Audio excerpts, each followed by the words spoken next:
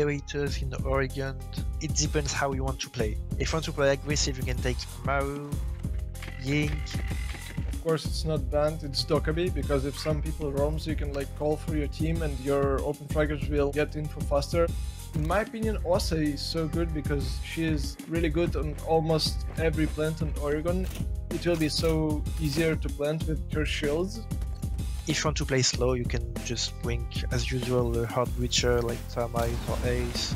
The best pick for me on Oregon would be actually Twitch, because people play a lot Fenrir, Goyo, Mira. I think it's a, a good operator to deny all that stuff. All equipment you need on Oregon actually has one set of claymores, flashes, smokes, or grenades. Flash are really really strong. The MPs you you have to bring them to open the worlds. You can flash pit, you can flash top white, you can flash close trophy. It's easy, like except if they have warden, but it's the game. The main spawn is actually pretty fast to enter the map. spawn uh, street, but watch out, a lot of players are spawn picking garage, main door, and master door. If you like attack the basement, for me, two guys need to spawn on main and then go through the master bedroom. Two guys spawn from small tower, so they will work together in pair. One will drone for for, for his teammate. Easiest spawn I think would be to spawn small tower to get three people rushing into the green window with someone waiting on the kids to put pressure on the on the vert. The last one could uh, cut white or push Zulu to get the cover from server. Those are my first entry chips on Oregon.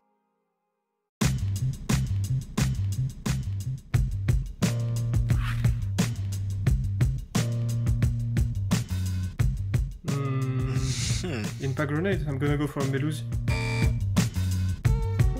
Um, Rook. Impact, impact, impact. Goyo? uh, no, Goyo has no more impacts.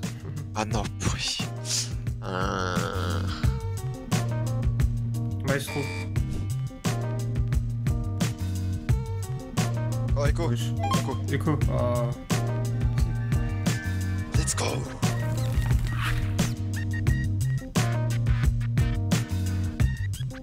H. Euh... IQ. Nice.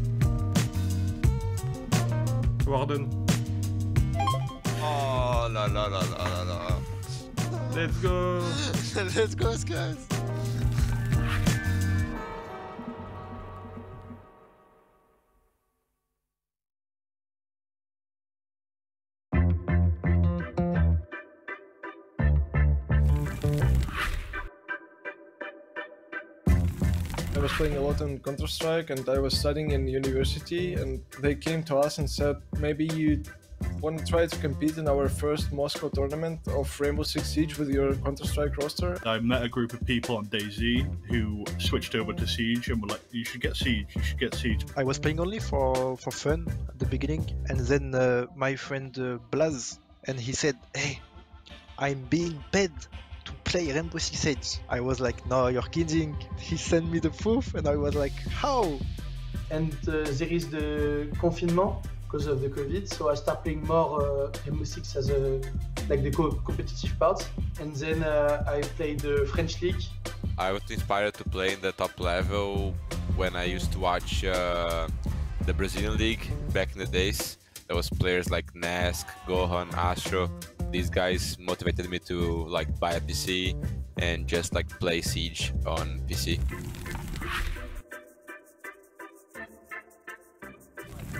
There is not one thing that made me became a, a pro player. It's like uh, on everything, the atmosphere, the game as well. Like just everything made me made me feel like I need to be a pro player. I think my big moment before becoming pro was uh, Challenger League. We beat uh, M-Curse, and in Challenger League we beat them. Like that was a big, big, big opponent, and I was so happy to beat them. Like it was really a big, big moment. I wanted so much to be pro at this moment.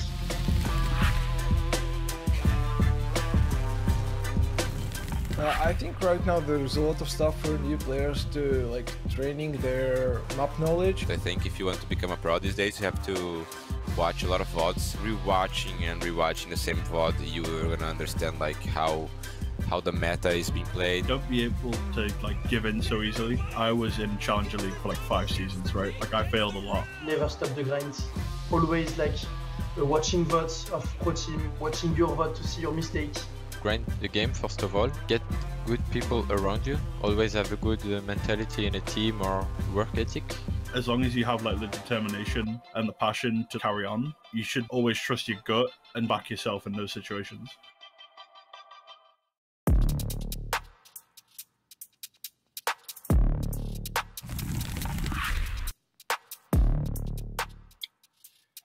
If I remember correctly, it's uh, Skies who was telling to Jack to run out because he was uh, playing in uh, the second floor of the big tower.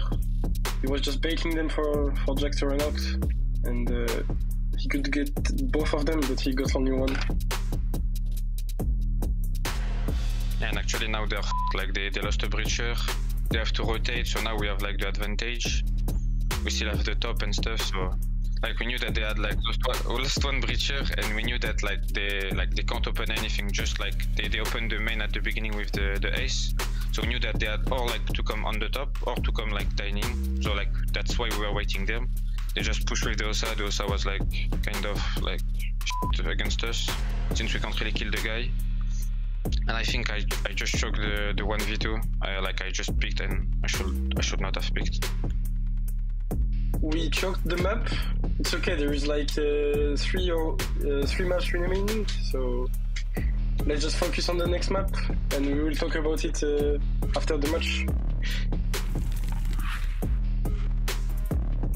Mm, like we knew that like every time on attack they were like baiting outside with like Brava and stuff like Twitch and stuff like this. So we knew that we just had to wait them and like we know that we are better in gunfight, so we just wait them and play together like in cross and stuff like this. Yeah, we wanted to make them waste their time.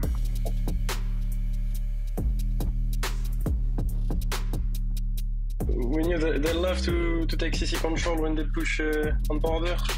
So I just I was just there wasting time, and then we fall back when we get a kill or, or one minute and stuff. Like if we see like one minute, I just drop from T1 like just to waste time. Ah, I got killed like uh... the wrong timing. So now they have top, but like we still have C4s, and they have only like 50 minutes, 50 sec. But it's kind of like free for us. Yeah, just just give them space. I think we, we had the like we had the Valkycam like on the I know we had, yeah we had the Valkycam I think on like office that's why like we, we asked him to flank and that's where like we win the run. Yeah, and one, one of the reasons why we are uh, leaving top floor is that I can uh, I can flank with Oryx on the hatches, so it's okay if we let them have top floor control. Yeah, that was part of the like plan at the beginning. We just sounds like we know how they play, we know what to do. Just just do our basic stuff and we will win.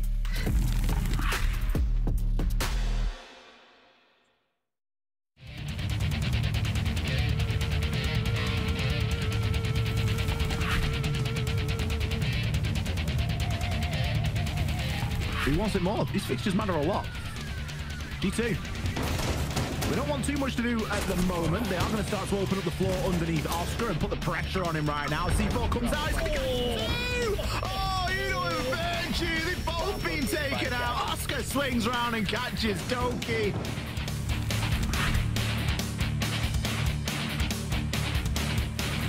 Ten eighty are able to fend them all off one at a time.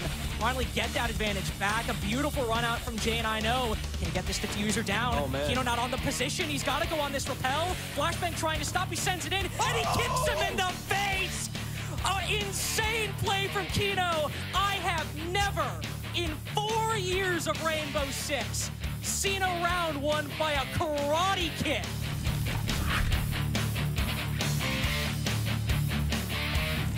For Benja, how long is he going to be able to sit here? Not very long. Groovy gets one. Benja goes for the retake, reloads, close, and somehow gets a second. Is that three? He's out of bullets, but he's got a knife.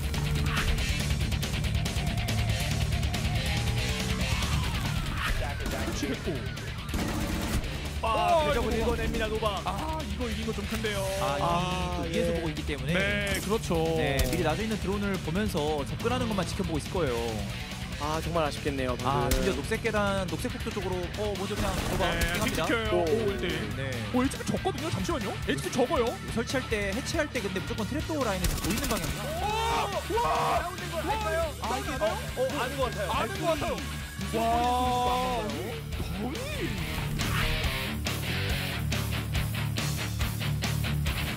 Jogador à sua direita, o ponto cego, o Filipox cai. Vita King consegue mais uma em cima dele. Enquanto isso, o JV também garante a sua. São três jogadores contra um. O X1 final agora. Ele vai pra cima, JV no Ace!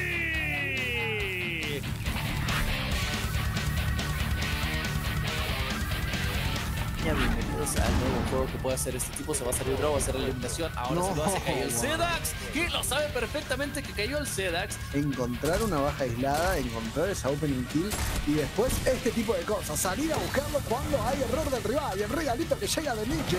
Por supuesto, ¿a dónde iba Croqui? ¿A dónde iba el español? No tenemos ni idea, pero el 4K es para el francés, sí.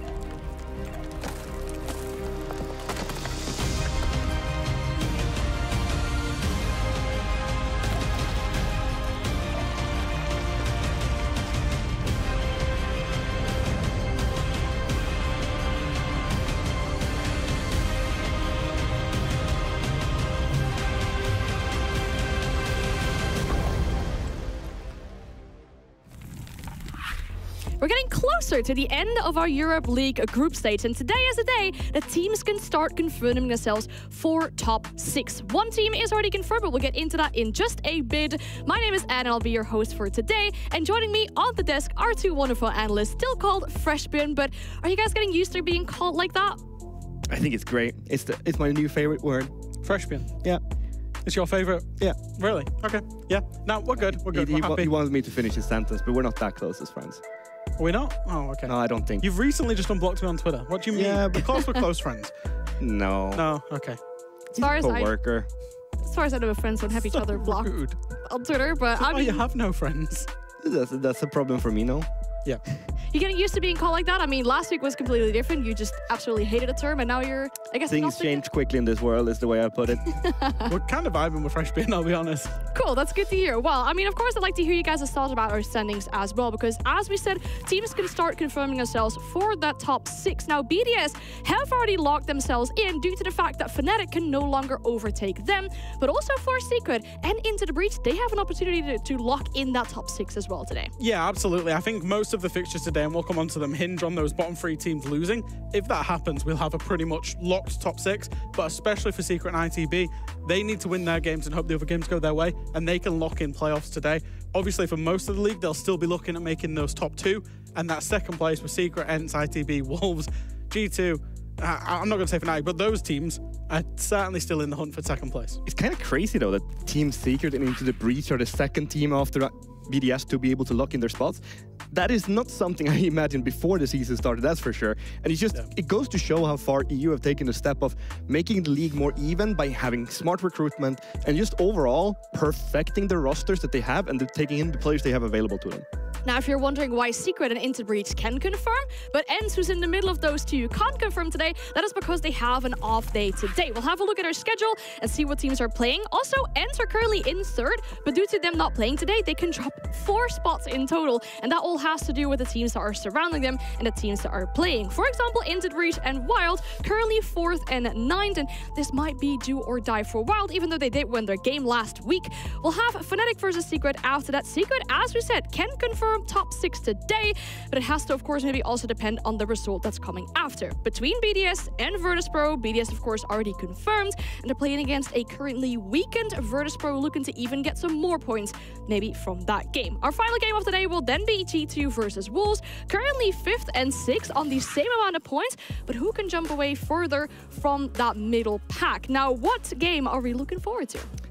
I always like to look forward to the G2 games. But one more, more though for me is Wild into the Breach. I think that Wild has a lot to prove to themselves now. They had a good game in the last play day. Can they do more than that? And also for Into the Breach, do they have the cool and calm within them to actually close out and secure that top spot?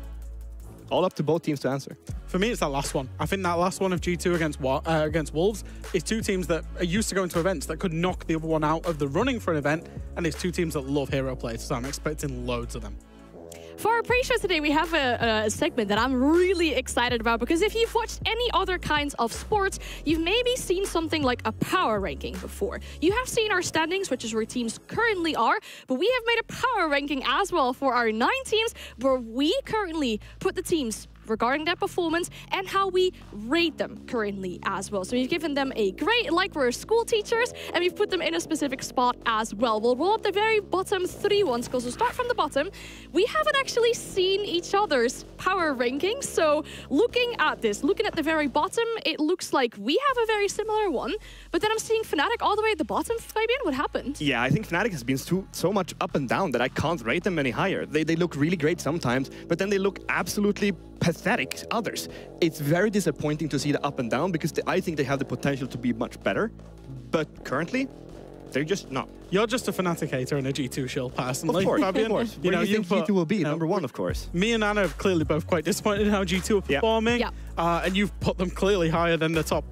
You know, the, the bottom three, that's uh, obvious. Um, yeah, I don't know. I think I went really low on Virtus Pro, by the way. What's that score about? What am I doing? I was gonna say because we both graded not lower than like a five or a five point four. You went for a one point eight. Can you explain that? Because the results, the performances for Virtus Pro haven't been that bad, but the results have been that like horrible that they're they're potentially going to a probably going to open qualifier playoffs for a team that's won the last two EULs. So for me, power rankings are more about like form and where the teams are actually at mm-hmm. than where they are in the standings. And I think Virtus Pro at the minute is the team that's in the most trouble. Yeah, you've been really harsh on them for that point there, but we'll put in the next three, so spots four to six to see what's going on there as well, because maybe we'll have some changes for each other there. You've already put into the breach. Low. Yeah, so I think that they have more again. I think they have more to grab onto. Like they are a young team, so my expectations on them aren't that much higher than fifth. I think that if they achieve anything above that, I think that they have overperformed for the position that they're currently in. They're a good team, yeah, sure. They're high up on the scoreboard right now, but as a team overall, I think that's where I would rate them. Even if like form and all of that stuff you talk into that, I look at the more whole picture of things, and I just don't think that they're higher than that. Do you understand power rankings? Yeah. okay, because that's about rating them on form and where they're at currently, not the whole picture. Yeah, but I you realize that, right? I want to rate them as a what I think that they are in the league in comparison to everybody else. Okay, okay. And you might be wrong. Well, you are wrong. you can think so. There's only one of us who has been relegated. That's what Oh, I'll I say. see. Yeah. Oh, Straight yikes. to that, yep. There is a significant difference between your grade for ENCE Fabian and your grade for ENCE Fresh. You've put them way higher. Could you explain why? Yeah, because I think ENCE are uh, a team in progress um, in terms of that are actually solving their issues. I think they had very, very clear issues. They were bottom of the league, and then the last two or three times we've seen them, they've solved their issues, and they're the only team that beat BDS, and I think that's got to count for something. Yeah, I I mean, I, I think that they, again, I put them pretty much next to into the breach, right? And they're developing. That's what I see. Like, I think that they are overperforming and they're doing really good. But should they do this good against the teams that they've played? Should they have beaten BDS? Probably not, looking at how BDS have played so far the stage. I just think that, yeah, I'd rate them a little bit lower because I don't think the depth is as high. I will say, I'm seeing quite some similarities between our power rankings. However, I've not seen Into the Breach on ours yet, but I haven't also seen G2 on yours yet, Fabian. We'll roll in the third one to see if maybe. Okay, there we find G2. No why? way. Why third? We both, we both put. G2 on seven. Yeah, okay, their form might be poor, but they're, they're going to activate themselves. We know how they work. They're going to make it to the major one way or another. And they have had rough individual performances that have led to the position that they're in right now, but also those individual performances have kept them at the level they're at at the same time. So I think that if they just shape up their team play a little bit, we all know how much G2 can perform. I'm just waiting for it to happen. I'm gobsmacked. I'm actually gobsmacked you, put G2 it. in your top three. But Fresh just shaking his head here.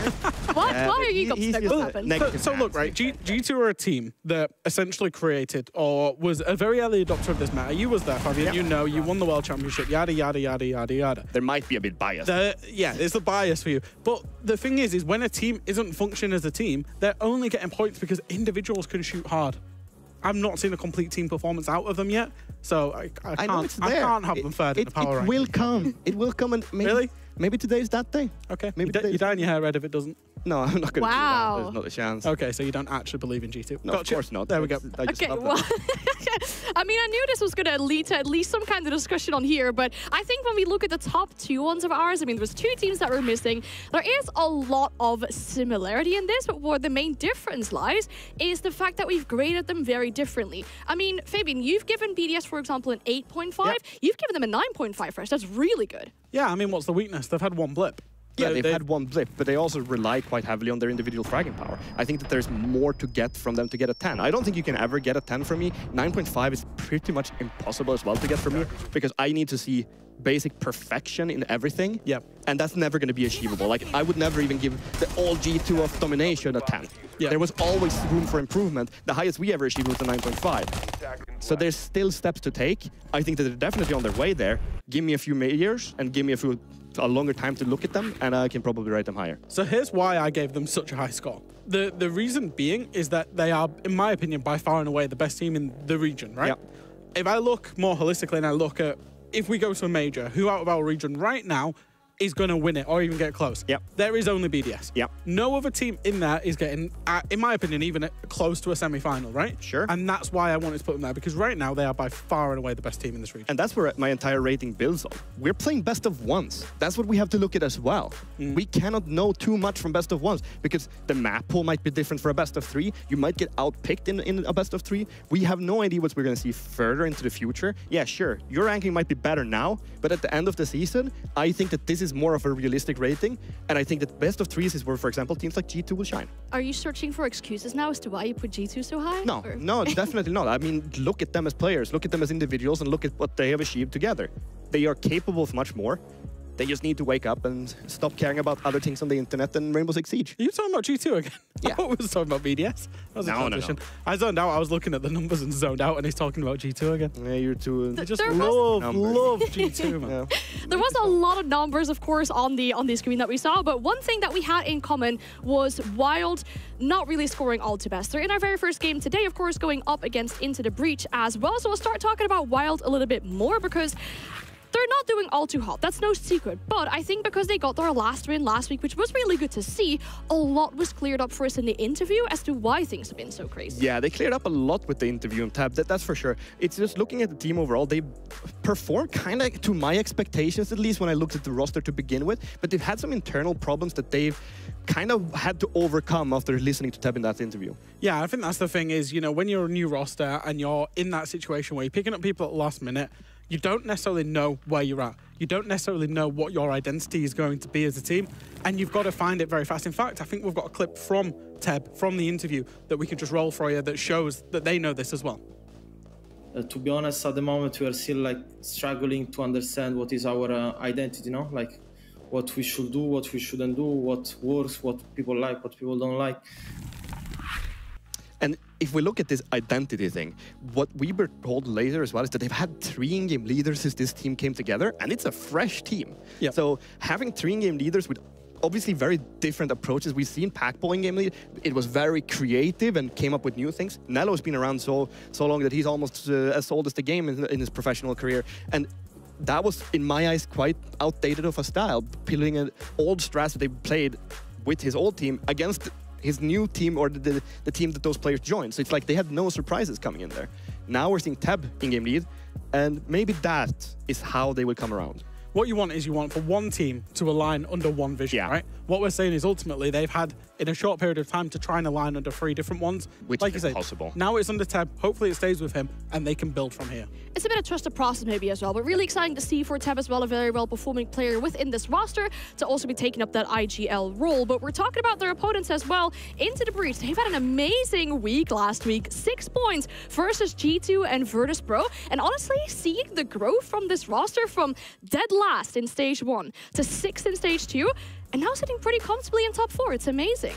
Yeah, I mean, if, if we look at them as a team, they've had good performances, but you guys both put them above G2 and Virtus Pro in the in their power ranking. So maybe they are supposed to win those It's games. because they won those games. That's why I put them there. uh, look, look, we all know that this is a team in progress, Yeah. right? This has been a team in progress for the last 15 months. If you look at timeline-wise, I think they are probably, what, 12, 15 months ahead of like where their opponents Wild are. Yeah. They were going through the same trials and tribulations this time last year. They've taken much bigger steps. Like it's such clear difference in how they're playing the game versus versus Wild. It's just night and day difference in my eyes. I think two players on that roster that we've seen shine a lot so far are definitely uh, Azure and Creed. Yep. Main characters maybe on this roster so far. Yeah, I think we've got a little a little graphic about Creeds as well because he's been so important to this ITB roster. So what we're showing here is the results that ITB have had, and Creeds is KD. Particularly pay attention to those last two games. They obviously beat Virtus Pro and G2, both top four at Six Invitational. And look at Creeds' scoreline, plus 13, plus 5 on the KD. He is a player that's a rookie to Yeah. this team, a rookie to this league, and he's stepping up in a massive way for them. I mean, he's had a, such a short stint in tier two as well. So this guy has really like rocketed his career up. And it's so impressive to see that like maybe the three first games were a bit nervy. You never know. I mean, we know him quite well personally, so we understand how he thinks. But just the step up he's made, it's super, super, super impressive. It's like he got one tapped by Shaiiko on border through that barricade on that hit and thought, you know what, I've had enough of this shit, and just woke up and carried on. Decided to end all the games in hi- his favor. We need to see what kind of map we're going to be playing on as well. So let's roll up the map video and see what map is selected for this best of one. We'll be heading to Clubhouse. Yeah, I'm, I'm not necessarily surprised to see this. I think Wild are operating with a pretty limited map pool being such a new team. I think that's pretty much expected. Kangaroo Kenny's a shrewd operator, so to take Wild to Clubhouse where they lost 7-1 to Wolves makes a lot of sense. Let's not forget that ITB did show Clubhouse by beating G2 there. However, what's interesting to me really is how impactful the bans can be on this map, Yeah. Fabian. Because both me and you saw it, the last time Wild played, they played Monty, and that was their win condition on attack. I'm wondering whether ITB will ban away the Monty because it is Yeah. so impactful on Clubhouse. It, I don't know if it's that impactful. The one where it would be would obviously be for a garage taking a CCTV de- defense. But where else? Dirt tunnel Dirt maybe for tunnel, basement. yeah. But at that point you can clear it other ways. And if you have to rely on a Monty, you will miss your gun somewhere else. Yeah. I think the map makes sense from Into the Breach because obviously Wild had bad results on it.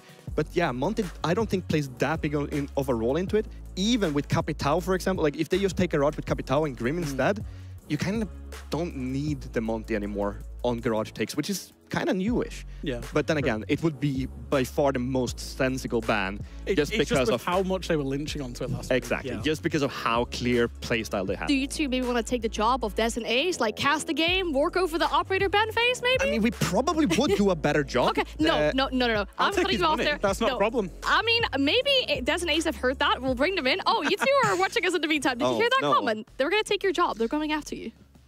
Oh, honestly, Anne, just just. So- I tell you what, Fabian, come on, you can come and cast for me. I'll go and stand on desk with Fresh. A little trip to Copenhagen No, sounds please, fantastic. no, please, please, You can do please, some please, casting. no, please, please. Can I have Tim? So they, they What's cut- worse though, really, You- me or you Fabian, Fresh. Jack? Thank you, Tim. So do you want me to get rid of the desk, or do you want desk to come on it? Which one is I it that you don't want, want anything to do with desk. You know what? We'll just Doesn't leave matter it. to me whether I'm there or he's here. Whichever one, I don't want to be with. All him. right, all We'll leave, it as, we'll leave it as it currently is because I believe, of course, Des and Ace will bring us all the hype this game is going to deserve between Wild and Into the Breach. We'll be heading to Clubhouse. Thank you, Anne.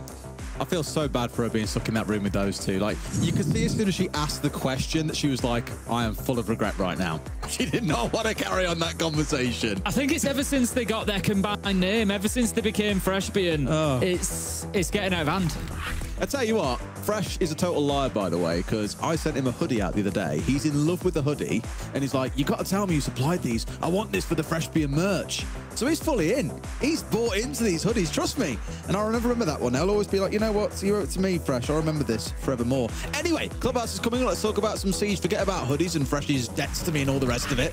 This is one of those games, Tim, that we were looking at a bit earlier on, and. uh, it's a hard one to call in a way. I think on paper, many would look at it and go, oh, ITB, they'll beat Wild. Wild are down the bottom. ITB are climbing up. If not for last week, we wouldn't have seen ITB be at the level where they are. Like the guys mentioned on the desk, six points from last week. And Wild did get that first win. So two teams you could argue that have got a little bit of momentum, a little bit of motivation to deliver here. And this could be one of those games that you just really struggle to call. Yeah, I agree. I think they, they're both teams that are on on the up. Wild, after getting that result last week, I think are, um, you know, capable of, of getting a win here. For me, the big factor, we spoke about this before we came on, for me, the big factor here is probably Azza and Creeds today, I feel like, for ITB. If, if Wild don't contain them, if they don't put them in a box, I feel like Creeds and, and especially on Clubhouse, have got a real potential to just run all over them here. Um, I'd like to see those two out in the map when they're on the defence in that second half. On the first half, get them in there quickly. I want drones at their feet. Go in, find any roamers, let them take space, let them claim it. Uh, and honestly, I think it could be a rough day for Wild. There's going to be a lot of big gunfights that they need to be winning. Um, but one way or another, what I will say, Des, is what I've always said. If you get two teams, whether they're at the top of the form, the bottom of the form, it doesn't matter. If they're on a similar footing, you're going to have an entertaining, exciting game of Siege. And that's what I feel like we've got in front of us here. Absolutely that, Tim. Absolutely that. And our bands have flown on through, so maybe Fabian could have had a talk about it while we were nattering away about other bits and bobs. But obviously, we're touching on here with the Habana going away and the Tubarão pairing. Habana, sorry, Maverick going away. I was thinking about Habana in my head, clearly. Why not? Maverick and the Tubarão going away together. It's like bread and butter, Tim. you got to take one away if you get rid of the other, it feels here as well. On the other side, though, the most interesting of the bands, no doubt, is going to be that Deimos. Now, we haven't seen tons of Deimos. We've seen certain teams likely to bring him out in certain spots. We've seen entries playing him. We've seen support players playing him. Very much a multi-use case style operator you can afford to bring along here. So more is trying to remove that wild card, dare I say, from the game. And the Solis really needs no big introductions to why she's been banned away. One of the stronger defenders that we have in the game right now. Very good at negating away a lot of information. But it does leave things like the Ying available. And that's exactly what Kendrew has jumped over to here in round one. And already I'm seeing the lineup, for example, the Grim and the Ying coming in together. That just screams execute-based composition. So the goal now for Wild is going to be to disrupt this, get up in their faces, try and remove one of those two key operators just to make it mm, sting less when the execute comes through. We're going to be getting into the action then as we have Teb for the time being just hiding himself out on main stairs. Going to be looking to potentially pop up and spoil the party there. Um, you know y- looking at that execute game that you've picked up on there as I mentioned I agree with you. The composition composition does lean in towards that in fairness, ITB not one of sort of the leading plant teams. Eight in total, um, sort of middle of the pack really. We've got teams um, like Virtus Pro on 12, um, sort of top in the pops. BS as well with 11, lot of plants, um, 14 for Team Secret. So not necessarily one of the most execute heavy teams, but certainly not one of the least. So no surprise to see that being brought along. Because you say the play is going to be in behind that Ying. I'm not sure how much um, Ying will be utilised on every site on the map. Definitely Church and Arsenal um, can be of heavy use. I'm thinking gym and bedroom attacks potentially as well. CCTV and Cash maybe a little bit less so, um, but we will see how that one develops. Halfway through the round, no kills as of yet, while doing themselves well to keep themselves alive. I really thought we'd see a bit of aggression, maybe from Kanto, maybe coming out from Lolo. Heck, just throw the whole kitchen sink at them and put Ted up on the top floor with those jammers being used to disrupt and slow things down upstairs. But it has been a turtle setup from Wild. No one playing out around the map. And the worry about that is when a team is good at attacking, Tim, you just open the floodgates there for them to get in there, all five alive, and really make an execute happen. The one thing I remark on is both of these teams are in our bottom three teams for attacking here in the competition. It's not the easiest thing in the world. However, Az is going to drop in and find one, but he might be challenged from two different directions here, Tim. Watching out for the mirror off towards his left, but also the player inside of Church, and it's Lolo who's holding down that key position. Yeah, Asa doing well there, getting aggressive and just really taking a, a bit of key ground, getting himself into Moto. Just going to prevent a bit of that play inside of Blue. Oh. Nello taking a big risk, stepping out there, and is going to lose his life for it. Taken down four versus three. Kanto manages to get the trade. 20 seconds left to go, and the gunfights start flying. Des Kanto with a second onto Noah. He has dug his feet in here and is having absolutely none of it. Lower with one of his own, and all of a sudden it's Creed all alone. 1v3 is shown us so far in EUL that he's got the ability to do it, but down here in Church it's going to be too tough, and there's going to be the final kill. Wild managed to pick up round one, and they stood up well to the pressure that ITB had managed to build.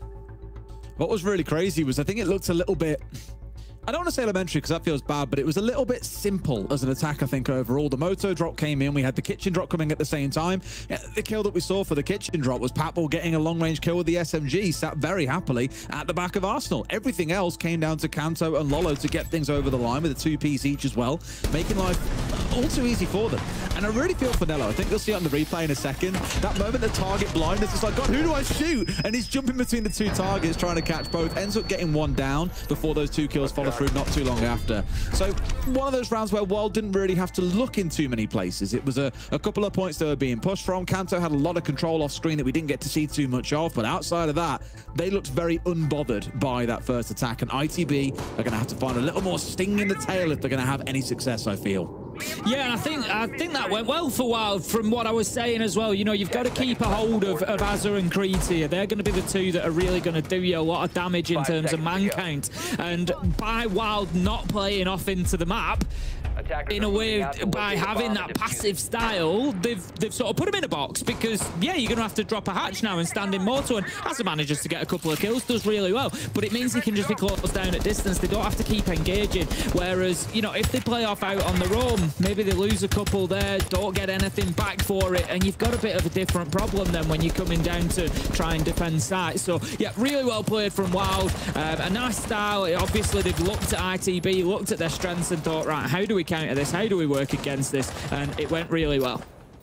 I imagine this round will see a few gunfights taking place a bit earlier than last time round. It was a good, you know, more than two minutes past before we saw the entry come through in that last round because it was a lot of setup and a lot of control given over to the side of ITB. But here, what you tend to see for this side, at the very least, is that extension out towards Cash and CC. So I think you'll find there are a couple of players here on the defensive side out that way that I'd expect ITB want to force away in some way, shape or form. It's what Oscar here is looking to do. Get the wall opened up, control site, not control site, control inside of CC, and it stops that west window being used that covers the entirety of the south balcony for gym and bedroom. It gives less options to the attackers to make use of. And I think like we've already seen in that previous round, ITB didn't want to overcomplicate things. They had one or two angles and that was enough for them. They're slowly trying to work their way forwards here. They are forcing players back and Kenny has found the entry. Two entries in two rounds for ITB. But my God, is it all going off here, Tim? Kenny's right in and he's taken over the mirror window, reclaimed it for his own team to make use of. And it's all down to Pack to really try and make this recovery come through. ITB smashing the accelerator down to the ground to start this push on forwards. And Pack, like I say, has got it all to do here, Tim. Right sort of idea, but will he find a second? main Mainstairs was the right idea, but Oscar gets the close.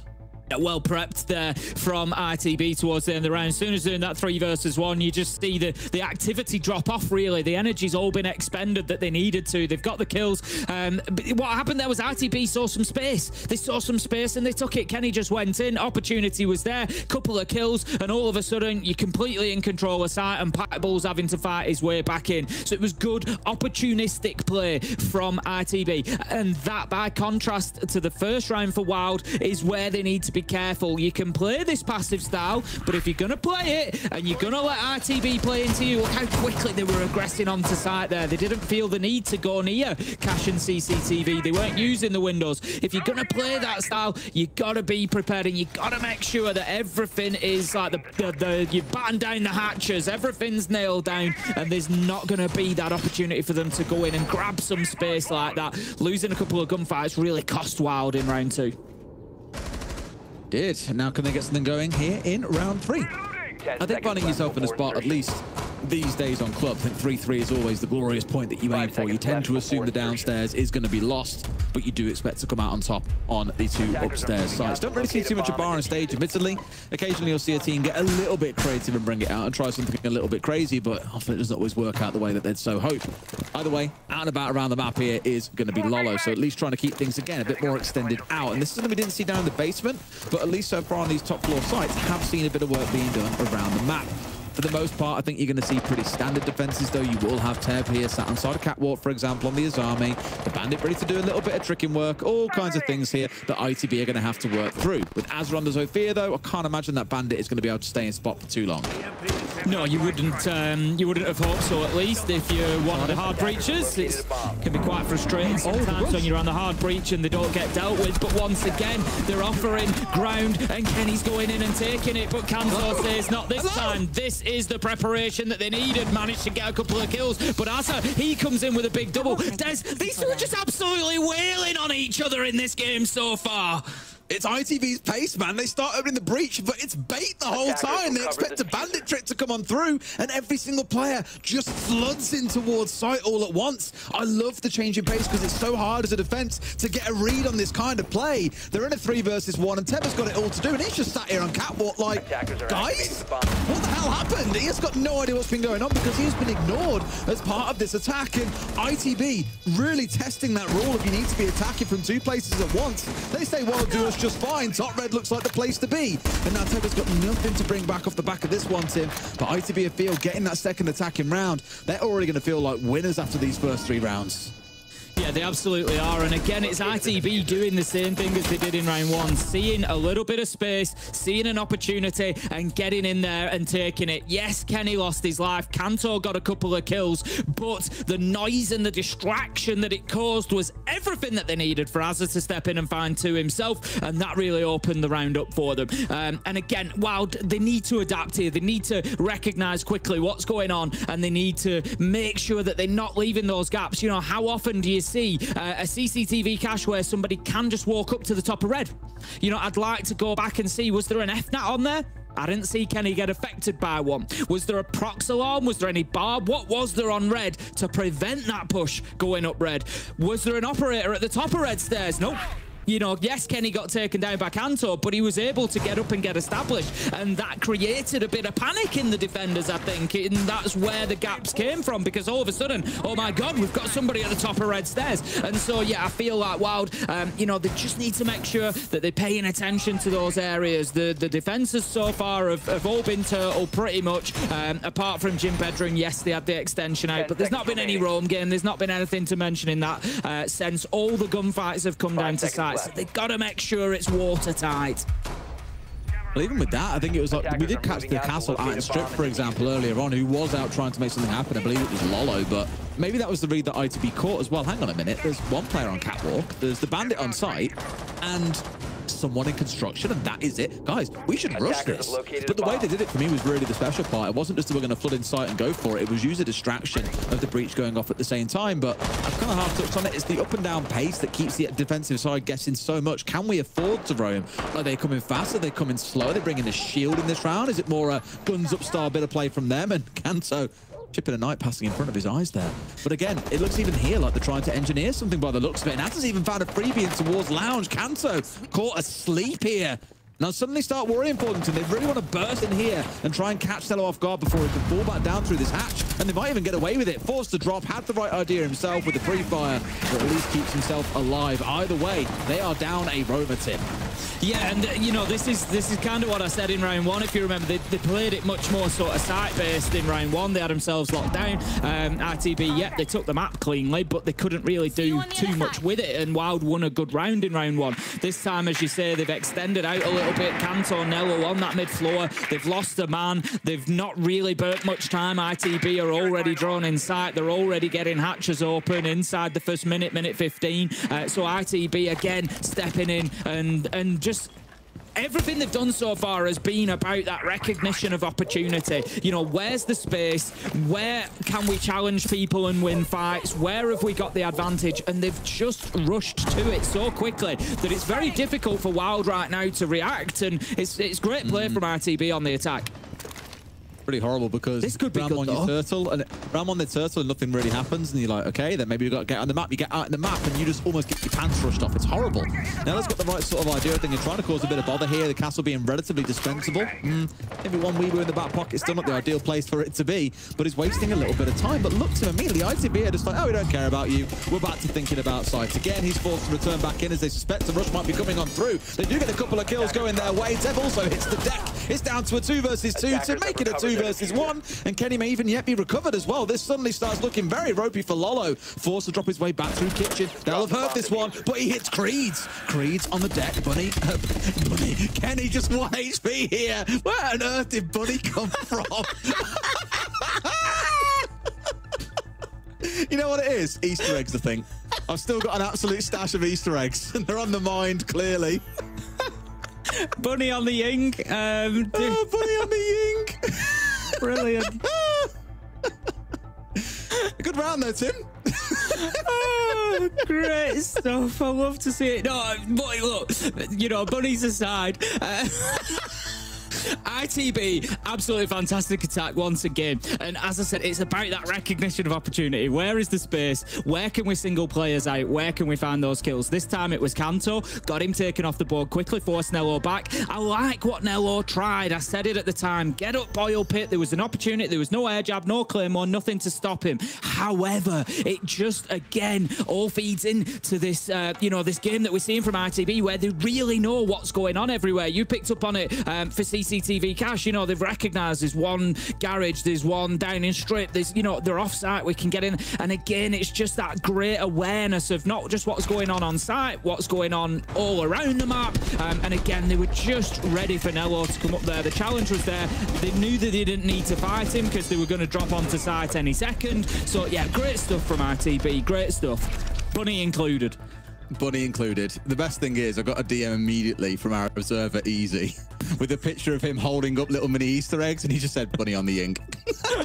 Bunny.itv. I love it. Bunny.itv. Hey, you never know, man. I've heard about him as an up and come player. You know, I've heard he's quite experienced actually, but I've not heard him before.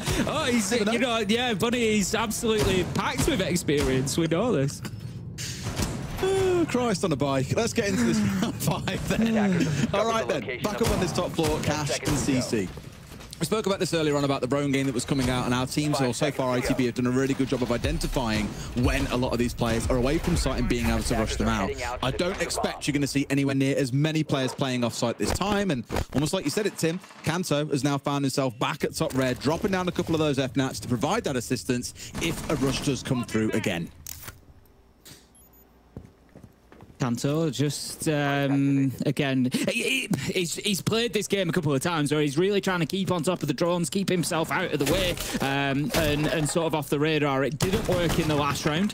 Lolo is just going to go for the sneaky trying to avoid the sound cue of the barricade ripping down. Um, we've seen again you, you picked up on him in round uh, round three. It was out in strip. Didn't really have any impact from there. Um, and if they're going to play out in the map like this absolutely fine but they've got to get something for it Kanto himself has got to be careful. He's already been caught out a couple of times in this half.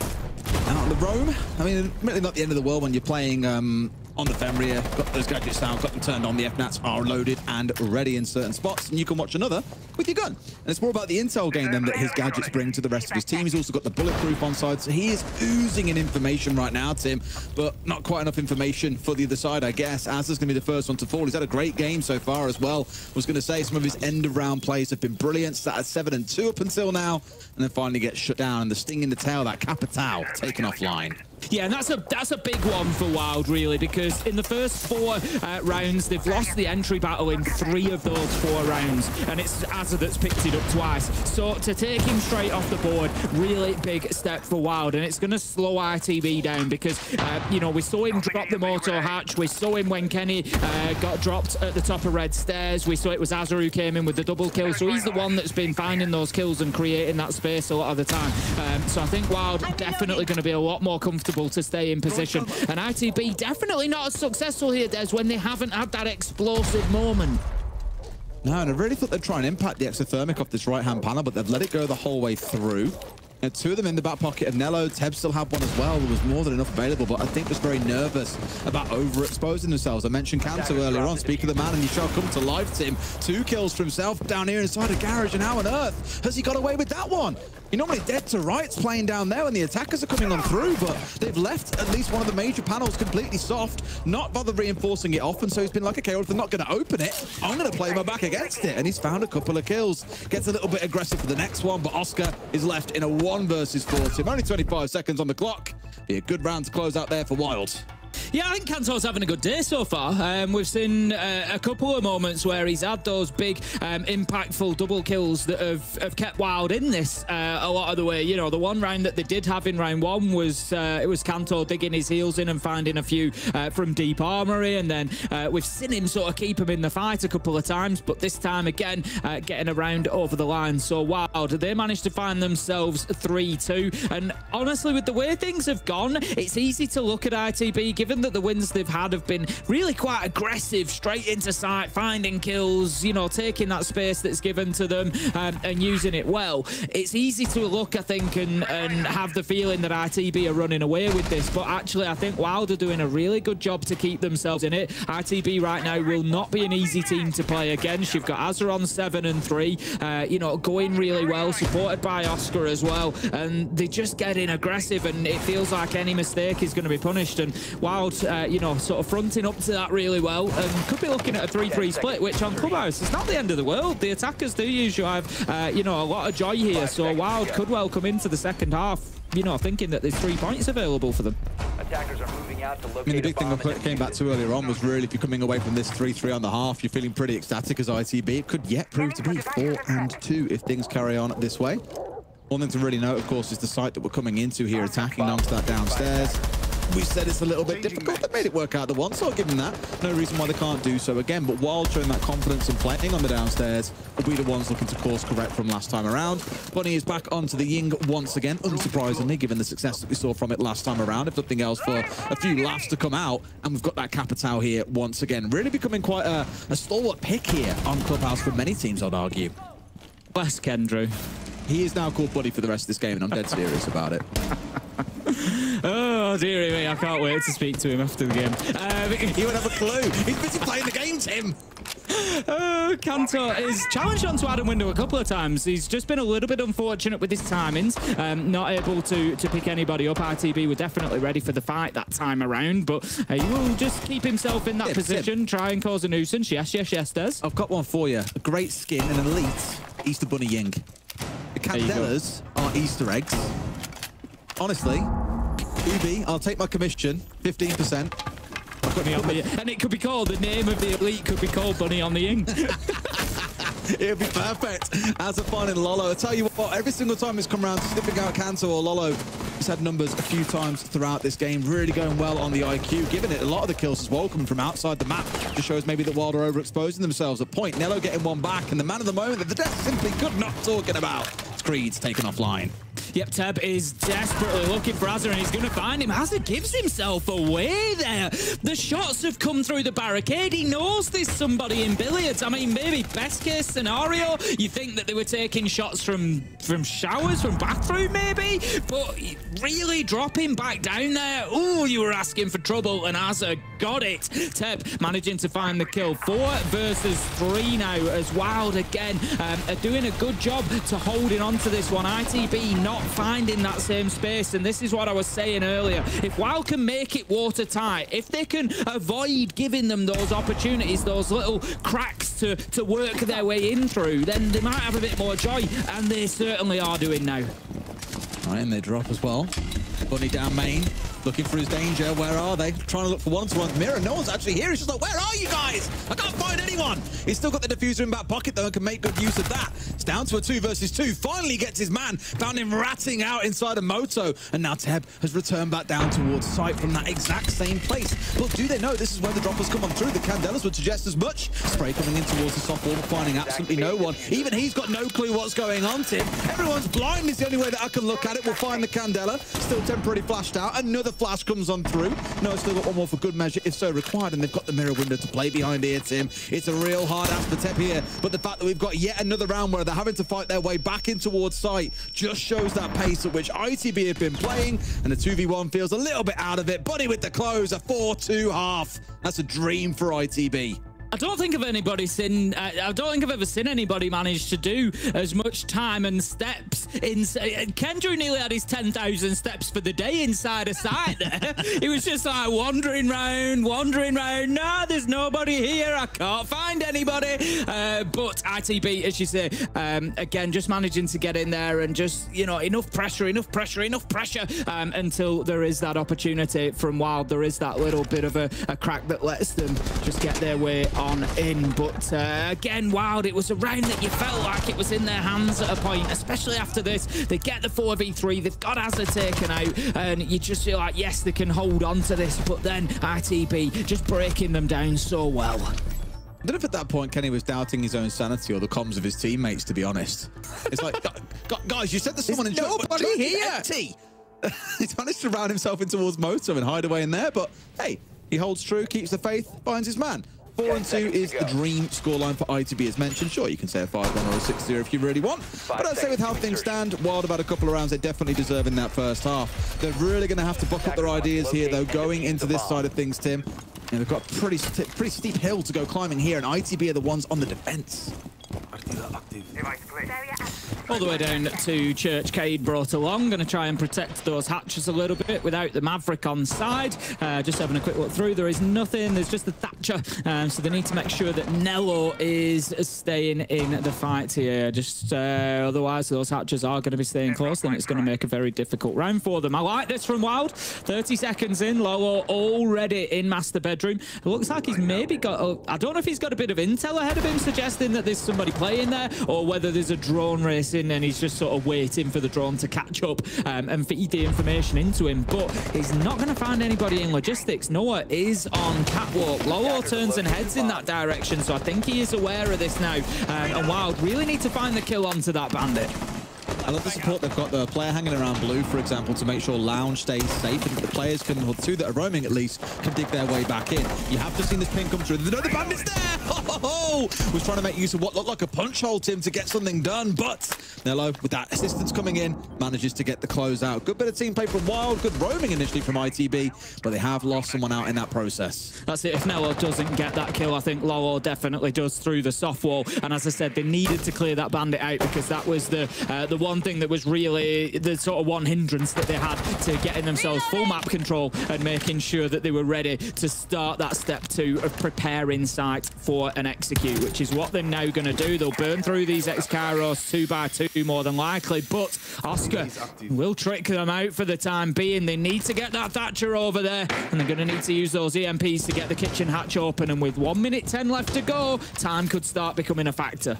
That's it. And again, immediately, I'm looking at the playstyle coming out from ITB. I know that we've moved past that part of the round, but having three roamers out in the map early on, and Wild were the ones immediately dug in and really trying to play Turtle in round one, just shows a little bit of a, a statement of intent, dare I say. And yes, they've lost one so far. They've still got the C4 and Oscar in back pocket. They're still dug in relatively well here. And now all the effort has to turn onto the other side. It's on Wild to orchestrate this attack. They've got one more to KB call left in back pocket that Patbull is saving for this execute, as well as the Grim, also with those bees in pocket. So they've got things to work with here, Tim, but they've got about 30 seconds in which to do it.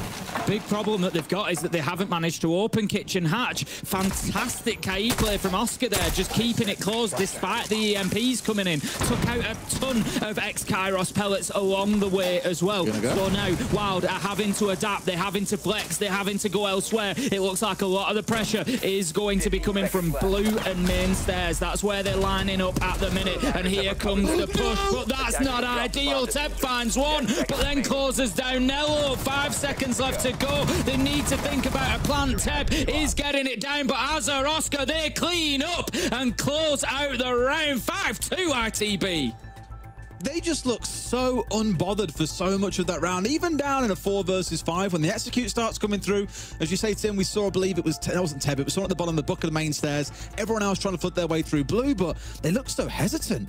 Even when it was flooded out by the bees to be guaranteed that it was closed, the double soft walls, the shield they knew that was in Arsenal, there were just so many things staring them down. Like we even had the defenders dug inside of dirt to make use of that angle as well.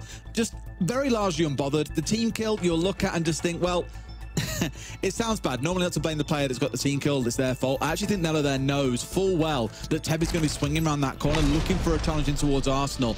And, like, why would you run in front of him here when you know that he's stepping in for a bit of a gunfight? I think more that he was looking for his own, and there was a little bit of a mistake there on who was swinging what way. Maybe Nello expected Teb to keep on moving out towards the left, for example, and Nello just stepped in front of him. Uh, one of those moments where you look at and just think, oh dear, it's all falling to pieces over itself. ITB with a really good convincing first defense, though. As said, Wild have really got to buck their ideas up, Tim. This is already starting looking like too tall a mountain to climb.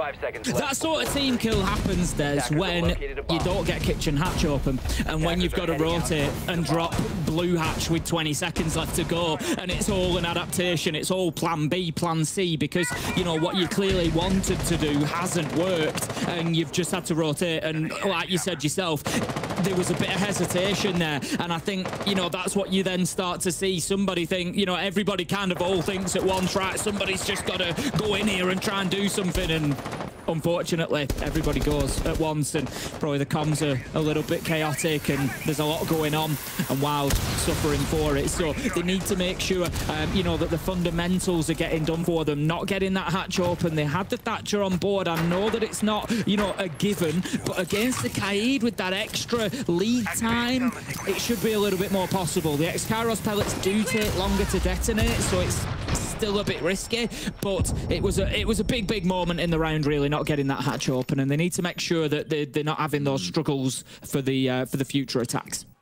Rapid work being done here as well to get themselves going. At least opening things up. Walls opened up. F-Snatch destroyed. Really good progress, at least to start things off from the side of Wild.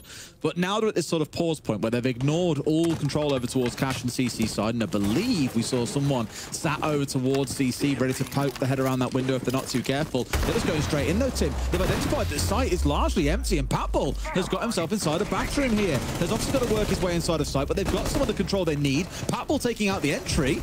Uh, where is everyone? The lights are on, but no one's home. I like this from Wild. This is almost sort of playing ITB at their own game. If you're going to give us the opportunity, we're going to take it. Plant was going down, but they've just had to dip off that for the time being. I think recognising that they don't quite have as much control as they need. They've tried to use the bees to prevent um, anything coming forward. Big nitro, but not from Azza. Not It's from Creeds. He finds himself a double, and that puts the diffuser down cold inside a site. So what looked like Wild taking ground and an opportunity was actually ITB saying, come on in, come on in. We're going to welcome you with a nitro.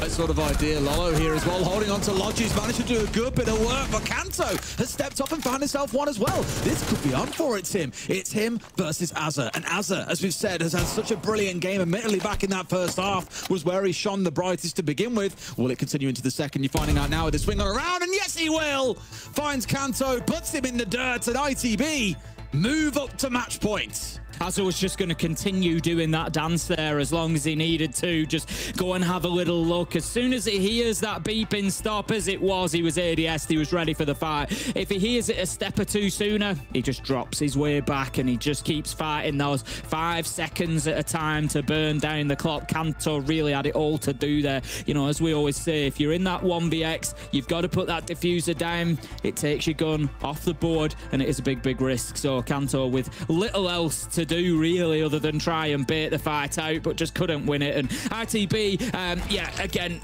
I look at it. I'd like to look at that round back a little bit closer because, like you said, it was a lot of space there, um, you know, for Wild. And you've got to wonder. There's, I'm sure, uh, you know, on a, on a different play day, there's an opportunity where that diffuser does go down, and all of a sudden you've got a bit of a different situation. But Creed's in the nick of time, gets that double nitro, Mm. um, and that really opened the round up for ITB. So, uh, Uh, you know, they'd welcome them on in, but they had a surprise in store. It was definitely a, a high risk tactic, is what I'll call it, when you're relying solely on those C4s to get the job done. Especially once I think, you know, to give some credit to Wild, they read the situation. They got implant was going down. They were like, oh, I've heard a C4 rip through the hatch. There's someone downstairs. Bees go downstairs. Immediately they're looking for vault cams because they know that's where the information is coming from. And you even saw it on screen itself when we had Lolo tossing that C4. not Lolo, sorry, when we had them tossing the C4 skyward from below. Uh, there was no information. There was no yellow pings. It was very much a right. Where can we put these C4s that are very likely to get a kill? And there are two places that jump to mind. One is going to be against that single reinforced wall that separates the two sites. The second one is on the doorway leading towards the west breach, where someone will be tucked in and only really exposed to construction door. Those are the two best places to put it. That's where they put the C4s. They get a double off the back of it, which is the craziest part, and they get the close. Imagine if they hadn't got that double though. They'd got just a planter instead. Suddenly it's three players left up, coming up against four players, all fl- flooding their way back up through main stairs, and that turns into more of a meat grinder for the side of the attackers. But great 1v1 being one out. Nice ideas from both teams. ITB still are the ones finding themselves in full control here. And come on, boys. This should have been sorted seconds ago. Creeds with the entry onto Patball. It's a nice one to start with. It's also the hard breach gone, Tim. Creed's unflappable there, really, despite the bullets Oh, flying around his head. He stayed for the fight. Nello has not been able to. That is really unfortunate timing for Wild as Nello will drop, but the round will be completed. Four versus three. Uh, Creeds has been taken down. Kanto was there, managing to get that trade. Again, a little bit of just tough timing there. If Kanto's a second or two ahead, then maybe Creeds doesn't find his entry, but still definitely winnable for Wild here. They've got uh, the CC window that they can start working from, apply a little pressure, make it difficult to play from garage. Teb's working into construction, so they've got a couple of angles to work from. The real painful thing is there, you've lost the entry as your Thermite, and then the player that's disconnected is your Ace. That really renders Lolo, for the most part here, completely ineffective. Like, what's he going to disable? Like, bandit batteries from all that you can't open? Congratulations. There's no bulletproofs to worry about, for example. Valkyrie cameras? Like, don't make me laugh. So really, there's not a whole lot that this team really brings on what they've got left on side. Kanto's got a single flash he can work with and a little bit of vertical play, but that really is all they can bring to the party, unfortunately. ITB up into a 4-2 and looking to close the game 7-2. Yeah, it's really tough, as you say, for Wild there. Um, you know, I'm sure they would have uh, wanted to be fighting for a few more rounds, try and keep themselves in it, but it's just not worked out that way for them. Azza and Noah will pick up those final kills. ITB, I think, you know, regardless of how things end there, Des, ITB still good for the win for me. Um, you know, they, they were very confident in their play. They took a lot of ground when it was offered to them, um, seized on opportunities that were there, and I've been impressed with ITB overall today. Yeah, me too. I think a lot of the way they've approached it is great. Like on the attacking side, we've heaped absolutely tons of praise on them for the way that they approached that game. Whether it was going slow, then going fast, the rushes, the reading in towards players being off site. Just a really good understanding of the game state, I think. Really good at getting those entries from outside the building. Uh, wild, unfortunately, it's back to the drawing board, even despite that win they had last week. Yeah, it was a tough one for them. I think I, I, don't actually dislike the way they played. I think they did the right sorts of things generally. Um, they just came up against an ITB who were on it to do just any small sniff of an opportunity. They were in there, uh, and I think you know Wild a, a little bit unfortunate in some ways for that. Some work to do, no doubt, and I'm sure there's plenty of stuff to do on the desk here to talk about this game. So let's throw over to Anne and the guys now. Thanks so much, Des and Ace. And three points, four into the breach. We've seen them be on a pretty decent streak so far. And as you said in the green room, Fabian, this game played out exactly like you expected it. Yeah, there was no surprises whatsoever. I was pretty clear that Into the Breach would run over Wild. It made sense, the map for them. Yeah. And they just that they don't they even won against G2 and if you have that fragging power and you can win against that fragging power, you definitely can pick apart a team that is way weaker that Wild is. Yeah, I think the only thing for me, realistically, is I set the expectation maybe Monty would be a factor. Yeah. Not at all. Didn't at all. once. Sometimes that just happens, right? And I think you did, you know, set that right with the map uh, being a big factor in that. I think ITB are a team that has been progressing, and uh, this was another challenge for them is we've seen Wild show a bit of substance now, which made Wild a little bit more dangerous than previously thought. And I think ITB just had to come in, put in a professional performance, make very few mistakes, and that's exactly what ITB did. Yeah, and they, they were also kind of smart. They, did a lot of plays that wouldn't kind of normally make sense, but they had looked through their opponents last time mm-hmm. they played, and they used that as counter work, and it worked. I mean, just look at the CCT rush when the three guys go up red step. That's just not something you see every day, unless you know exactly that's what's going to happen. It was really good, well thought out reactions. Like obviously that, that play was pre-planned, but a lot of the other plays were well thought out reactions. Oh yeah, for sure. Based on their assumptions of where Wild would be, particularly when ITB were attacking. And I think that's one of the things is that when you're against an opponent that has a limited map pool, that is new, that has limited strategy and limited depth, you're able to make those assumptions and then get these plays off quicker and, and be more ready for them. Which is good to see. I mean, of course, we saw Into Breach also get that 4-2 attacking split on a map like Clubhouse. That's impressive. It's very impressive, but then when you look at the opponent you went up against, I don't know if it's more of what it should have been. It's just kind of the standard. It's sometimes actually harder to play against these teams that are slightly weaker because they will have to figure something else out than just the conventional gameplay to try to beat you. So it can actually be harder to play teams like Wild just because they have to do something different and you're not mm. prepared for it. And it's just a weird thing to do, maybe. It might be weird, but then also when we saw Wild on their own attacks, they were pretty slow. They were really taking their time and not everything was going right for them. Yeah, I think it, it went a little bit wrong. I think that round, obviously, into Gym where they got baited with the C4s below. I think, again, it's a, it's a team with. th- They may be surprised us last week, but it's a team where we, we feel that we've got a good understanding where they're at. Yeah. With their strategical depth, with their map pool, and where they're at. And unfortunately, they're a little bit behind pretty much the rest of the league. Yeah, and it's as you said with that bait. If you leave a team open space, they drone it and they try to take it, and then all it is is just a bait into C4s. Yeah, that to me shows that well, you know when things are clear and you know how to take them, but you don't know what it actually means that you're taking it. If there's nobody there, he's probably not there for a reason. This game is mathematical. You have the logical positions to be in. If you can count them away and you say, hey, there's not a guy here, there's not a guy here. Mm. Well, if they're not dead, where are they? Well, they were underneath waiting for them. Yeah. To get into some more maths and some more numbers, we said that Into the Breach can qualify today for the top six. They can confirm that. Uh, they got step one right. They got the three points here, but what else did they need to do? Yeah, that's basically they did ex- exactly what they needed to. They are more or less. It would be a miracle if ITB are not in the playoffs now, but for it to be mathematical, what they are looking for is for Virtus Pro and Fnatic to both lose today. Obviously, uh, Fnatic going up against Secret, Virtus Pro going up against BDS. So it's very likely because if those two teams lose, and obviously Wild have lost, none of those three teams can overtake ITB, and therefore the minimum position they could finish is sixth, which of course would get them into the playoffs.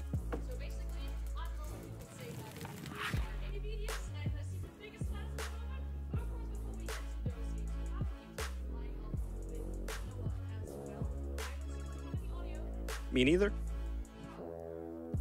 Is audio gone for you both? Yeah, we cannot hear anything. Oh, that's great. That's great for us. Well, we have an interview with Noah, and hopefully we can get him up on the screen so that everything is all right. Hi, Noah. How are you doing? How was that game? How do you feel after it? It was uh, it was a fun game. It's always interesting going up against like uh, teams that are a bit lower in the bracket because just as you said, you never know what they're gonna pull out. But um, we went into it like we do every other game. We had our prep and uh, we just played as a team. It's always a fun game. Yeah, and Clubhouse, obviously, you guys played it in your last play day. You won against G2 on it. Was it a prepared map for it? I'm assuming it was, but uh, a little bit more limited map pool and a lot of counter work that we saw from you. Uh, sorry, say that one more time. Last time. Was the map a preparation? Because we know that Wild has a bit more limited map pool, and you guys counter them quite a lot in your attacks. Was it the map you guys wanted? Well, we were fine with the like two uh, uh, diff- very different maps. We were actually thinking that they were going to ban out Clubhouse from last uh, our last play day against G2, but uh, since they wanted to, it looked like they wanted to take us there, so we just went for it again. We have no audio and answer. I'll keep asking questions. So Noah, last stage, I was very questioning about you as an individual. I don't know if you've seen that desk segment, but I said you are playing for your career now. And I think, and this is me praising you, I think you've taken that step up. You've cemented yourself as a player that now belongs here. How does it feel to start so poorly in your career as a well tier one player and now turning it around and showing everybody you do belong here? Well, um, obviously I saw that uh, desk from you as well. I think the, or my start of the career was like a, a lot more than just myself as an individual. It, it was about the entirety of like that team that I was in. But um, after that phase, I was obviously really disappointed with myself. But learning, uh, learning a lot more, just being like really willing to learn from the teammates that I had and the, the coaches around me, uh, making sure that like I was fitting into the team wherever I could and uh, ju- just taking as much in as I can. Obviously, you lit a fire under me as well after that uh, desk where I was like, okay, well, this is the point where I got to turn around, and uh, thankfully it worked out. Perfect, and I'm so happy for you. You know, Swedish people, we, we there are not many of us, but the few that we have left, we need, we need to keep. Do you have anything to say to your fans before we head off? Uh, just thank you guys for supporting us. I hope you guys have seen how much we're we're really putting in this stage, and I hope you keep keep supporting us. Thank you. Thank you very much, Noah. Thank you. And that's it. Obviously, he's very happy, and they should be. They played really well. This stage has gone amazing for them. But now that I'm the host and I have to throw it to the next one, well, we're heading into a break, but don't go anywhere because we have a game coming up right shortly.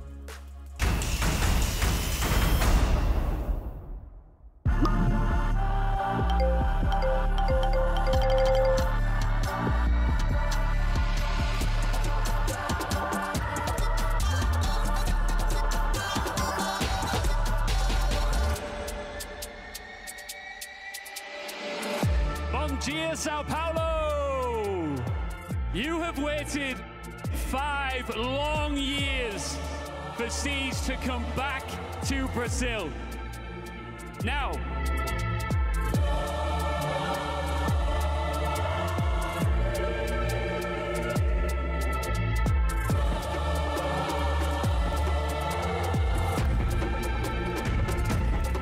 the Ginásio do Ibirapuera is the home to the Hammer as we get set to write the next chapter in R6 esports history.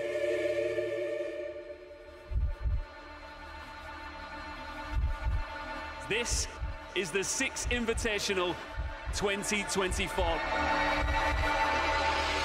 Vamos para Barullo! It's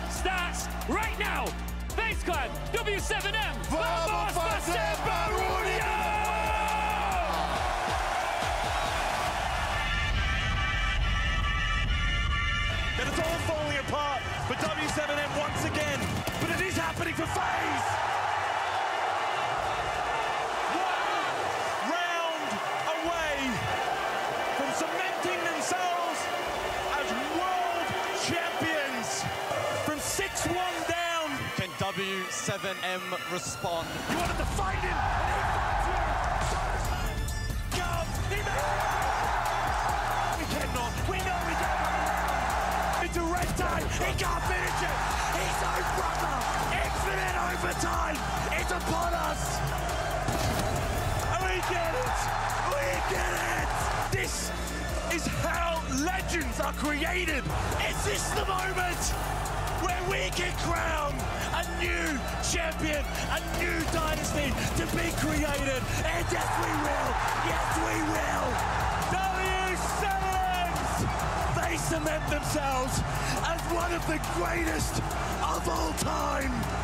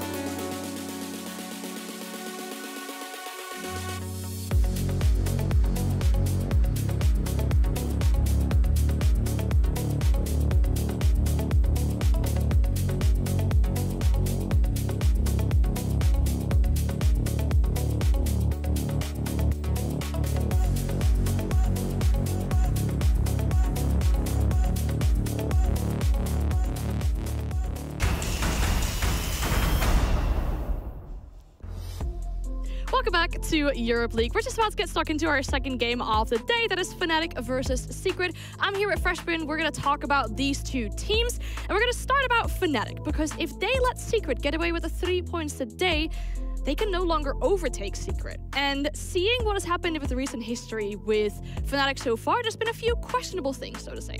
Yeah, they've been very much up and down. Like, very much up and down. Sometimes we see them and they play really, really well, and they look like a team that play coordinated and they play together. Then sometimes we see them as a team that just do things on their own completely, and it makes absolutely no sense. So it's very much, will we get a good Fnatic today? Or will we get a bottom rating on my power scoreboard, whatever you call it? that sort of Fnatic today either. Like, we don't know. Well, we're going to be seeing in a minute. Yeah, I think they've been a little bit head scratching. In, in fact, I've been asking the question FNC, what the say the word, Jack. I love that word. What the fresh is going That's on not what I was with this expecting. team? Ah, it was not what I would. I mean, look, they've looked good, but they've also looked back Yeah. bad. So I've got four clips I want to show you. Now, the quick clips, so stay with me on these. So we'll roll the very first clip. Play day one, going up against G2. 5v5 scenario, 20 seconds left on the clock. The clock up there isn't right. Leon goes running up main stairs. Why? Who knows? They lose the round, they lose the game because G2 play out the 5 versus 4. Go into the next game against Wolves. They've got a minute left. They're in a 2v5. Leon's doing vert onto the site. What's Jigs doing? He's over in admin office trying to find a kill. This desync is moments of confusion. And I say it, I've said it a few times about Fnatic. I've been pulling my hair out. It's moments like this that cause you to pull your hair out because what is going on? Third clip against Dents. Leon's full sprinting through kitchen on a basement attack. Doesn't know that there's players there. That place hasn't been droned. This one is perhaps the most criminal of them all. The last game, Monty, top black stairs. The player on black stairs is relying on the T player, you see him at the top of your screen there, to hold his position so he doesn't dice the Monty. What happens? T player runs away. Monty pushes the black stairs, should have been a freebie.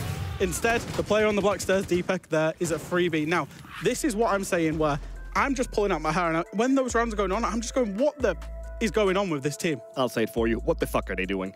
It's very simple. They're missing out on some, some of the most basic things. Like these things don't disappear just because you're changing teams or you're making a new team with new players. These things don't disappear. These are basics for team play, and they need to be there. Then some of them are obviously individual decisions, like Leon pushing up the Mhm. stairs. But it seems to me that they are not in control of themselves during these rounds, which also leads to them not being in control of the rounds themselves. The kitchen clip. Why have we not drawn kitchen? No matter what bomb site you're attacking on that map, kitchen is a key vital po- po- point of all of them. Why is it not drawn? So it's very much basics. It's just small mistakes. They fixed those mistakes in those rounds. They actually would have accumulated more points. It's as simple as that because those were close games. If they fix those mistakes, they're well in the running to be in the top team and go to the major because there's a lot of opportunity in EU League so far.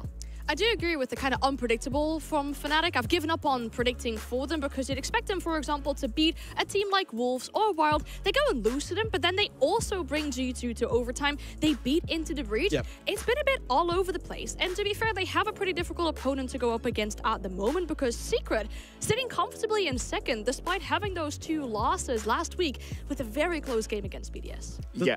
Oh, you go ahead. Oh, it's your team. It's my team. Yeah, Okay, I Se- give it to Secret's you. my team. Yeah, you it's love the it, only yeah, jersey in that's EU. League I don't have actually. So Wow. maybe it's not my team. Um, Chip one to him. Yeah, I know. One thing that I do like about Team Secret is that they have improved significantly. They've Yeah. obviously signed some great players, and we can talk about the players that All they've day. signed all day long. What's impressed me has actually been the strategical depth, the counter strategy, the map pool, the composure between the players in this team to overcome some adversity, even when they lost last week against BDS, all the way to overtime. It was a close game with G2, realistically, that they should have won. So if you're Team Secret, you're actually thinking of yourselves right now as a top two, top three team in this league. Oh yeah, without a doubt. They should be proud of that because the players they picked up, again, we can talk about it forever, right? Adrian is one of the most up and coming, like complete rookies.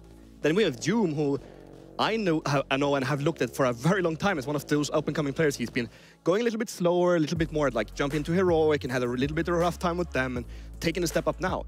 They have so many talented players, so many good players, and it's just beautiful to watch them play because they're looking like a team. Currently watching the players, of course, getting ready for their game. We currently we just saw Adrian as well, who to you two talked about already. It's not often that you see a support player having the highest rating of everyone in the league. So that's really exciting for him. But talking about a map for this specific matchup now, the only map we haven't seen yet in Europe League is Nighthaven Labs, and we were so close to seeing a Nighthaven Labs, but it's going to Clubhouse. Yeah, Twitter's going to be getting a DM from me as soon as uh, we're off this desk because I want to see a labs. It's the only map we've not seen. Clubhouse, however, actually, I think for both teams makes a lot of sense. Secret, we saw them there twice. The first two play days of the season, what actually impressed me was play day one against Yeah. ENCE. They came out the box, they dominated ENCE.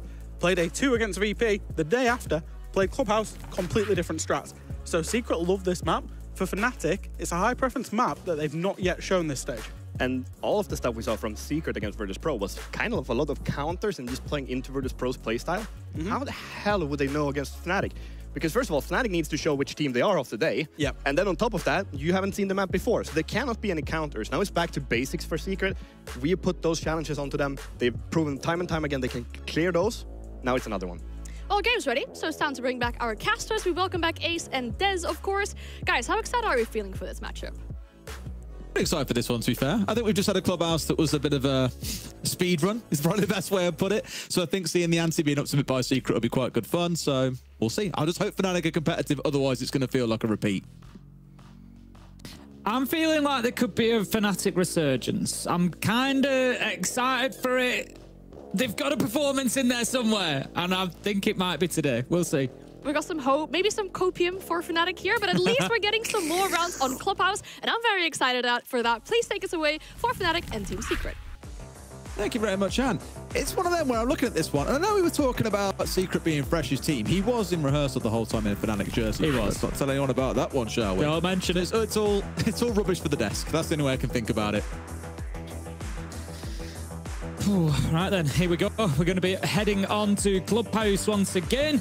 We've just seen a little bit of a washout. Whether it's going to be a sort of longer, harder fought game this time around, we will see. Fnatic really need to start turning up. We know that... The, I, I, feel like... I know the roster isn't the same. There's been plenty of changes now, but I look back through Koi, I look back through Rogue. I think about the last 12, 18 months of European play days, and I just feel like we're going through the same patterns with this team, a team that will turn up and have a couple of bad games and look terrible and then have a couple of great ones. And they just never seem to have that consistency that's exactly the problem, right? I think we all look back to the days of the Berlin Major and, and, just wish that we saw that team coming back to the light again. And I remember quite famously, they ran around that event saying, we aren't scrimming here, it's all about the mentality, and they really got into their zone. Now, I'm not at all saying they should retire the scrim schedule, absolutely not.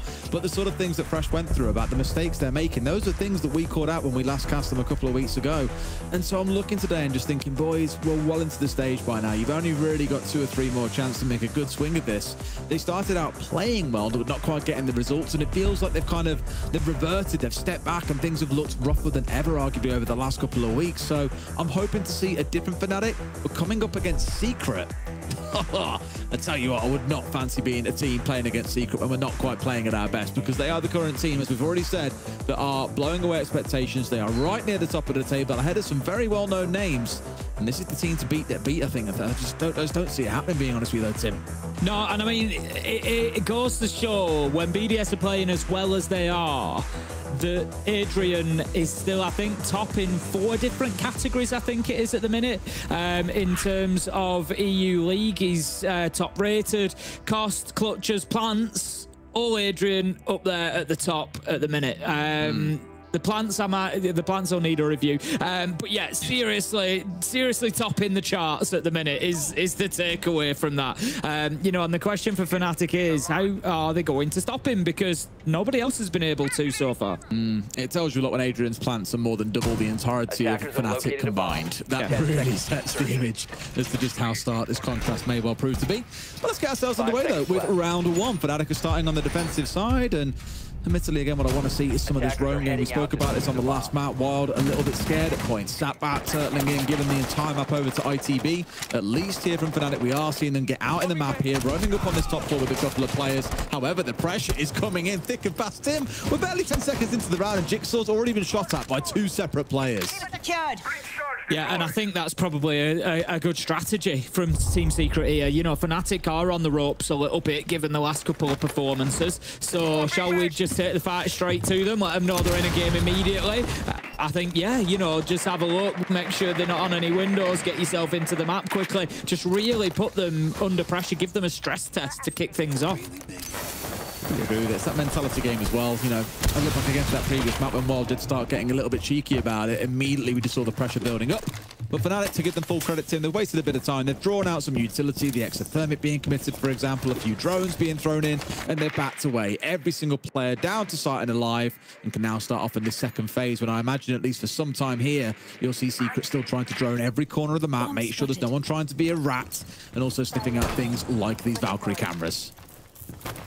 Yep, doing the work. Uh, Groovy just going to be, you taking out that last bit of utility, free up those drones again, and they will now, no doubt, continue on as we get towards the mid-round. A couple will be sent down towards site, see exactly what's going on, get the flank drones set up, make sure you're not going to get hit by anybody on a, a defensive rotate, and then start getting those hatches, getting the pressure mounting onto site. Fnatic actually not done terribly. They've only lost that initial bit of health onto Jigsaw. They've got all five left alive, back down on site now, ticking down to a minute 15. So if they can again, you know, I'm looking at they've got impact nades, they've got six of them on side. They should be able to prevent the kitchen hatch for a little while. Just burn as much time as possible here. Big ol' should on that front, Tim. We all know how chaotic things can get as we get towards the close. Tyrant so far, slipping in that right sort of idea that this player on lounge, I think it's Groovy on the other side of him here, has the right idea. Ready and waiting. And it's just like a bit of a Mexican standoff, just waiting to see what comes through next. But neither side making the first move. Tyrant giving himself away a little bit there. Now Imagine wants to try and rejoin his team as best he can. Drops back down through, and he's going to be safe. Maybe wants a bit of an assist coming down through blue. So I was going to say Groovy will move across here and give him a little bit of pressure. And sure enough, there it is. Almost finds two for his trouble as well. I think that's absolutely fine from Tyrant there. He's just burnt another 20, 25 seconds out, and now Secret are going to be forced into one of these sort of last gasp executes, and the kills start coming into match. One for everybody almost on the side of Fnatic. Flawless round. Great finish from them. They took that bit of early damage onto Jigsaw, but other than that, they wasted about a minute, a minute 15 um, before we had Secret confidently inside the building. And then, like I said, I like the play from Tyrant inside a garage. Didn't overcommit to it, but again, took about another 20, 25 seconds away from Grubby, who had to just keep watching that angle because otherwise they'd have lost one or two in blue. That much is for sure. Uh, just really well done. They've really, they a little bit of luck there as Tyrant goes back towards sight. If that's a headshot, poof, you've just lost your man. Um, but still, really, really well played. I like that from Fnatic. Each can be a game of fine margins. Imagine if Jigsaw gets headshot on the construction pre-fire and a Tyrant dies in Garage, suddenly it's a 5v3 it's a very different conversation on site. But I'm with you, you can't really ask for much better round than that as the defenders. I think they've played into perfection with the extra minute and a half, two minutes being wasted on the roam. Tyrant causing a little bit of bother inside a Garage. It really was the way to roam. Goes to show it's not always about the kills, sometimes it's about time, as it sets the rest of you up for a very, very good end of round execute. So a strong start then, but now we've got to rotate our way through these top floor sites, Tim, and as we always say, that downstairs tends to be one of the easiest sites to defend on this map. These top floors are where you're really going to see Fnatic tested, because it's not just about a roam game here, it's about an extended hold. They're going out towards Cash and CC, they've got reinforcements down. Normally you'll see, shield, you'll see shields go down, but Jegs has still got his in back pocket, at least for now. So really what we're going to have to see Secret do is get that control of the east side of the map first and then work their way across. And teams that are really good at attacking into this side of the map are also very good at punishing those that overstay in Cash CC too long. So it's going to be a test for the defenders here on how long they overstay their welcome. Drons will continue on through for Secret as Savage makes his way up. There you go. Pay attention to the frost mats. Uh, they are easily missed, um, especially when you... Uh, I know all about that. I'm a nightmare for going. I'm a magnet for frost mats. But especially when you're going up somewhere like Catwalk, you're going to be watching out towards Cash. They've got those holes open at the bottom and you're thinking, hmm, I don't want to get challenged from there. So it is easy to miss them. But uh, good progress so far from Secret. They've got themselves into CCTV. They're going to start opening uh, that Cash wall. That's going to force the defenders back even further. Fnatic at the minute still quite aggressively holding on to this up here with Tyrant playing those keeper barricades to keep himself in position they've tried their best to impact trick the hell out of this as well, but haven't quite got away with it. But this point, he will now be forced to move away. Leon finds one straight into a trade. Adrian to a second, the top red as well. And this is what it means, Tim. There is a such thing as overstaying your welcome. And so far, they've been made to pay the price, losing themselves two players out on the road. Half the round gone, make it a third as Miracle hits the cross shot there. Wasn't the man on the screen, Adrian, getting that kill. But suddenly things look very, very ropey for the side of Fnatic. Half the round to play, and they're in a two versus four. Yeah, I think you're right there, Des. We saw Tyrant on the um, Azami really trying everything to keep in there. When that wall is breached into cash, you gotta go. I know you don't want to give so much time over to Secret, but you've got to waste it elsewhere. Adrian's going to get in. He's going to be planting again. Um, you know, just looking for more and more of those. He's likely to stick it. Nitro goes out. Not going to catch it. Man, Defuser is successful. And Deepak all to do now. He's fighting from underneath, but as soon as he comes up these stairs, you know it's going to be watched. Swung on him dead, no doubt, in a second from Logi, but all equally three up to three different angles watching onto him here as well.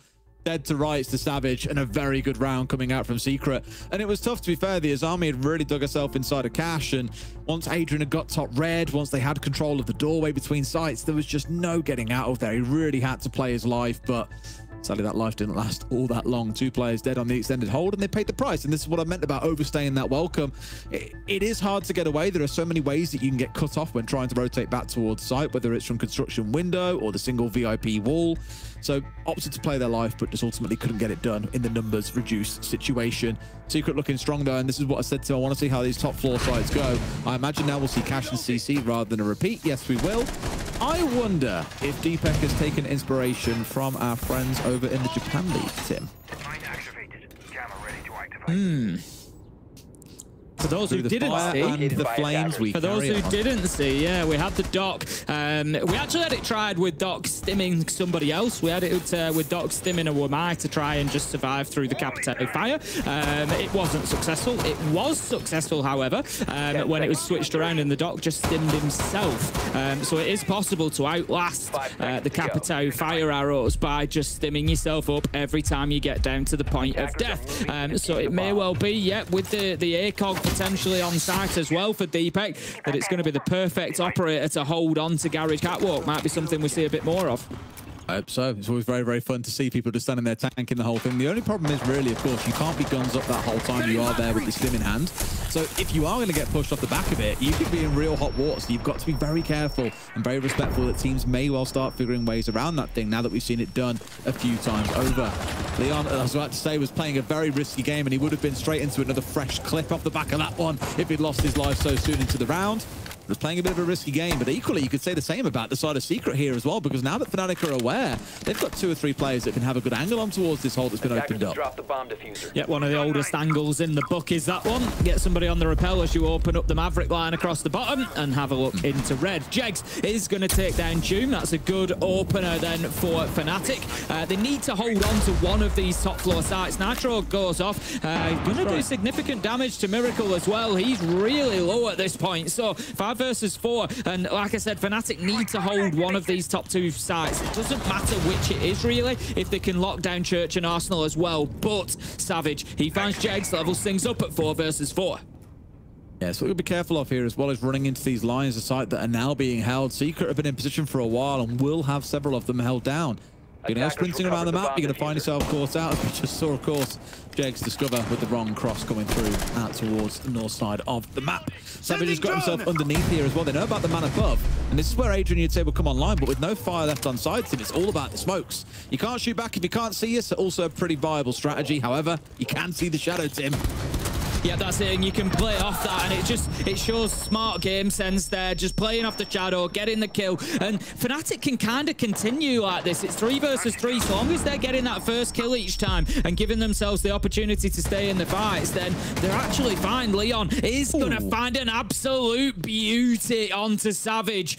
Manages to cut down the Lion with a headshot, and that gives a real power position to Fnatic here as Leon doubles down, finds Miracle as well, has the ability to just sit underneath and burn time here. And there it is, finds the third as well. Much better stuff coming out from Fnatic, Leon especially. A big 3k in the round, but I also want to give some praise towards Secret on that. I actually thought the way they were trying to pinch onto Leon in the first case was brilliant. Know, had three players all trying to work in towards him to see him shut down and out of the round there. He just managed to bob and weave his way through while collecting kills, get himself locked up, inside, locked up inside a stock. And while you saw the outcome, they managed to get the round win on the board. So good stuff. We've seen success being shown here, Tim, across those different sites. So a good mix to come through. Fnatic will come out of this half, I'd say, in pretty good form. And then it's all about the second, in my opinion.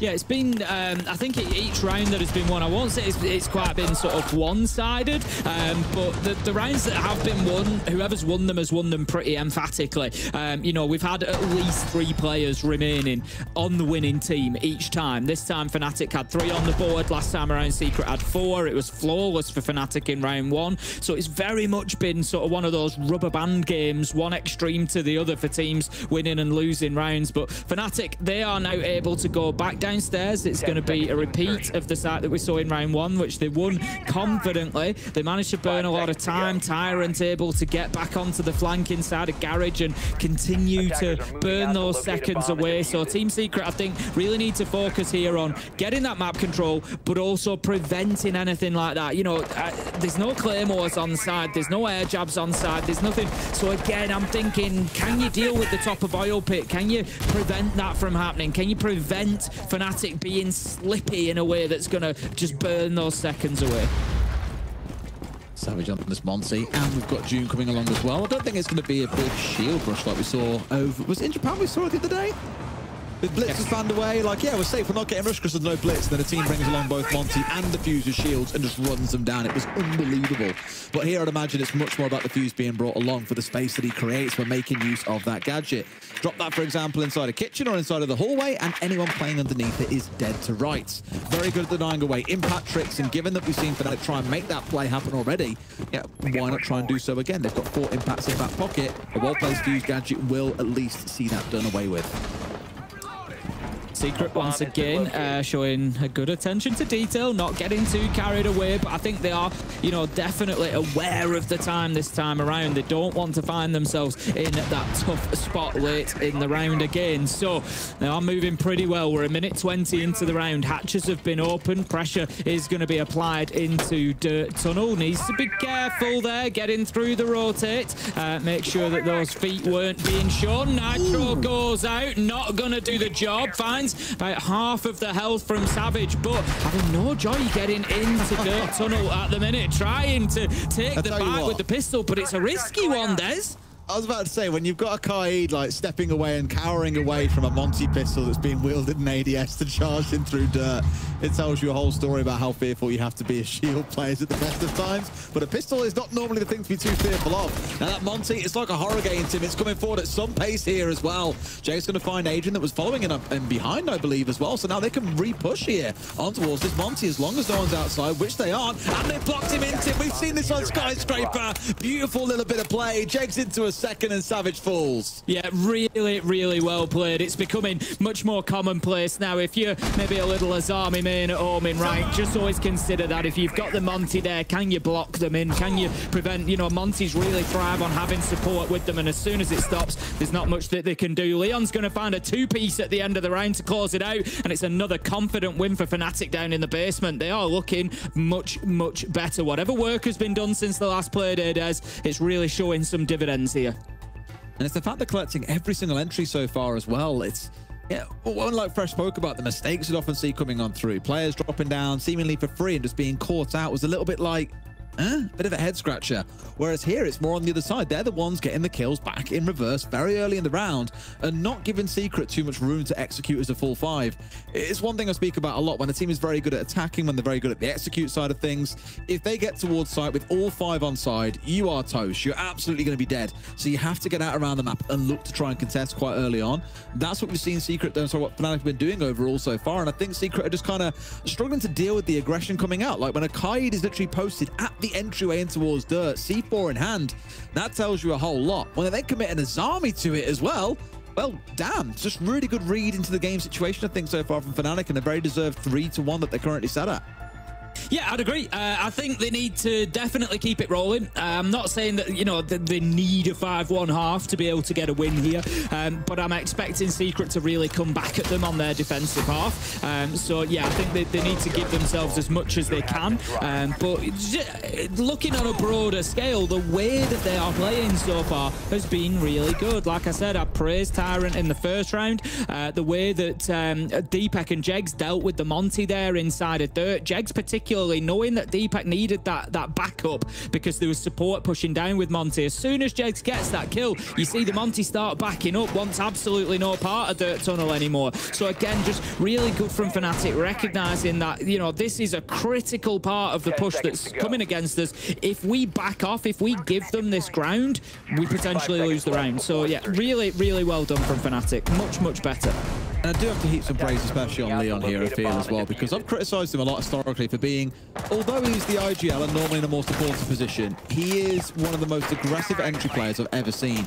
And there's always that question of like, well, is it a good thing? And, you know, people who are like very pro Leon might turn around and argue, well, if he's dead, he can IGL better and whatever else. Or, you know, he's feeling confident, he's feeling himself, all the rest of it. He's in the front line, he can call around that. Uh, cool, but no one else really tends to do that in the game is always the thing I've been worried about. And this game, the thing really worth noting, outside of the bandit round going nutty aggressive, he has been sat on site. You know, both basement sides. He's played on the Glow and the Maestro so far. Very passive, very sat back, but he has really been able to shine in the mid to late round when things, you get the occasional straggler player that comes in towards site after your entries have done the job around the map. He is looking much more composed in that sense, and I think it's doing his team a world of good. Maverick going to be working. We saw the attempt at the Nitro previously. Deepak just keeping hold of it until it's a soft wall this time. Actually going to do the attacker's job for them. They're not going to have to bring the soft breach along because the Nitro is going to do the job. Nobody's still close enough to have any impact. We also see that there's a Goyo canister been popped as well. I can only imagine that that has happened by the attacker's hands, not the defenders. Um, I don't think they're in a position where they would have been so desperate to slow anything down just yet, but I could be wrong.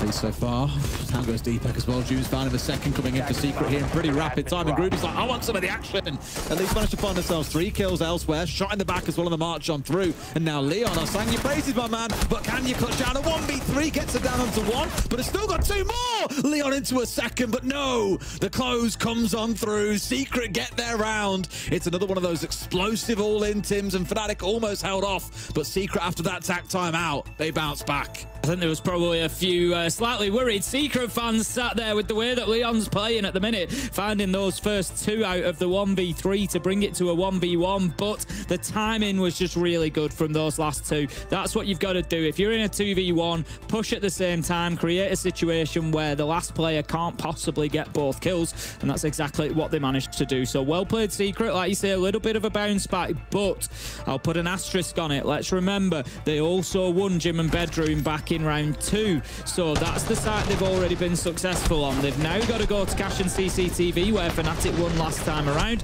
and they've got to try and get the win there. And that was not an easy thing for them last time. It came down to, it was a 3v1. Leon got the final kill. Three of Fnatic left alive. Tough, tough round for Team Secret here on Cash and CCTV last time. 10 seconds remaining. Cash and CC. All right. Last time around, it was about that survival game that came on through. It didn't really come to be a thing because they were so focused on the wall itself with the bandit trick in and so on and so forth. Maybe here will be more of the same sort of story, but no Capitao being brought along. Tim Adrian's still back across on that hard support position here. And the wall tear, tour open will be the key one for them. No bandit to deny things away, so a little bit of a change up for both teams overall. But I imagine we're still going to see a very similar strategy. Some challenge inside, uh, or on catwalk, sorry, inside a garage. The main wall going to be a focus.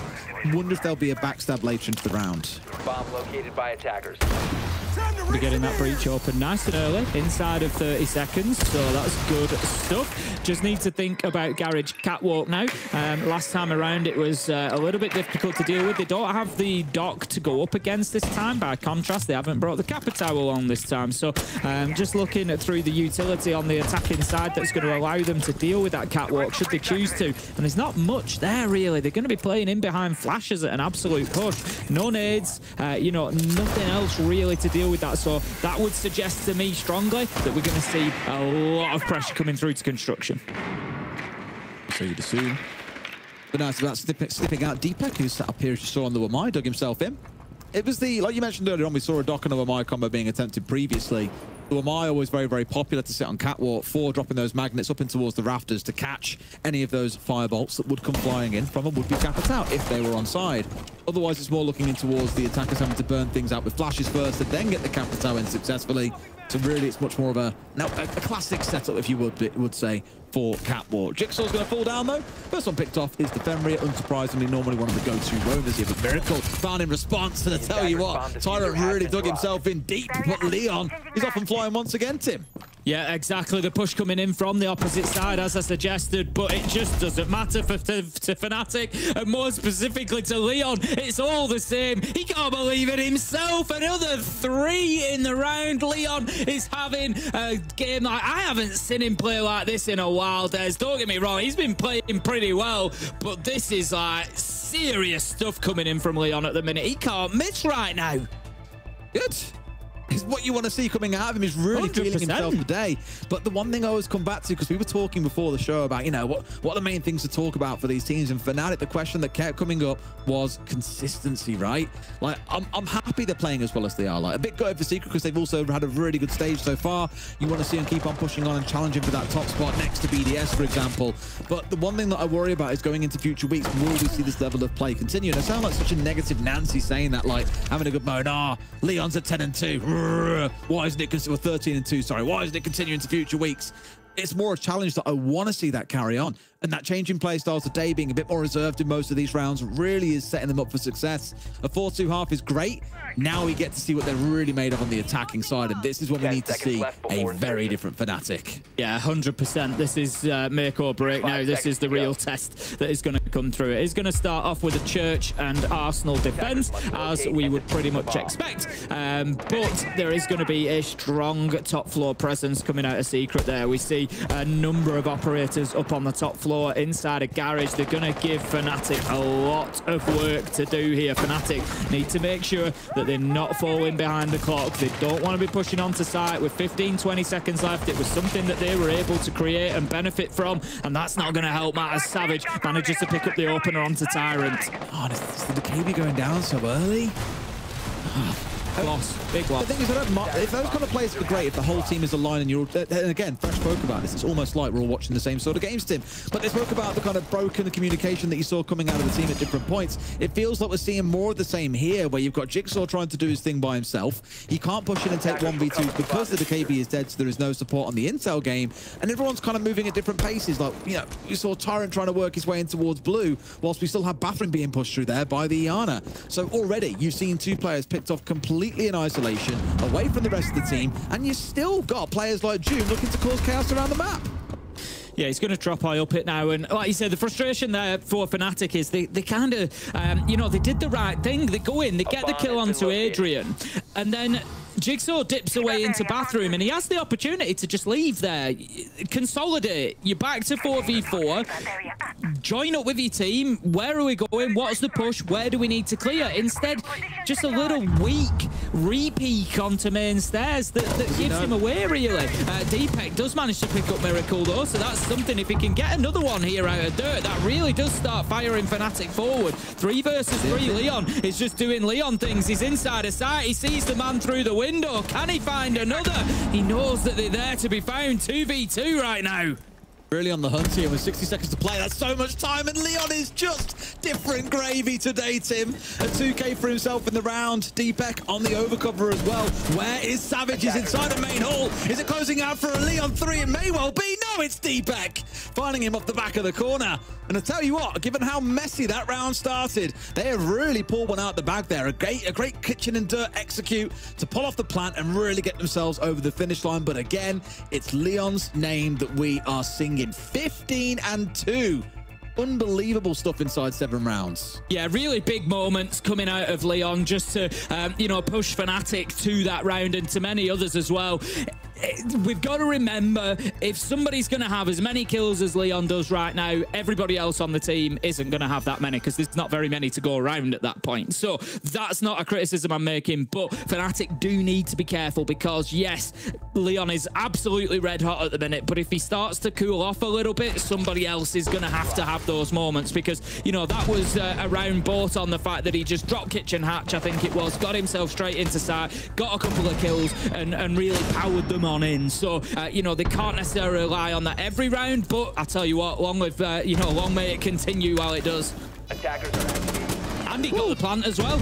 Yeah, just any kind of stat you can give to him at this point, just throw it over towards him. Why not? Again, a I've, I've got coming to out say. Des, um, you'll be aware we do. Um, there's a, a little um, fantasy um, EU fantasy league with Jesse. You're about to tell me Um, you've got Leon, right? Traded him in today, didn't I? Oh, did you really?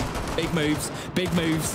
What was the rationale behind that? I've got to know. Well, I had Skies um, from ENCE who did really well last week, but obviously it's their buy play day today. Um, so I thought really I, I could do with trading. I kind of wanted to keep Skies because I think he's going to have a few more good games, but I wanted to. I thought I need the points really. I'm in third place out of five. I've got, I'm mid-table. I've got to catch up here, so I, I can't have players sort of on the bench. Um, and I said it to you, Des, before we came on, and I said it. I, I genuinely felt like Fnatic were going to have a big performance today, um, and Leon has been one of the, the top-rated players for them. So I thought, why not? He was open. I brought him in, and he's paying dividends at this point.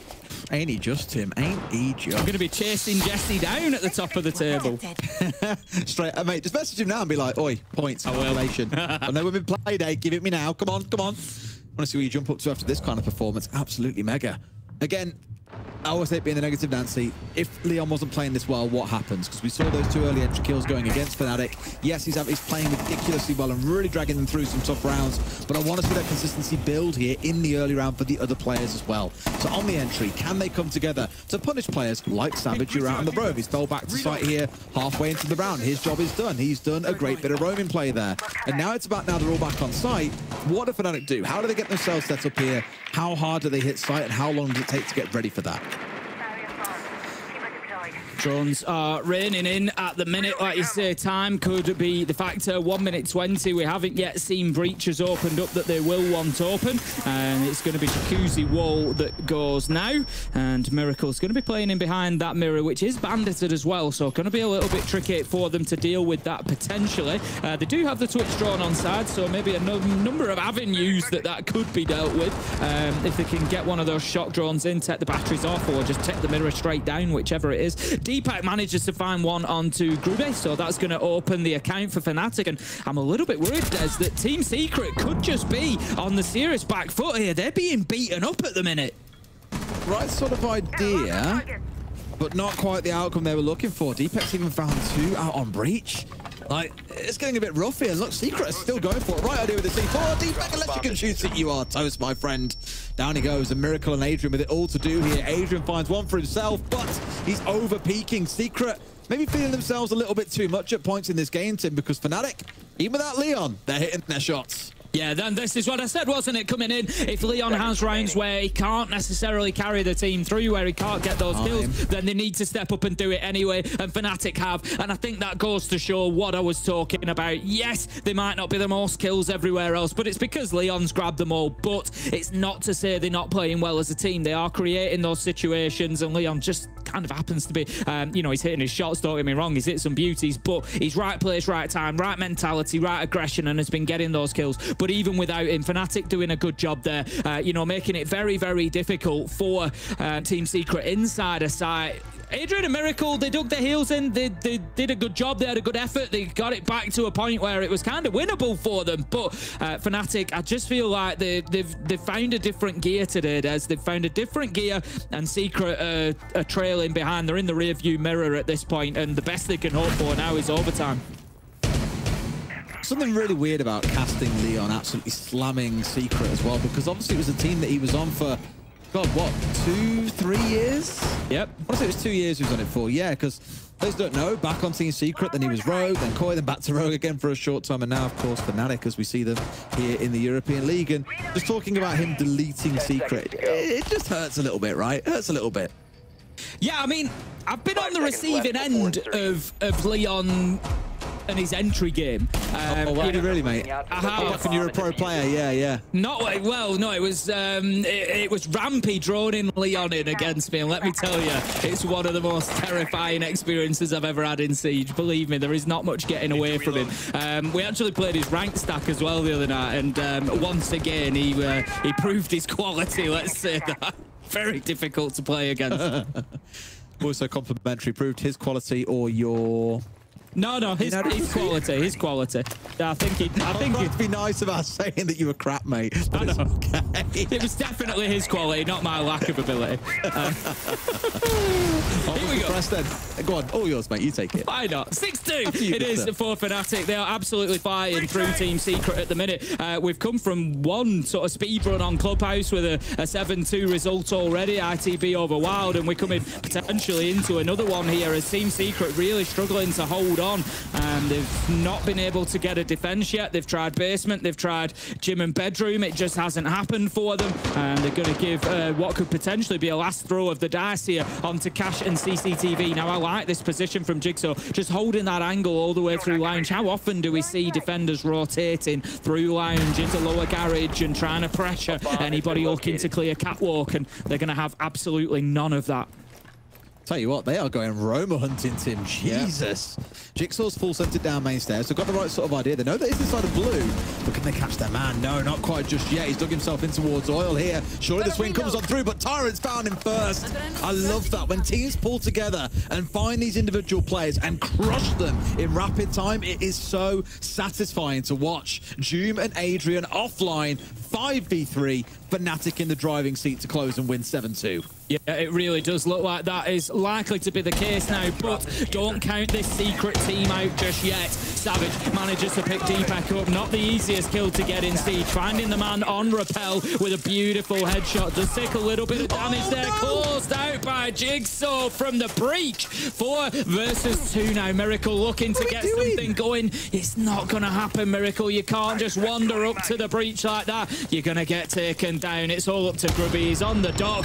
He's looking for his man. Just gets one as he sprints across, but can't find the kill. Tyrant closes it out. And Fnatic does. They have a big resurgence here with an important win against Secret. And they keep themselves in the fight in EUL. A massive result for them. And, and nearly the last couple of rounds, it wasn't even the Leon show. The rest of the boys stood up and made themselves heard as well. And I mentioned it in that last round, that ability to identify isolated players and crush them before they can get back towards site is absolutely beautiful. But there will be questions of team secret there. There was a lot of overconfidence. There was over peaking, over swinging. Not even just in that last round. I'm not really sure what Miracle was looking for on the breach step out, but they paid the price for it. Fnatic fully deserved that win. They did. Uh, you know, we can't not talk about Leon there. He's absolutely run away with the game. He could have been on for a 20 bomb if it had carried on, but he just didn't have enough time, I don't think, to close it out. Fantastic performance all round, though, even when he was taken out early. Fnatic getting the job done. Great stuff from them, and I'm sure Fnatic fans will be looking on very, very happy with that performance. I think we'll all be looking forward to seeing how their next few games go as well, to see if they can keep up that consistency like we mentioned earlier on. But for now, it's all celebration for the boys in orange. Let's go over to the desk and get their thoughts on this game.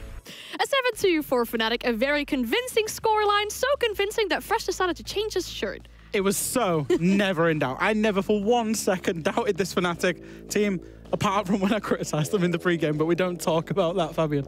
I mean, it is a yo-yo team. That's what we've seen so far. I want to see more strung, like strung after one another in terms of good performances because it's up and down, up and down. Look at that last round. They're roam chasing a guy in clubhouse basement. You don't do that very often. But then when we saw them play consulate, they don't even roam clear at all.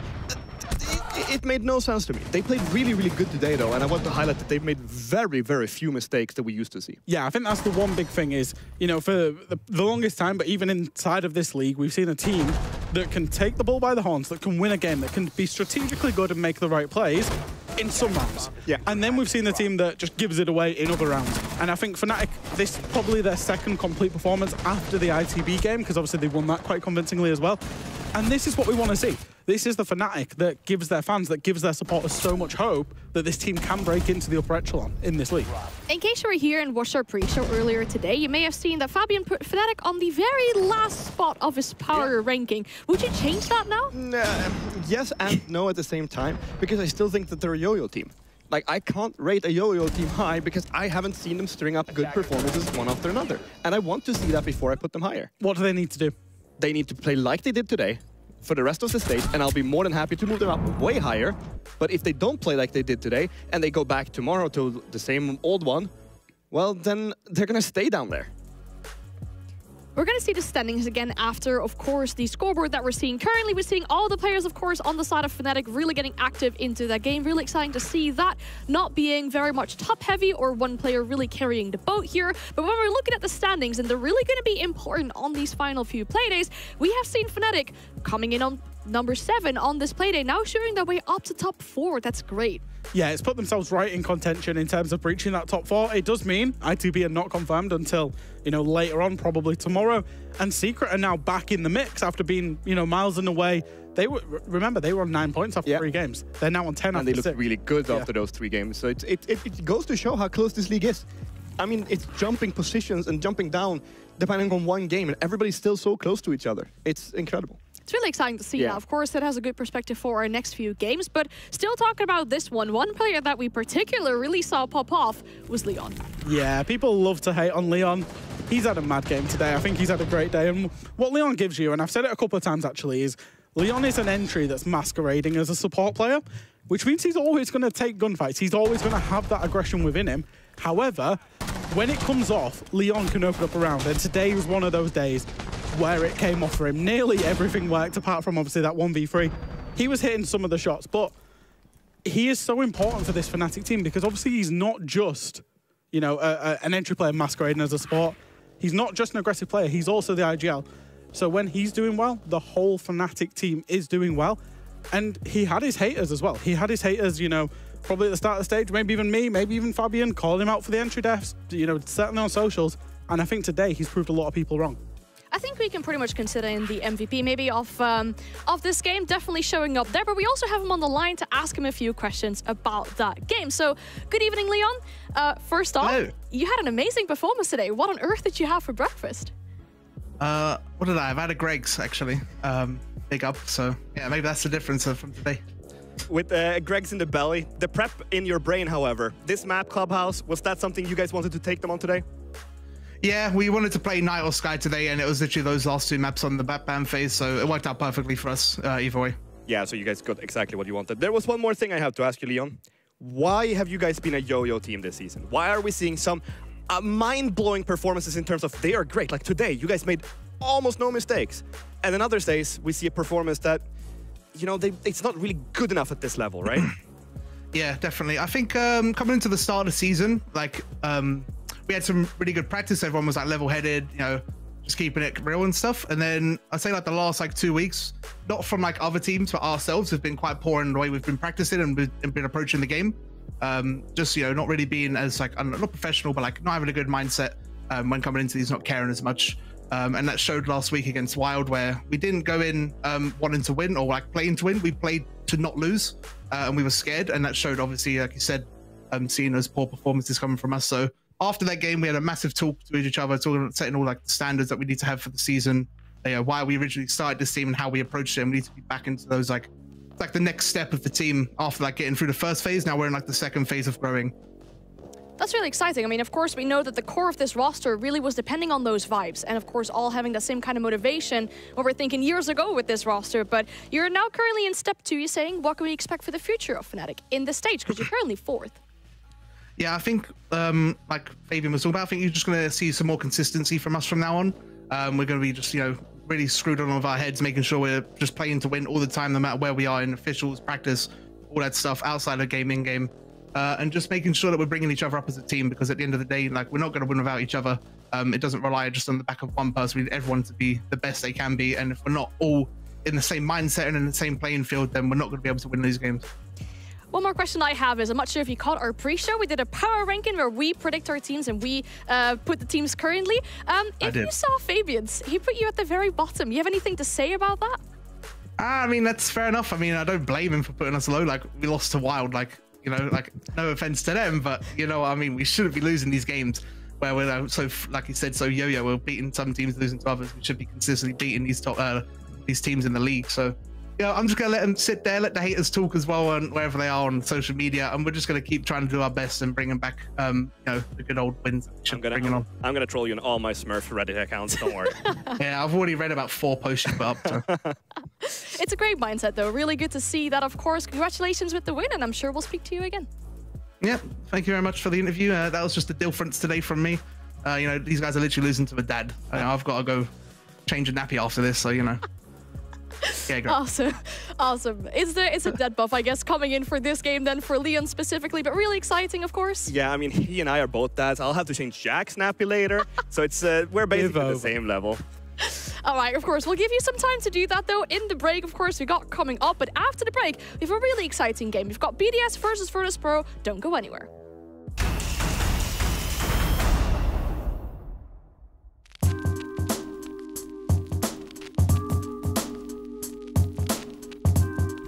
Four years of impeccable service, she applied for Legada's Elite Tactical Branch, the emergency response unit. Only 5% of applicants passed the grueling two-week entrance exam. Is that a Twitch? When we discussed her decision to join the police force, Shuri counted with some reservation an incident involving her youngest brother, Liam. Finka. Is it alibi? Fawn. I would never guess that. After high school, he enlisted with the US Army and rose in rank over a short period of time. He learned Dari and became an intelligence officer. This is harder than it seems at first. I have no clue. Could I get an- another clue?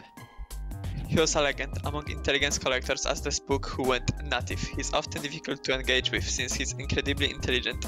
I'm pulling blanks with operators now. Grim. I think it's Blackbeard.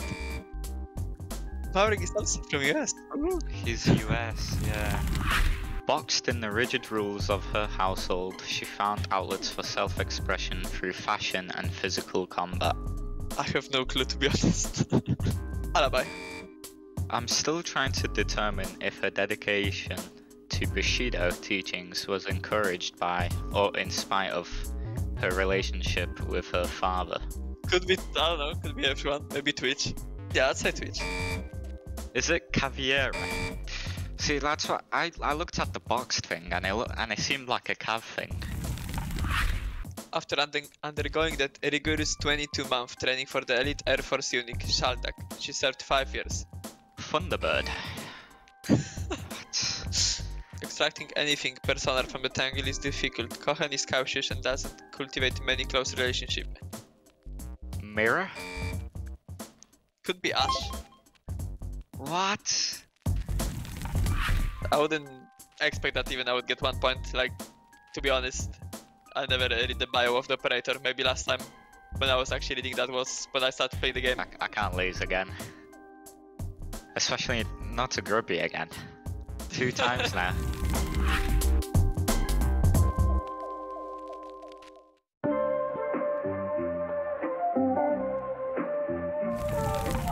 Wait, so do we just have to speed run this? Chakra. Now do RGO or another entry. Yeah, mate. You want to do now Team BDS RGO? Like you fuck. Alright, now do support and flex. Uh, Brit. Oh, oh, oh, oh, I see, I see, I see. Oh, so I'll do IGO now, or of, of BDS. um, lucky feck. Oh, is it? I was already going to say that, mate. Come on. Um, G G2. Is it my turn? G2 IGO. My turn. G2 IGL Uno. G2 Esports IGO LML. The Wild IGL uh, Backball. G2 support uh, slash, slash flex virtue. Uh, G2 entry Doki. Team BDS uh, support slash flex uh, Bride Brid. Wild entry uh, the Rocket. Yep. See, another problem is I don't know the wild roster. I already won, mate. Oh. Yeah, I didn't even say that. Yeah, he's cheating. You're so confusing. It wasn't really confusing. We're just stupid. Where in there? Where do, where do I want to start? Fnatic IGL, Leon Gids. Epic entry it checks. Yeah, you're not an entry, mate. Yeah, I'm so screwed. Virtus entry Pasha. I don't even know. He just went. Virtus Pro entry joystick. Into the breach, IGL, uh, uh, Noah. Into the breach entry, uh, Noah. Bro, he IGL's an FPL. I've never heard someone. He talks more than Leon. Yeah, I'm just gonna ITB, IG, IGL, Kendrick. Now you're gonna. Now, go on, get the entry, mate. you got a breach entry, Azure. There's oh. no way you've butchered that. Pasha IGL, Virtus bro. Pasha IGLs. That guy does everything.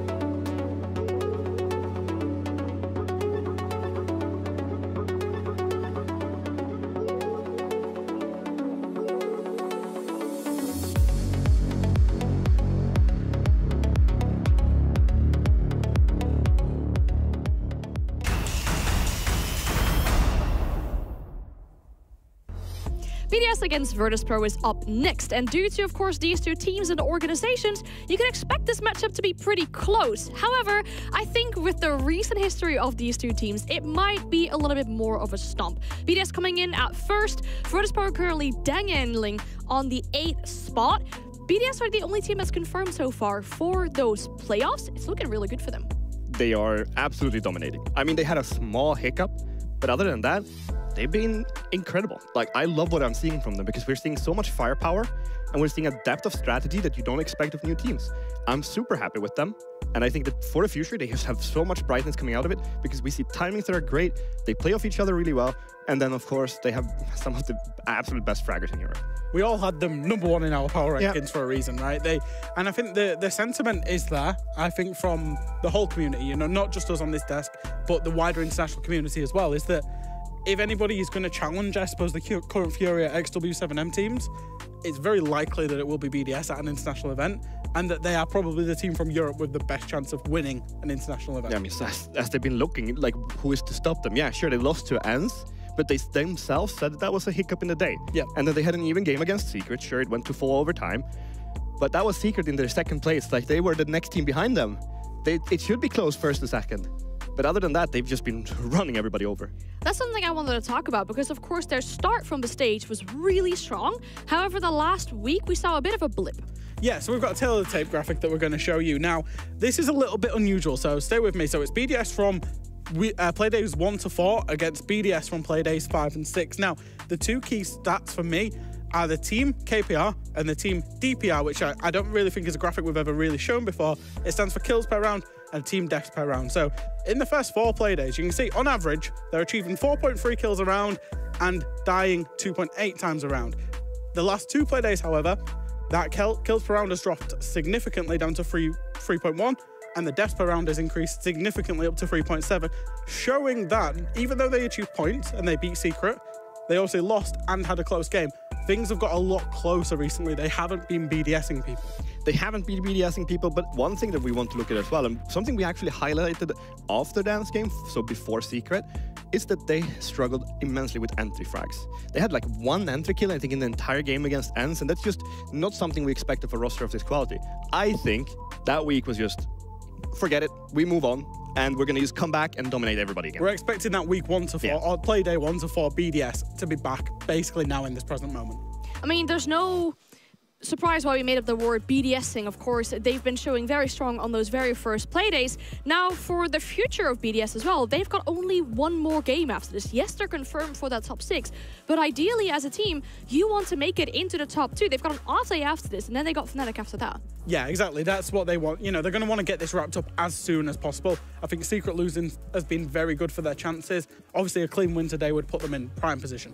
Yeah, I I don't know if it really matters to them. Brutally honest, I don't know if the top two spots really matter that much. Because the one thing that matters is that you first of all make it to playoffs. Then if you make it into the first or in the first two spots, yeah, sure you get the first game free, but the other team that you're playing up against, they've got to play a best of three. They've gotten into the groove of things. Yeah. I think top six is just the goal, no matter which position you end up in. So I think people are happy no matter where. But BDS is just so good that they should be taking one of those two spots. They might be back to BDSing again today, Yeah. especially because their opponent, I think we've got a lot of question marks around them right now of what is going on with Virtus Pro, especially if you look at their accomplishments from last year and you compare it to what's going on with them this stage. Yeah, with Virtus Pro, we're used to seeing them dominate EUL stages. They actually won both EUL stages last year, Fabian, beating out your old team when you were the remember coach. Just wanted to dunk on you there. Um, so they won both EUL stages online, made to, to both majors, and got themselves a third place finish at SI.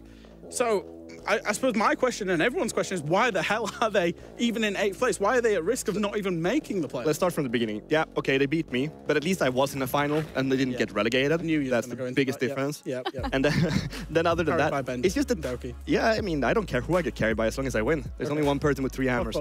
However, Virtus Pro have just lost their basics. That's what I think. Like we don't see that they don't adapt at all. Like we, I highlighted a clip on Clubhouse that they played, or Oregon, sorry, that they played earlier.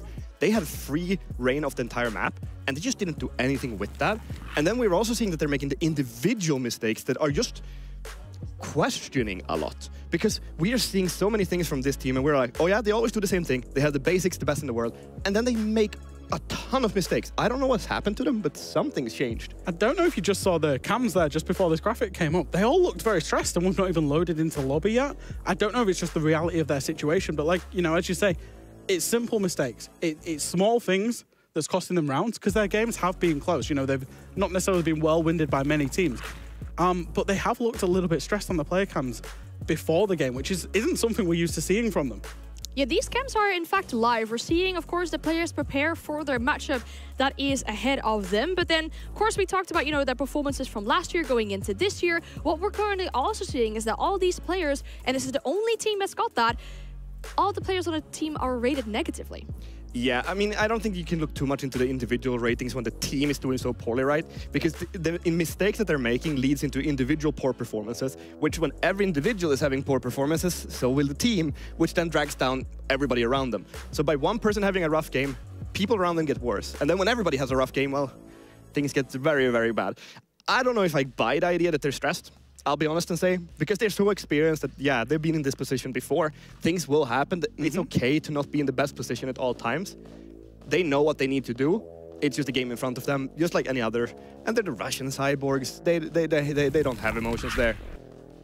I was trying to spy maybe on the monitors of the players to see what kind of map we'll be going to because we've seen Clubhouse, of course, twice already today. So let's see what kind of map we'll be going to again. But it seems like we'll be heading back to another Clubhouse. And you know what? I think if there was any game that was going to be Clubhouse, it was always going to be these two, to be honest. You know, Clubhouse has long been a favourite of Virtus Pro. Long, long, long been a favourite of this team. They will always play it if it's left open.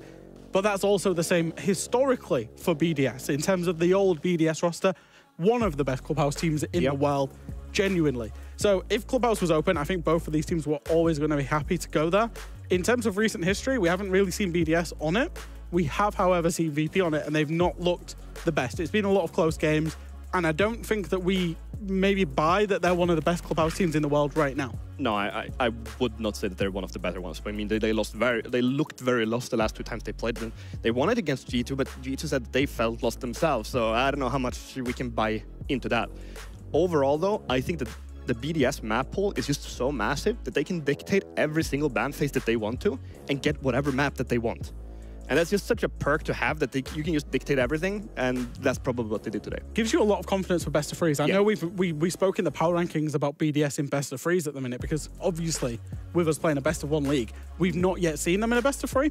However, the fact that they've played so many different maps across these best of ones gives you a lot of confidence that should we get to a best of three, there will be teams literally cowering about where to take them. I was just going to ask, what map do you take them to? Theme park? Tower? Bella? or I don't know. Yeah, you start playing plane. Yeah. just a few entrances, so you can hold them all one person by one. Yeah, It's it- not- there's just nothing you can do against them. Yeah, no, that would be a bit silly uh, if we if we go and play on plane or something like that. But thinking back about the last time these two teams played against each other, obviously for BDS it was a bit of a different lineup because it was during the Atlanta Major. But back then it was a bit of a spicy affair because I remember it was playoffs. BDS beat Virtus Pro 2-0 for BDS to qualify to main stage, but for Virtus Pro to be eliminated from from the entire tournament. Yeah. Are we feeling similar predictions for today that BDS might take this? Well, do you know what was interesting actually in Atlanta was actually that that was both close games. It was both get both maps of that were in overtime. I think the expectations today is that BDS might get this done a little bit more in regulation and be a little bit more dominant. Very different roster for BDS, of course. I think they'll run over Virtus Pro with, because of Virtus Pro's current form. But yeah, it's not going to be pretty for Virtus Pro. I wonder if Virtus Pro will have a Fnatic moment. You know, I've, we, I digged into Fnatic in the pregame. They won. I, I, I don't know how long I can go along this stage and saying it's just a blip for Virtus Pro. Because at, at some point the stage will be over and I'll still be saying it, right? Yeah. Because we know they've got the quality. We know they can fix it up. We know it's small things. Yeah.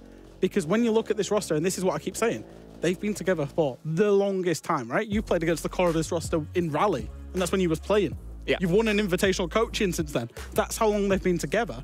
So if you look at it over the longer time, is it just a blip? I'm still still quite there saying I think it is, and they can sort it out. They can scrape playoffs and still recover this season. But we're getting close. Yeah, it's getting close. They can still recover. But also having that one rough stage in, what, six years, seven years, or, or however long they've been around, does that really matter? Not in my eyes. You can have those times. Next time they'll recover. Yeah, I mean, they've been together for so long that they know what's happening. They got a good, really, really good history, and we do have faith. Of course, it's a difficult team they're going up against, but surely it'll be a good matchup. Our game is not fully ready yet, but it's time to bring our casters back in so we can ask them a few questions as well. We welcome back, of course, Ace and Dez. How are we feeling about this one? Are we agreeing that it might lean the way of BDS? Uh, yeah, but I really feel someone's testing my patience for three clubhouse casts in a row. I'm not going to lie to you, Anne. Yeah, it was me, Des. It's because I hate you. Cheers, mate. Screw you. I know there's one person that's going to be very happy, and thi- this this is a throwback to a long time ago. Hicks. He's going to be so happy because for the first time in a very long time, he's not the lonely dancer in the club. Everybody's going to the club. Des isn't going to That's understand terrible. that reference. That's terrible. does he? Just don't terrible. get close to a PlayStation, and we'll be fine. Okay. Has to be in a mirrored room. Do you, do you know what? Do you, know- do you know the, uh, do you- the viewers at home might have seen me dunking on Des a little bit, but it's because I heard Derry in the warm up when he was testing his audio. He was really rude to Ace when he was testing his audio today. And I thought, no, I'm not. I'm not having any of that. So I'm, I'm standing up for my good friend Ace, my it's my completely ranked, my ranked hero, Ace of Pyrite. I was gonna say So I had no idea that this was happening, and it's also something I don't really expect from you, Des. I, I mean, I think we need an apology video with tears right now to Ace. No, no. You see, the actual thing that happened. I I've was been waiting for about- years for one of them. He'll never have one. It's never going to happen. Let's be honest. I, was, I, was, I don't know why. We get made to talk. They're trying to like, lip sync, so I had to just talk like a stream of crap for about 30 seconds. You said you could cook an my egg on his head, topic- Derry. Exactly. I That's mean, what is he mean. Get him outside on a nice hot day, get some sunburn on, and that egg will be cooked to perfection. Could have said anything. Could have said anything. That's what he flat went with. surface. Yeah, that yeah. It goes he, off He, he could have talked about how the sky was blue and there was clouds and the weather, but no, he said I can Yeah, cook an egg on Ace's head. And, but, but think about it. You don't Nah, even need to that's add salt because it's going to be salt from uh, his head on that egg. So it's going to be the greatest All from tasting where? The Swat. games or from his rank head. So, no, no, no, no, no, no. from- saltiness in ranked. That much has Oh. to be said. It's pure vibes when I'm in the stack. That's true. Yeah, don't don't As opposed think to- anything else. Yeah. Oh well. Here I am getting it. Okay. Well, there's a difference between you and me, Jack. Do you know it? No. I win stuff you don't. Oh, okay. I win Wow. ranked because I've got Tim Planton. Wow. Congratulations. you It's hit just gold like a- four it's for the last time. It's a bit like a real pass around relationship here where like Fresh goes for me, Fabian goes for Fresh all the time. I go for Tim. Like Tim, you've got to start really laying into Fabian now, I think, to really complete this Just, square. just give me something here. Just say something very aggressive or rude. say the to me. first Yeah. nasty thing in your entire life. I don't think I'm going to do that, Des. I'm saving it for something really big. I'm saying one day I'm just gonna uh, drop something and everybody's gonna be like, "What?" I'm just saving it for that moment. Jesus, this isn't it. Atrocious. It's very silly because I feel like, you know, everyone's been catching strays here. I feel like so far, I mean, Ace got a stray. I Des catch a lot of is catching strays, to be fair. I'm staying. It's usually a team kill, to be fair. Happens all the time. Uh, Repeatedly, yeah. Repeatedly. There's a repeat Weird, offender that. in our stack for team killing. To be fair, Fresh hasn't killed me in about a year, I don't think. Nope. But nah, the Fresh reason- hasn't The reason he does that ages. is just because he never goes first. He's a baiter. You know what? If you guys want to sort this argument out, I'll let you do that uh, later on, though, because unfortunately, I would have loved to toss it to you for the game, but the players aren't fully ready yet. So we'll toss it to a quick break. Of course, we'll remind you what we're all playing for that Manchester Major, and then we should be back in a few minutes.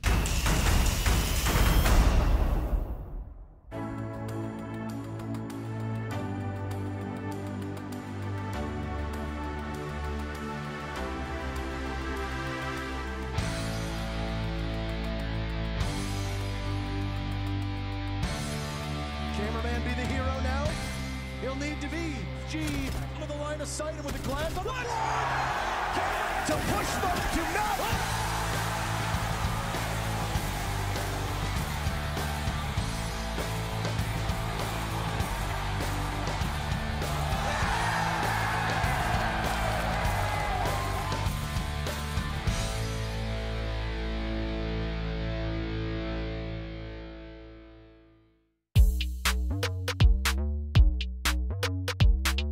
Hey guys, it's Hughes from BDS, and these are my quick tips for Cafe. Tip number one is shoot the glass on every window, no matter what the site is. Second tip is do not spawn Christmas market, you will be spawn peak probably. I don't know if you saw my other segment, good good. What even is that? I still don't even know where that is. I don't even spawn here, that's unfair. I didn't get the thing right because it was Christmas market spawn, I don't spawn there, I'm not a rookie. Third tip, when you're on defense, play mute, open the red hatch, get a C4 at the ready, and then C4 out their roof hatch when they repel it. That's a genius one. That's my favorite one. Hi guys, it's Leon Gids from Fnatic, and these are my quick tips for the map border. So tip number one for border on attack, if you throw your drone onto the roof, there's a massive skylight that looks open, open area. You can put it on top of a little ledge and you can see east edge, you can see long, you can see the flank from also in waiting room as well. Nice easy drone that is hard to find um, with loads of information. Tip number two, if you spawn east side with zero, you can shoot your cam into archives, a little dome on top of office, and into tellers as well. Gives you loads of information early for places that you want to push into the map. And then tip number three, uh, if you go into customs, just to the right of the jail door, you can vault your drone underneath the table at a point where they can't see it when they're crouched or stood up, so they have to prone to see this drone. But you can also see a lot of customs as well and towards main door. I don't think I have anything else. I think that's it really for border. Hey guys, it's Una from G2. These are my attacking tips for Night Haven. So I think when you're attacking Night Haven, you need to first obviously see where the site is. But if it's top floor, I think you should always try to open the external walls and then attack it from at least two different sides at the same time. If you want to take carriage, take Agua with carriage. If you want to take office, take box breach with office. If it's middle floor, then always use vertical as your advantage. In Night Haven, there is a lot of vertical you can do. Same for basement. Always take the whole map, then start doing vertical. There's so much vertical you can do, so you push them out of the positions, and then it's easier to attack the side because they don't have many pieces, positions where they can defend themselves. Hey guys, Chinka from uh, Wolf, and uh, I'm gonna give you a quick tip on bank. First one is spawn jewelry. From this spawn, you can shoot uh, pretty easily three cams on the map: the outside main cam, the inside main cam from the window, and you just move to atrium and you can shoot the cam from outside. I have two drone spots for you. The first one is in main. You have to put it in the planes. There's some plants close to the windows. You can see pretty much all the main, and it's hard to, to see it. The second one is in top atrium, kind of same place because you put it in the plants as well, close to the stairs, and you can see very much what you want, and it's really hard to spot.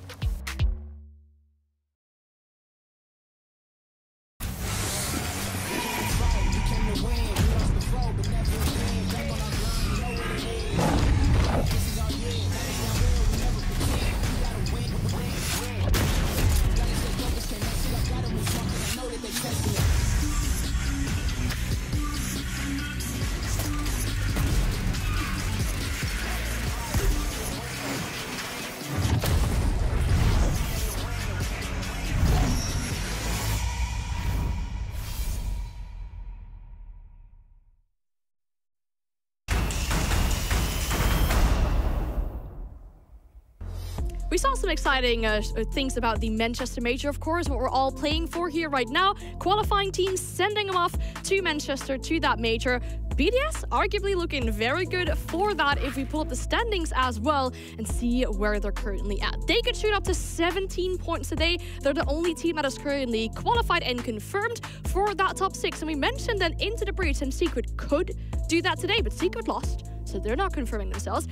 And then ITB needed to bank on the win from Secret to qualify themselves into that as well. That didn't happen, so it's still very much up for grabs for everyone. Yeah, it's still very much up for grabs. And I think the one thing uh, looking all the way from G2 up to ITB, there's four points separating all of those places. All of those teams still have even second in sight because a lot of those teams obviously play today yeah. and play the next two days, so can get a maximum of nine points. Yeah, and it's, it's just crazy how close everything is, you know?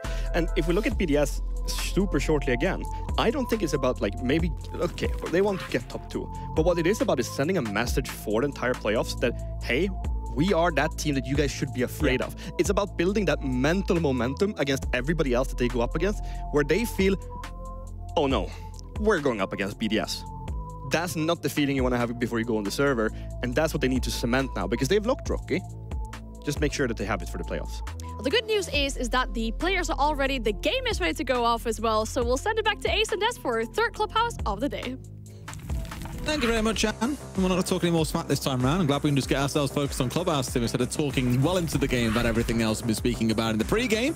But here we are ready to go. Third Clubhouse of the day. Will we make it a fourth one in game number four? That remains to be seen. But first, we've got to see Virtus Pro, who feel like David in this situation, facing off against Goliath in the form of BDS. This was going to be a potential stingy one, I think, for Virtus Pro, Tim. However, things have been getting a little bit crazy today. Fnatic have shown themselves up to be pretty big. ITB smashing their way through Wild, but maybe not quite to the level expected. This could be one of those games. You just never know. Yeah. Well, I, I always want to be the positive voice. I always want to be the one that says, you know, maybe this can happen. I think Virtus Pro have just got too like they've got other problems at the minute without playing BDS. You know, um, uh, even the game style so far. B, uh, Virtus Pro are our leading team in terms of plants. They've planted more than any other team so far, not including today's games prior to today. And I just think.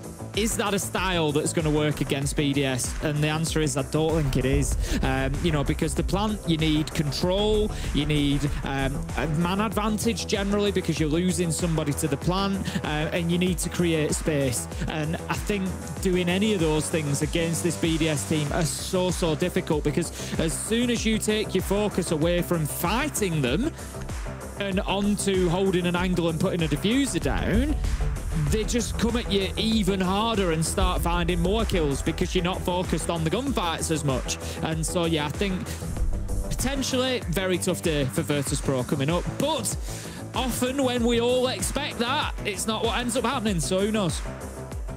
It's also worth celebrating a little bit how the stats have been going overall for BDS, to be fair. I mean, one thing I'll look at and probably pull Oh, on to a little bit here is where there is a little bit of success to be shown for Virtus Pro. They, at least coming up against a team like BDS, have been extremely good on the entry so far. Very positive. In fact, our best entry percentage rate so far we've got in the whole competition. This will shock you. BDS somehow are right down there at the bottom as well. And I look back over a couple of games. We had Shaiiko going nuts and going six and one, for example, in this game. I think it was against ENCE a couple of weeks ago. But you look at the rest of the team, uh, things have not looked good. Solotov being at three and nine, LikEfac is at six and eleven. It has been difficult for them. So if anything else, Virtus Pro are going to find some success, you'd hope, on the entry in these early rounds. But converting it into round wins may then prove to be their downfall. So keep an eye on those early round engagements. That's where there's some action to find out. Here we go, though. Round one, gym bedroom, BDS on defense. Let's see how Virtus Pro do. I think that's the big problem against BDS at the minute. Like you said, their entry isn't great, but does it need to be? you know, it's like, BDS. Hello. Yeah, y- y- you know, it just doesn't need to be. Yeah, they four v five, and two seconds later, somebody's going to use going to get a double or a triple, and all of a sudden they've got man. You know, they just don't. They just I don't think have too much of a concern playing from a numbers disadvantage, and with the firepower they've got, it's no surprise that that's how they feel. It must give them all as individual players so much confidence. If User dies, oh, it's okay. Shaiiko's still there. That's okay. Solotov's still there. Leak Factory. You know, there's just so much to to be confident in with this team. All right, they've got the idea here that Solotov is at least holding himself out on towards Catwalk. Nothing too unsurprising there. And to begin with, it feels almost like you're setting up for a cash and CC sort of push coming in here, Tim. Look how many outlines we've got on this side of the map. I don't expect that's going to last forever. And VP made us turn around and say, you know what, we don't actually really need to get full control of cash CC itself. Just enough to make sure someone can't play on the window. We see some teams instead opt to stick players, for example. Oh, no way. LikEfac really trying to trick this this close. Okay, this is a different one. Like I said, normally you see this, you're trying to play instead out towards the side, but as long as LikEfac is quick about it, no, he simply can't get away with it. Dan has done his work there, his homework to stun him out, force him away, and that wall will not be tricked off. Yeah, essential stun coming in there, as we can see. Otherwise, that bandit battery goes down. Um, LikEfac needs to be careful. He's going to get himself found from bottom garage potentially here. Um, we can just see the potential for the oil flank being denied, but a lot of work could still be done from oil pit. They can't just forget about it, Virtus Pro here, because we are attacking onto that top floor. So if you're up on catwalk or anything else, it could be a danger still. They don't have to come up the ladder. What a wall rate big time here is look how much time they've, they've docked off the clock, there, uh, the clock Yeah. there and how many players in Virtus Pro until five, ten seconds ago were still stuck out here on the east side of the map. Yet They've wasted a minute and a half, if not onwards towards two minutes here, really. With very little effort, like LikEfac was having to play Bandit Trick, sure, and a little bit of his army support coming in as well in terms of the keeper barriers to cover his retreat back towards site. And they're still causing bothers underneath with Solotov on the Solis. So, so much work being done to take away the intel from Virtus Pro, who historically, I think back to the many times they've said, you know, we're, we're very guilty of over-droning sometimes and doubting ourselves instead of just going for it. They're full of doubt right now. They've only got three drones left on side. It's a very slow push across the map. BDS probably licking their lips here with only 30 seconds to go. All five alive. And Virtus Pro still getting set up for the site. Solotov still underneath on the Solis as well. That's something Virtus Pro have not been able to deal with. So how did they get the defuser down? He's going to get the opener as Joystick tries to deal with that. And that is the worst entry death they could have taken. Oh, but no, the trade is there. Will it be too little too late though? Dan's done really well to recognize that. Shepard goes in, tries to get into a position to put this defuser down, but the challengers keep on coming from BDS. They can't find the man though, as the cover is there. Dan gets it done. Are they going to be able to hold on to this? Two versus three as LikEfac manages to find Dan, but this should really be an opening round for Virtus Pro. It should, unless we can see some magic come out here, but it's not going to happen. Shepard from range finds one more. LikEfac's in, full white flash as well. You've got a player out on the breach to deal with for one, and one still inside the building. It is not looking too easy for them. Straight up on the rappel as well. They're going to dance around here, Tim. There's only about 10 seconds still to go, and it looks like through smash and grab, Virtus Pro are going to find round one, and that's a surprise not many expected. No, absolutely. And, you know, I've got to hold my hands up there. I said that coming in and trying to play the plank game, trying to play the objective against this BDS side might be difficult, but Virtus Pro have managed to do it. There was an important step that enabled them, though, and that was the kill from Dan onto Solotov. He managed to pick up Joystick, who was hunting him, but Dan knew that it was essential that that Solis was taken out, so he backed up his teammate and got the trade, and that really was the round-winning moment because Shepard then able to get it down. Dan again on the cover for the plant as well. Big, big round from him. massive overall. And this has always been the thing that frustrates about me about Virtus Pro and equally about old Team Empire at times as well. Is they had this real habit of being outplayed through most of the round. You've had a minute and a half wasted by the Romers. There's still a Solis on the downstairs, for example. There's a player underneath you whilst you're going in for the plant. Like everything is working against you. Yet they still manage to hit the shots when it counts. They still manage to get the defuser down. They still have great cover. So even though they aren't playing Siege the way that most of the teams would, where it's all about tons of map control and so on and so forth, they take the smallest slither they need and still manage to get these seemingly impossible rounds over the finish line. And it goes to show as well, like we spoke about their struggles so far. They are so low down the table, as well as being shit hot at the entry, they're also exactly the same when it comes around to plants. They've got the most in the whole competition so far. So a very objective focused team, even with their struggles. And I still think for BDS, this is a game they should be rolling over you know, every day of the week, realistically. But for Virtus Pro, they do have this infuriating habit for some teams of being able to turn games on their head entirely. LikEfac not going to be putting the bandit battery down there. I'm not sure exactly what stopped him, um, but he was certainly heading in that direction before backing off. Instead, he's going to let the breach get opened and he's going to pop a headshot onto joystick from the rappel. So that's going to be a slightly different approach from LikEfac, but he's going to take his opportunity to drop away and get himself back down to the basement. Yeah, getting rid of the Capitao is massive as well. Yeah, whenever I look for the first entry kills in a round, I'm always looking at those operators on the other side that are really critical to the round. So when you're looking on the defenders, it might be C4 wielders, those with recharging gadgets, you know, looking at things like the Legion there, although you do tend to see Legion out on their own quite a lot, things like the Wamai. Whereas on the other side, you might look more towards these entry-focused operators. Uh, Are you too bothered about catching a Jackal, for example, knowing that he ain't going to give you too much on the execute? Sure. Uh, Are you going to be ecstatic about catching out a Capitao whose smoke and fire is really going to benefit the attackers in the execute? Absolutely. Especially if he was the one, for example, as a secondary hard breach bringing on the tin openers. In this round, I don't believe he was. But that's the kind of stuff that you don't start saying, well, that would have been critical to an execute, and now they simply can't use it. So a great first kill to find, and as you said, Tim, back to sight alive and well. They've wasted a lot of time. Another beautiful round start from BDS, but I cannot ignore what I said about Virtus Pro at the end of that last round. Yeah, as you say, you know, a very good foundation defensively for BDS here, but still a lot of time that needs to be absorbed. Um, and despite the loss of the Capitao, Virtus Pro have still got a lot of utility on side that they will need. They can get all the hatches open, they can get to tunnel. They've got always on the ram going to be able to do a lot of vertical. Going to see an impact nade come out and just take down one of those boogie drones, but always will continue battling from above, just trying to prevent the impact trick coming onto the hatch. That will be the hatch open. So it's looking pretty good for Virtus Pro on the attack overall. Despite having that one man down, they've got a lot of what they need here. Mm, And look at the split they've got as well. Main stairs probably coming in from Shepard. You've got always hovering inside a kitchen. They've got two or three angles they can maybe push at the same time here if they want to.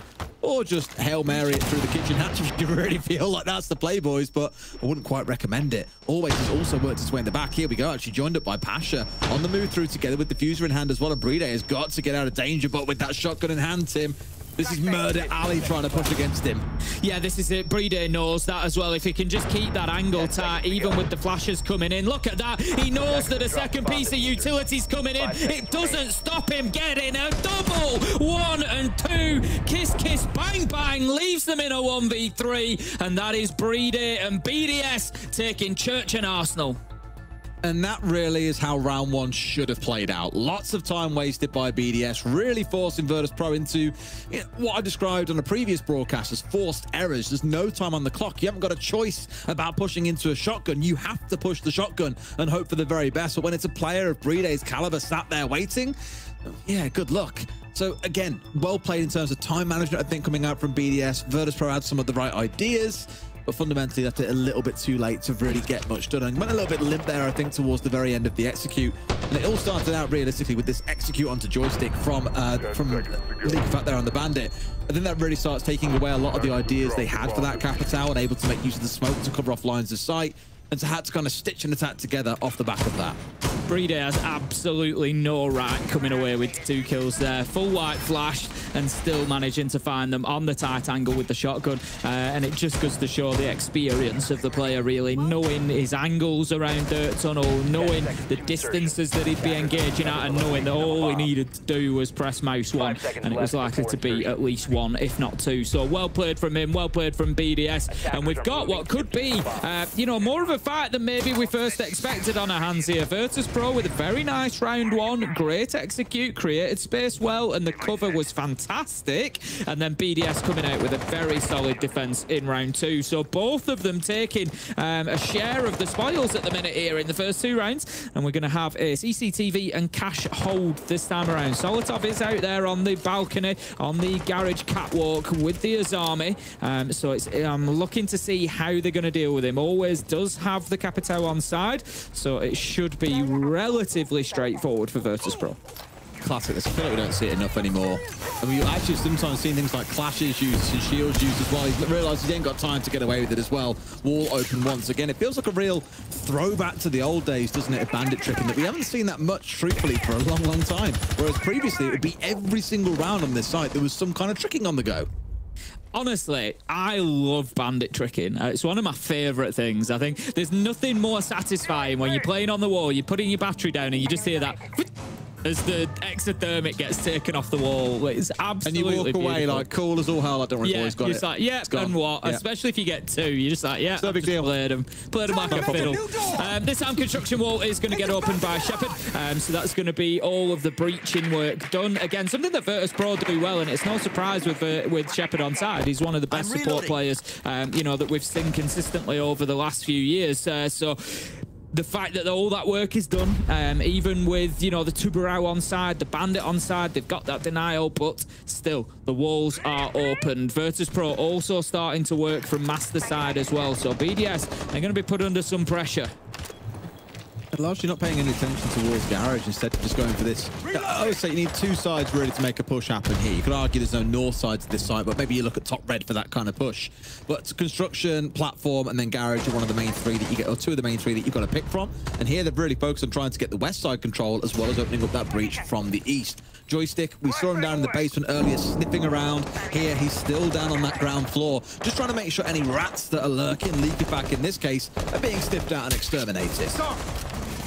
Going to have that utility thrown in over the top. Dan manages to pick up Solotov, so that's Garage cleared out as well. Shaiiko super low health here. He's going to take one bullet, and it's going to be Always that finds it. Five versus two, and surely this is going to be another successful attack for Virtus Pro. BDS currently only able to hold on to that basement. They've got users, they've got oh, Breeding, who are going to try to keep a hold of it, but no, Dan moves in, finds a kill, and ultimately it's a flawless round for Virtus Pro, and they go 2-1. It's just so- so carefully manufactured together these rounds. I love it. Starting from that first kill from Joystick dealing with the Roma to take away any of the kind of upset from below that might come in, the denial and the plant, for example. And even when these small windows of opportunity open, like Yuzus getting himself onto the bomb chassis, I was like, how on earth has he got here where main breach is open? He should not be here. And I thought that he would find the man playing on West Window, but just the way timing worked out with the C4 coming to hand, finds himself shut down and just kill by kill by kill, Virtus Pro managed to work their way through each individual player on BDS and make out a very, very comfortable round three. Start to get a little bit nervous now for BDS. And I thought after that second round, I was like, you know what? They've shown here they can defend, they can waste time, they can hang it, they can trade things out, no problem at all. But Virtus Pro now having two on the board, starting to feel a bit nervous. This is it, BDS. We've seen it already. Uh, you know, we saw in the, the result against ENCE where a couple of rounds started going here and there, and you look at it and you think, ah, it's BDS. They've been playing brilliantly. Surely they're going to come back. Um, and they just, you know, never really were able to get it done. And you just wonder if Virtus Pro can get themselves maybe a 4-2 half here. We know, you know, not maybe recently, but at least over a, a longer period of history, this is a team that knows this map inside and out. Um, and, you know, get them on the defense with an opportunity to get some points on the board, which could be really important. Let's not forget, Virtus Pro currently sitting eighth place out of nine. They're on four points. A win isn't enough to get them into the playoff places, but it's enough to get them close. It could potentially bring them within one point, and then you're looking at the last couple of play days thinking, yeah, you know, there's an opportunity to fight for one of those spots here. So, as Fresh said, you know, they, they're not out of it yet. There is a possibility still for them to make it, and if there's any team capable of it, surely it's them. Here we go again. He's going to try and stick it this time around. He's really going for it. I think he might actually get it this time. Tim Wall stays closed. So they dealt with them so well before. This time around, no such joy. Concussions are gone from Dan as well, but it's just about wasting that time. Remember, it's not all about holding onto the site, strictly all the room, sorry, strictly the whole time. It's just about wasting time. And with that wall remaining closed now, Virtus Pro are going to have to figure out a new way through this BDS hold. Yeah, that's really big from BDS. They've tried it previously. They've iterated on it. They've managed to get the job done this time, and it is going to make life a lot more difficult because we saw last time, if you remember, Dan got a kill from Billiards window, got a kill from Gym window. Without that wall open, he's unable to play that position. So they have to double down. They have to get it opened up. That's now going to leave them reliant on Pasha on the Hibana to get any other breaching done, such as the Jacuzzi wall. But in all honesty, it's likely to stay closed, and that just allows BDS a lot more freedom to play around that corner of the site. At least for now, they've got themselves cleared on through. Not clearly 100% sure that everything is actually fully cleared out here. Just even with six drones up on the field, a little bit nervous about careering their way through or slowing things down. Probably aware that the clock is becoming their end. Oh, no! It's almost like the reverse Shaiiko from a couple of weeks ago with that two tap onto the border barricades. Wonderful stuff to see. And I'm going to see a LikEfac just like, how? What? What? Why? How? Siege moment. It happens. It happens. It's you know always always take a few shots at each barricade that you see. You never know what's behind it, and you're never usually that short of bullets. Dan is going to take out utility from that gym window. They are using that same side of aggression again from the balcony, just trying to pressure the defenders. But BDS they just feel a little bit more comfortable. And why is that? It's because this wall is closed. Shaiiko now able to play on this corner around Jacuzzi wall because of that exothermic being tricked early on. Pasha hasn't gone over, over and opened it up. So now it's going to be difficult for Virtus Pro to get themselves in here. 15 seconds. They've got to get a defuser down. Flash train towards Bathroom as well. Opens them up to start their march on before, but BriD's got the sidestep here. Shaiiko into a second as well, and suddenly Virtus Pro starting to bleed out members, but have found themselves one more back. They can't hit their shots, Tim. Solotov might find one more, but a two versus two with two seconds to go. It's all on Joystick to do the lot here as well, but he can't hold off against both. Up on the bed is not going to be enough. Yuzus with the close in 2K, and once again, the clock works against Virtus Pro. Yeah, BDS having to fight really hard. It's tooth and nail stuff here to try and get every single round on the board. But the big moment there that I think won the round pretty much, much like I said about Dan um, killing Solotov underneath in round one, there was another one of those key moments, and it was that bandit trick out on CCTV wall. It came early in the round, but it just depleted that hard breach utility. And as you could see at the end of the round there, BDS just far more comfortable by Shaiiko sitting by Jacuzzi wall. There was they were trying to build pressure towards Gym again, but as you saw, Dan had to dip away. He had to take the fight Master window instead. They had to try and plant on the bed, and it just wasn't ideal for them in any way, shape, or form. Whew. All right, two and two. We casters love a little saying, Tim. And our saying for this one is, we've got, Got a game, on our hands. It's really starting to build into one. We get that 3-3 half, like, you can already feel with the way that the game has played out so far that overtime is on that horizon. It feels so early to say it, but the back and forth nature Um, unless we see a drastic change with BDS get on the attack, which I'm not expecting. They are no slouches at attacking. It does suggest we're going to have ourselves a very close game the longer this one wears on. Still, something quite interesting coming in this round, Tim. We've got the Ossa on side for Shepard. Now, the key thing to note is that actually, yes, guys, we are down in the basement. However, once again, BDS just cannot let Garage or Cash and CC go. Still got players playing up there and looking to waste time on the side of Virtus Pro.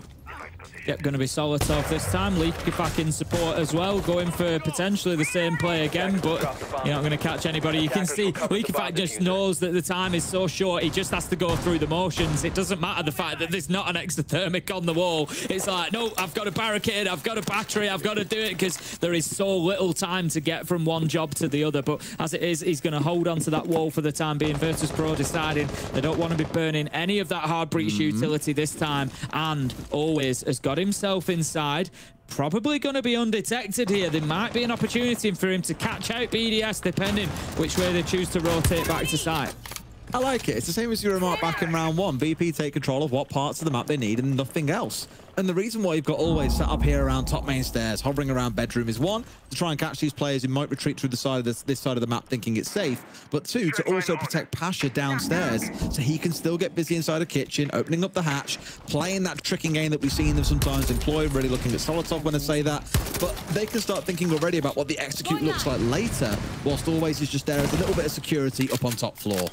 And that is the problem with Dirt Tunnel being left soft. Of course, BriD able to just spray through and take out a few of those X-KAIROS pellets because the wall was soft. I don't know how many detonated ultimately, but it may well be that it's not a uh, passable breach there you go. It's not going to be, so more work is going to have to be done there. They do have the sledge on hand. They've got other operators that can get the job done. But again, it's all about time. It's just burning those seconds away to prevent. Oh, we're still back up to the top floor, still aware that there is somebody up there that needs dealing with, and it is Solotov. Just being a nuisance, right? It was Joystick who historically has been the player hunting him down, but for this site, as we saw previously, Capitao is what he stepped on. He was the entry death last time around when LikEfac swung out onto main breach and got rid of him. So really trying to keep things nice and simple here. Probably playing in behind the smokes, which is why instead it's always playing off on that upstairs. He's done his work, got themselves firing off in towards dirt so no one can swing in from there, and then making the play from here. But LikEfac has got him behind! He's slipped through the net, and there is a fox in the coop, Tim! They've got the down there so sorely need, and Shaiiko into another as well. A BDS masterclass once again, just dancing around this Virtus Pro setup. So worried were they about Solotov on the top floor? They didn't pay attention to LikEfac in the basement, and he gets the job done in a big way to set off a chain of events that becomes a flawless round for BDS, and that was a great defense of Church and Arsenal. Absolutely love watching that from BDS there, just brilliant. Solotov on top floor never dealt with, um, you know, enabling him to stay up there by playing that bandit on the CCTV wall again, just never letting Virtus Pro feel comfortable. As you said, they're happy to say, you know, we've got the bit of the map that we need, so we're just going to play with that. But they didn't have everything they needed. They didn't have control of bottom main. They didn't have control of LikEfac, and it was really well played from BDS. Great round, 2-2 it's always been my concern really overall for Virtus Pro again is that things become a little bit readable. Like they keep things nice and simple, which is nice to see sometimes. But the lack of cover here really just stung them. And the fact that it's crossed down, as you say, through main hall without anyone watching it is the real sting in the tail, I think, that would have really yeah, upset Virtus Pro there. A good idea, a good execute, with BDS are just like, we've seen this movie before. We know how to respond, and fair play to LikEfac. He's done exactly what was required of him. Up to our last round of the half then, Virtus Pro, one more chance to make this one work. And Tim, do my eyes deceive me? I believe we're on a bar stage defense, are we? Attackers must locate and defend We are. the bomb. There you go. There you have it. It's 3-2 as well. I was getting um, a little behind myself. I thought we'd only uh, tied up round four, but it is going to be round five that's just been Future is now, old man. It certainly is. This, is. it's just been, honestly, such a, a fascinating and interesting game. It's just been, it's been easy to get lost in it, essentially, um, because it's, it's more about the individual battles, really. It's more about, um, you know, fighting over little corners of the map and who clears out the Who doesn't, and um, everything else that's gone along the way. The bigger picture has uh, slipped past me, but Solotov, he's going to be up on the top of Garage once again. We've seen this a few times. Knows that somebody's run past, but the Nitro is going to be way behind where it needs to be. And BDS will continue trying to hold on to this top floor, though. LikEfac is there. He's going to be trying for the trick again. They've done a great job of keeping this wall closed so far, and he's going back in for a little bit more. He wants some afters, Des. Try to do what he can. And we'll keep it closed off here as well. But still, just the amount of time that he's wasting doing this round after round. I really thought we'd see people start posting up, for example, on the west window. Will he get away with this? No, he won't. Uh, run, buddy, run! No! I really thought he might die to the exothermic going off there, but no. Does keep himself out and alive, which is always good stuff. But again, that key thing for me is no one's really looking to play on the west window for Virtus Pro of, of, of the site, of the room even, not really the site in this case. But it's one of those where a Capitao Fireboat over the top, you can have some impacts coming in from that side from the Zofia.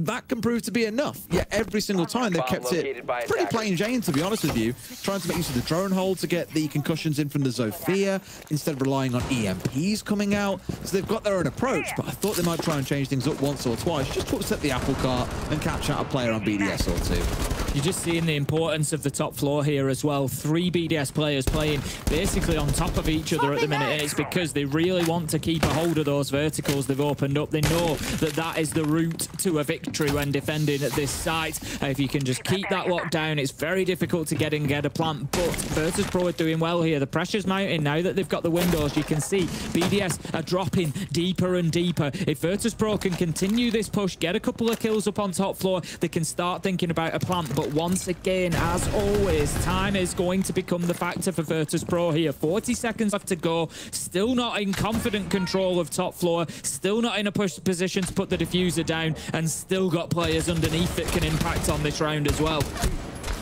Ash is really looking for something here as well, but I don't think he's going to find it. I was about to say I'm pretty sure it's the bout that he's fighting off against here, but where have we seen this before, Tim? Just disruption all around the map. BDS trying to waste time, and here it comes again. Oh, Yuzus not going to lose that one out. Finds his man, Shaiiko, into a second as well, really unlocking himself across these last couple of rounds. And with 10 seconds on the clock, yet again, Virtus Pro are forced to push in with nothing left to really work for them. No chance for mistakes, and unfortunately, Tim, they've made a good few of them. BDS will clean up and take the 4-2 half.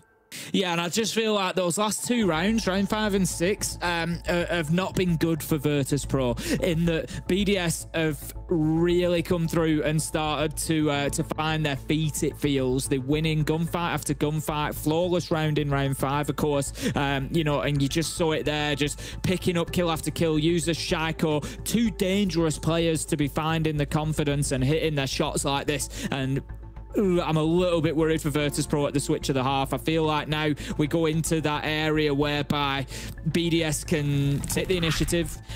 It's down to them how quick the game is played. As the attackers now, they can just get in there, get aggressive if they want to. If Virtus Pro choose to play with anybody on the roam, they're going to be getting chased down quickly by players like Shaiiko, I would imagine. And it's potentially going to be a tough one for Virtus Pro to hold on to now. It is, but Tim, I always say, two halves to a game of Siege. This could be a very different outcome that we're expecting. And yeah, for all I was saying about like the time-wasting efforts from BD, uh, BDS and Virtus Pro really letting the clock be their main driver in that first half, their executes were good. So I think you're seeing them a bit more on point today than what we've seen from them historically. Is it going to be enough to bring down EU's number one team? Probably not. But I wouldn't be surprised to see them taking a few rounds here and BDS really being a bit out of options at points as well. Could be completely wrong, could be an absolute rollover from BDS, but I do feel with how that first half went, we are seeing better quality today from Virtus Pro than what we've seen historically. Round seven is underway, 15 seconds in then, and we're going to have immediate attention probably towards Dirt, I would imagine. We've got a Ram on side, so would expect to see some kitchen control, a lot of verticals being opened up on and into site. Um, the question is, are BDS happy that they've got control of the map and able to move on in? It certainly looks that way, um, but in goes the Boogie drone to kick things off as Solotov manages to find down with a headshot for the entry. I'll give it some as well. For all I was saying about the entry battles earlier on and how BDS haven't exactly been the most hmm, fortunate in it so far, should we say. They are 5 and two on the entry in this game, so going real strong so far on Virtus Pro. I said they were the number one entry team that we've got in the whole competition. Definitely not looking like that, at least in this game. BDS just seems to be a few steps ahead, always got the pace ahead of them and seems to be catching them out with it.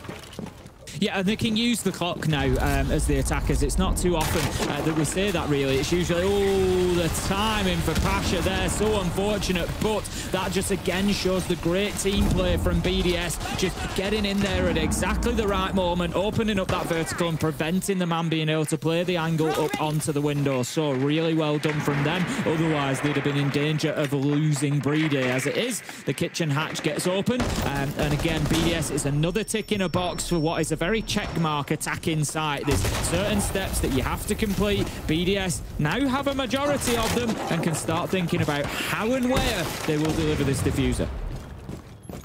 Got the time to do it though, right? Yeah, That's the most important part. 100%. They've got the entry. They've got the time. They've got all the utility in the world. They could possibly need to get it done.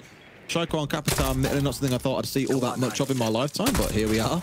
Still have that available. I spoke about it quite a bit in the first half. He Yuzus with the Grim as well. You know, lots of work they can do. Arguably maybe a bit too much in terms of vertical destruction with both the sledge and the ram on side, but it gets the job done. As you can see, the ceiling basically completely opened up, and LikEfac is in. Will he get away with it? Yes, just about slipping on through, but the round comes on through. Pasha's there and finds his man. They're dropping in, C4 over the top. Pasha not going to find his man. Finally shut down, and BriD dancing around smoke and fire and brimstone and everything else you can possibly throw at him, but he's still in one piece. Just got to be careful about this long angle, though. Going back towards the full, has always looked away. Will round through, finds Shaiiko, finds the second as well. Always is going absolutely nuclear. Makes it a 4K dancing around Blue and Church here and gets that first round on the board for Virtus Pro. You've got to feel that BDS have, have let that one slip away a little bit, and Vert, and always particularly Virtus Pro in general were more than happy to mop it up given the opportunity. Um, you just feel like BDS maybe didn't have enough information about what was going on inside of. Shaiiko just shot from the side as always, wanders into blue, just didn't really have their angles locked down. I think, you know, at first I thought the cover was good because Shepard sends out a nitro and I didn't, he triggered it, but I didn't hear it explode, so I can only assume that that was shot out from the hatch maybe um, to protect the planter, but BDS just didn't really get that final step done. They'd done everything they needed to, but Virtus Pro stood up tall. Can't rely on a 4K from always every round, but they'll certainly take them when it happens. Whew. I do agree, like, they had no idea across all of these kills exactly where always was. Totally out of sorts, but up until that point, in a good position, I thought. So hopefully it rolls over into this round. We see more of that promise coming out from BDS. It's not every single round that you're going to see a player going nuclear and picking up a 4K to clutch things out without having a single shot fired in his direction. Really good stuff. Change sites, of course, this time around. Going to find ourselves up on the top floor in gym and bedroom, Tim. Again, it's going to be a push across from the CCTV side that I would expect from BDS. We saw a great example of what can happen when you don't get that jacuzzi wall open, though. This is a site that needs multiple sides of pressure, and BDS need to make sure they pay attention to that. Yes, I do. I mean, admittedly, one thing I'm curious about we haven't seen too much of. I guess with it being banned away, actually, it's not the end of the world, but we spoke about the Tubarão earlier on, for example, in our earlier game, saying that often if you see the Maverick taken away, you'll see the Tubarão follow the same with the Kaid pairing coming on through. And this is a spot now where with the Kaid taken away, it's not seen as too much of a bother. It's why you're getting so much of this kind of old school bandit tricking gameplay coming on out. VIP at least being opened up and beat BriD, by the way. I saw this on his cam earlier on. I was like, the man likes playing in darkness. Everyone else, at least a relatively lit room for BriD. Look at him. Man's a man of the night. I love it. The mood. We've seen more of his glasses than him. Absolutely brilliant stuff. Um, Solotov then, he's going to be getting himself quickly on into Garage, just being cautious over any potential uh, presence inside of Oil Pit. Not going to be anybody down there that's going to be looking to challenge. I think LikEfac's just crouching around down there as well, maybe on the mid-level. Uh, yes, he is. He's just inside of stock. Um, so that's going to give them a lot of control here. Virtus Pro have had to fall back, but look at the area they're sitting in. Jacuzzi wall not open yet, and therefore Virtus Pro can feel safe playing in that area for now. I would like to see BDS get themselves open, get that opened up, but there is no exothermic charge. It's going to be down to Solotov on the ace to get that job done. Just got to make sure they can work through this side of the map relatively unscathed as well. A lot of their drones slowly disappearing away here. So that from Virtus Pro back in the first half, so it'd be un unfair to not mention it for BDS as well, but a decent job being done of whittling down that information game. Virtus Pro had often been down to three in about 75 seconds left. Here, it's only three out on the field with about 60 left on the side of BDS. So a similar sort of story, but now with themselves in some good positions, really looking towards a bit of logic control, I imagine. But they've got the south windows, they've got construction door in, in their favor as well. Lots of stuff coming together for the French side here, and now it's about the execute already with the scrim on side. It's going to help things out. Yeah, the plant is going to have to come on the master side because Jacuzzi Wall hasn't been open. They're going to have to go in behind kills, and that's exactly what they do as Shaiiko finds one, but always stands up, Yuzus for the trade. This is just back and forth at the minute. Virtus Pro managing to hang on in for the time being, but Dan and Shepard find themselves in a two versus three. Diffuser is down cold at the minute, and it's going to need to be collected by BDS. So Virtus Pro, with this little safe corner, can maybe play for a little bit of time. Real danger is these Kiba barriers are kind of working against them here, Tim. They're giving BDS something to play with. But Dan's on a full round here, one on towards main stairs. If he gets a shot in the back as well, this could be all they need. Finds one, can he get a second? Yes, he can! Dan going completely unchecked, undroned on the flank, and Virtus Pro will take another round, Tim. Things are all square. And look at the foundation. Look at where Virtus Pro were able to build that from. It was a brilliant flank out through logistics.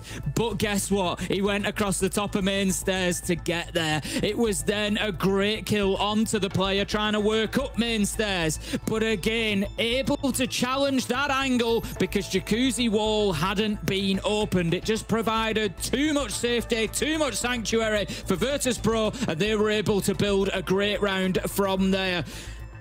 Really good defense from Virtus Pro in the end.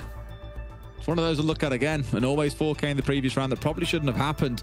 A flank there that you'd really hope a team of BDS's caliber would be able to capture, given they had construction control, they had the south balconies, and that really was their go-to execute. Yes, including a backstab coming up main stairs, but you'd hope at least there'd be something watching that one out, and instead they just get stung and shot in the back. As mentioned for Virtus Pro, they are not going to be complaining, Tim. Things are all square at four apiece. They're the ones on the defensive clubhouse here. Are we about to see them upset the current kings of Europe?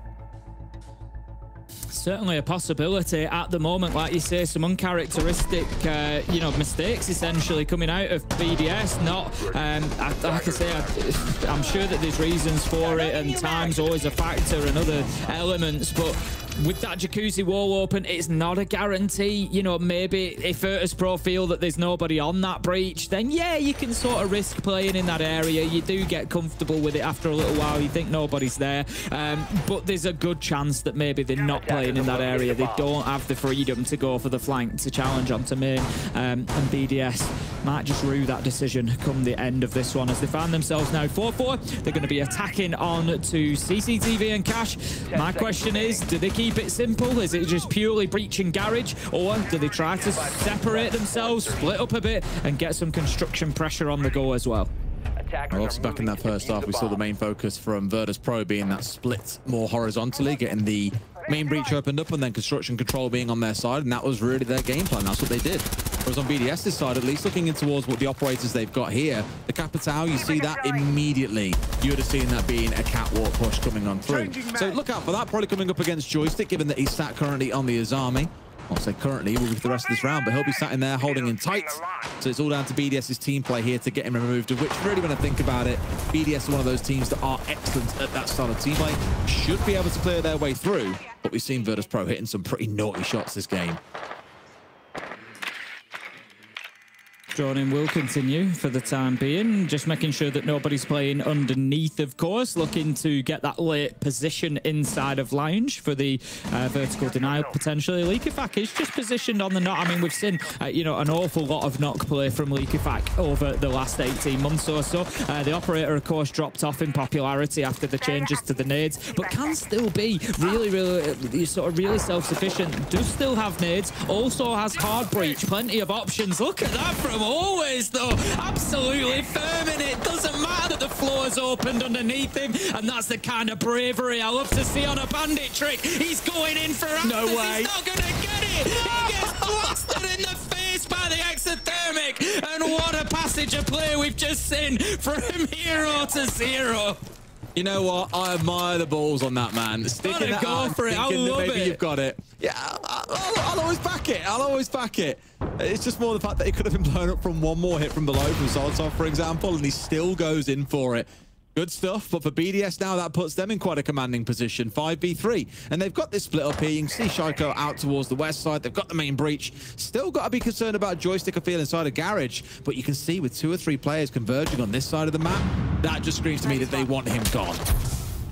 Gonna have the flame arrows going in. Joystick looking for the fight, but nope, that's how you deal with Garage Catwalk. It's all up to Shepard. Manages to find one. That's at least gonna prevent the flawless round, but he's got an awful lot ahead of him. It'd have to be a 1v5 ace clutch if he wants to close this round out. And look at his hit points. Just a little tiny flashing red sliver at the bottom there. Very little for him to go with. Taking the jump out, noses the opportunity. Does manage to get another, but the cover is there. And that's going to be the round as we expected for BDS. But always, oh, what a, I tell you what, he pulls that off and he wins the round. It's as simple as that. But I think sometimes excitement just gets the better of us all, Des. And he thought he could get back in. He knew that he couldn't really. That was a head and heart situation. His head knew that he didn't have time, but his heart dearly wanted him to. So brilliant. Uh, it's those things that tickle me. Same as the exothermic death that followed through just after. You know, the jump out at the end as well to try and deny the plant off. A really good round overall, at least in terms of entertainment value. But BDS in full control. And I spoke about it earlier on. I love seeing teams that can execute onto individual players as a team.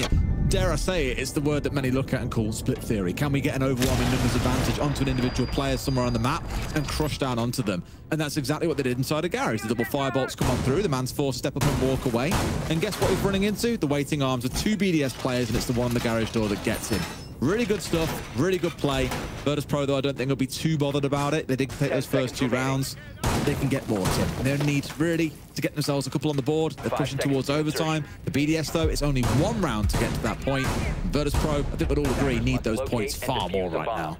Oh, 100%. As we already know, BDS locked into the playoff places. They have uh, got the job done, essentially. And as, as Fabian pointed out, really, as much as you want one, you know, first or second, you want to sort of assert that dominance. You want to put that image in the other people's heads. Or, you know, God, we don't want to play BDS. And um, But at the same time, like you said, you know, not playing in that first round of the playoffs, sometimes the other teams get into the groove with the best of three. And it can be a tricky situation. So I don't think either way will be the end of the world for BDS, but like you said, Virtus Pro, they're fighting for their lives inside of uh, stage one at the minute. They want to, uh, you know, have that opportunity to get themselves to the major. So lots of work for them to do.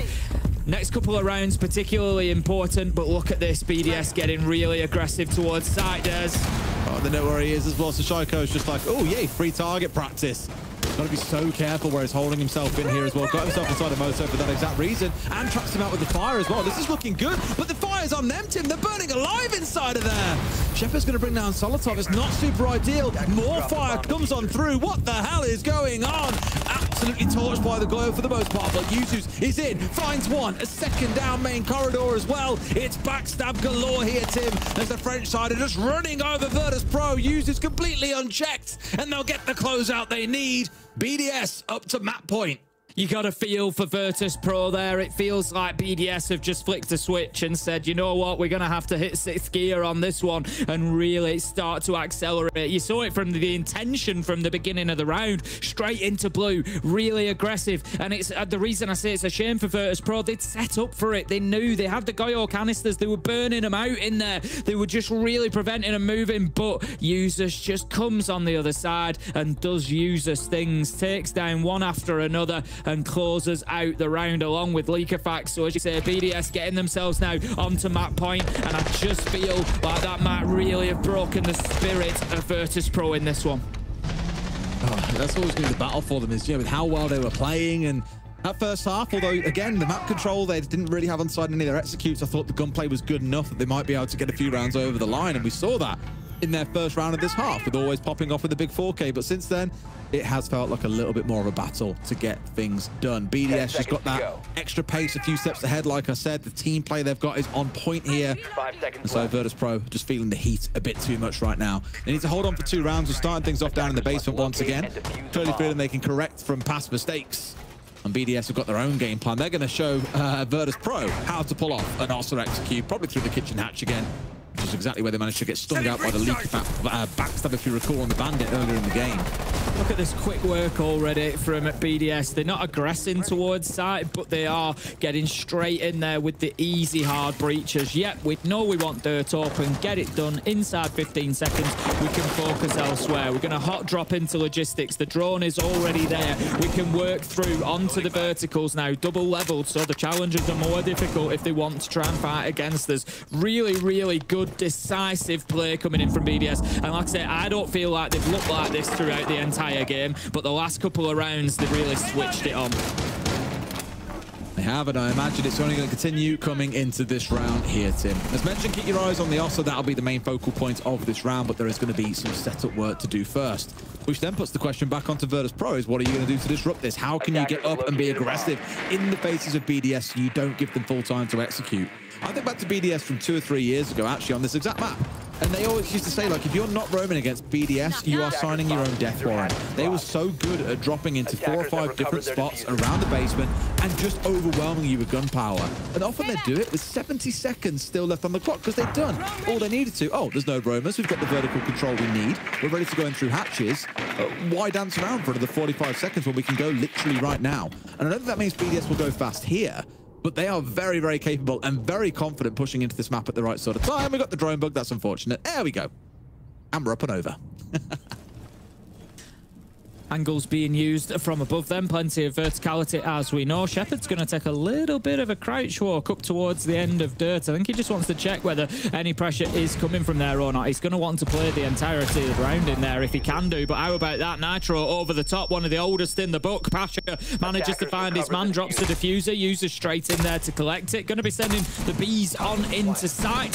Have a little buzz around and see what they can see. But he knows that he's being challenged from down there. Gets aggressive, goes in, finds one, but the trade is there. Pasha is finding his second in the round.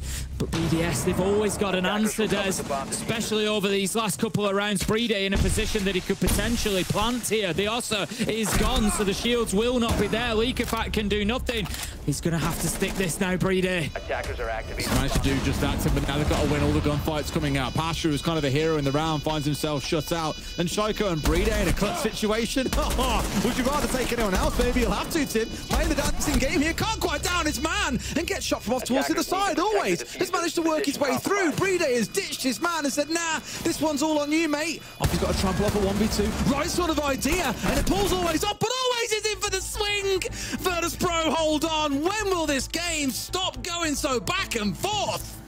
BDS have got to feel hard done to there. Shaiiko taking so much damage off players, but not finding kills in the 2v2. Just left BriD in a very difficult situation. And again, he almost did the right thing, but I think in killing the Melusi, he actually thought he'd got the place, the player who'd been disabling the diffuser, and maybe the cover was from boxes or from else. I think he expected the cover from elsewhere, and then heard the movement but was kind of too late into his own movement. It was so tough for him. But Virtus Pro doing really, really well to hang on there. It was almost as if they weren't aware of the diffuser going down. There was, um, you know, no opportunity at least for them to get round and challenge that. But a great retake from them. And as you say, this one just keeps going. 12 rounds of, of almost madness so far.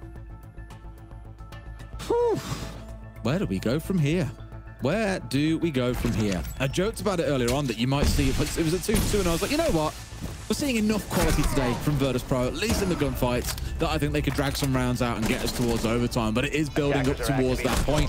Just one more to go. The battle being Tim, they're going to have to go and play for those other two sites, which might yet be a grave undoing. You know what? For a second, I was like, BriD, you have ditched your man. You've dropped out of Arsenal here. You've left Shaiiko to get you know, shot onto completely separate and really just waited to kind of play off the diffuser itself, but it's worked out wonderfully. BriD with a big 1v2, BDS at least at, at 6 and 5, sorry, almost a 1v2, but always gets that closing kill to turn things over the way we've now seen. Gym and Bedroom going to be the last site of regulation, then could be the last site of the game, and it could secure BDS those three points to really ensure they hold on to that crown at the top of the table. But as I said earlier, Tim, crazier things have happened so far already today. Yeah, Virtus Pro defended it back in round eight, if you remember. They were able to lock it down with a big flank from Dan um, after BDS were forced to push on in because of a bandit trick early in the round, but Whoa. that is not going to help. Pasha taken down. We've said that BDS have been increasing the speed, increasing the pressure. They've gone up a gear, and they just proved that point. Inside 38 seconds, Solotov takes down Pasha and gives BDS a big advantage in the fight for three points the ace as well. Like, we speak about entry players playing ace quite a lot these days. I think it was Doki who first said it. It's like, you know, once you've used your utility, you're in for it. You can do a lot yourself. You've got a great gun. Use the Selmas and away you go. Not quite sure what I think most had in mind when an ace is the one charging into the building, going in for a one versus one, but he caught Pasha completely unawares there. Great shutdown, and I still love that like we've seen most of today, given it's all been on Clubhouse. A lot of respect being shown with the IQ being brought along to deal with the Valkyrie. BriD's over on that jacuzzi wall this time. Last time I was critical of it not being opened. It was the position that Virtus Pro were able to turn the round from, but this time they will have no safety, no security stood inside of that corner. So what BDS have done there is just take away another spot for Virtus Pro. They've forced them out of another angle. Look, Dan's having to run into that area just to get away from the Rotero drone, and Virtus Pro are increasingly having to take risks. Last time round, these Kibas actually worked against them, if you recall as well, right? It just gave a lot of avenues for BDS to move in, planting behind them on the bed, for example. Not too much they had to worry about. Right sort of idea, there with the Grim coming in over the top to slip him out, and sure enough, Yuzus has found him on the long angle to 5v3 Tim, and they've got to hold on here for 50 seconds, but it feels like it's going to be impossible. This is it, and look at the tiny area that Joystick is trying to play inside of at the minute and gets closed down as well by Shaiiko, and that happens when you open up those breaches and you take away those areas of refuge. Always looks to get aggressive onto the breach. It's not going to happen. LikEfac manages to get the kill. Shepard in a 1v5 again gets himself back to 1v3. Can't quite make it 1v2, and the problem is they know exactly exactly where he is right now. So Shaiiko goes in. Shaiiko can kill. Shaiiko can plant. He's going to secure the defuser. 1v2 Dez. Can Shepard do this? Surely not. Like, surely. They're up on the rappel, Tim. They're lay down outside. They're really playing this one to the absolute nth degree. Surely he doesn't have the read on it either. I doubt he gets to stick it. He might well try, but it's going to be a bit of a bait attempt onto these other two players here. In comes Leaky back. In fact, no, it's a bit of a bait on the other side, but Shaiiko drops at the same time.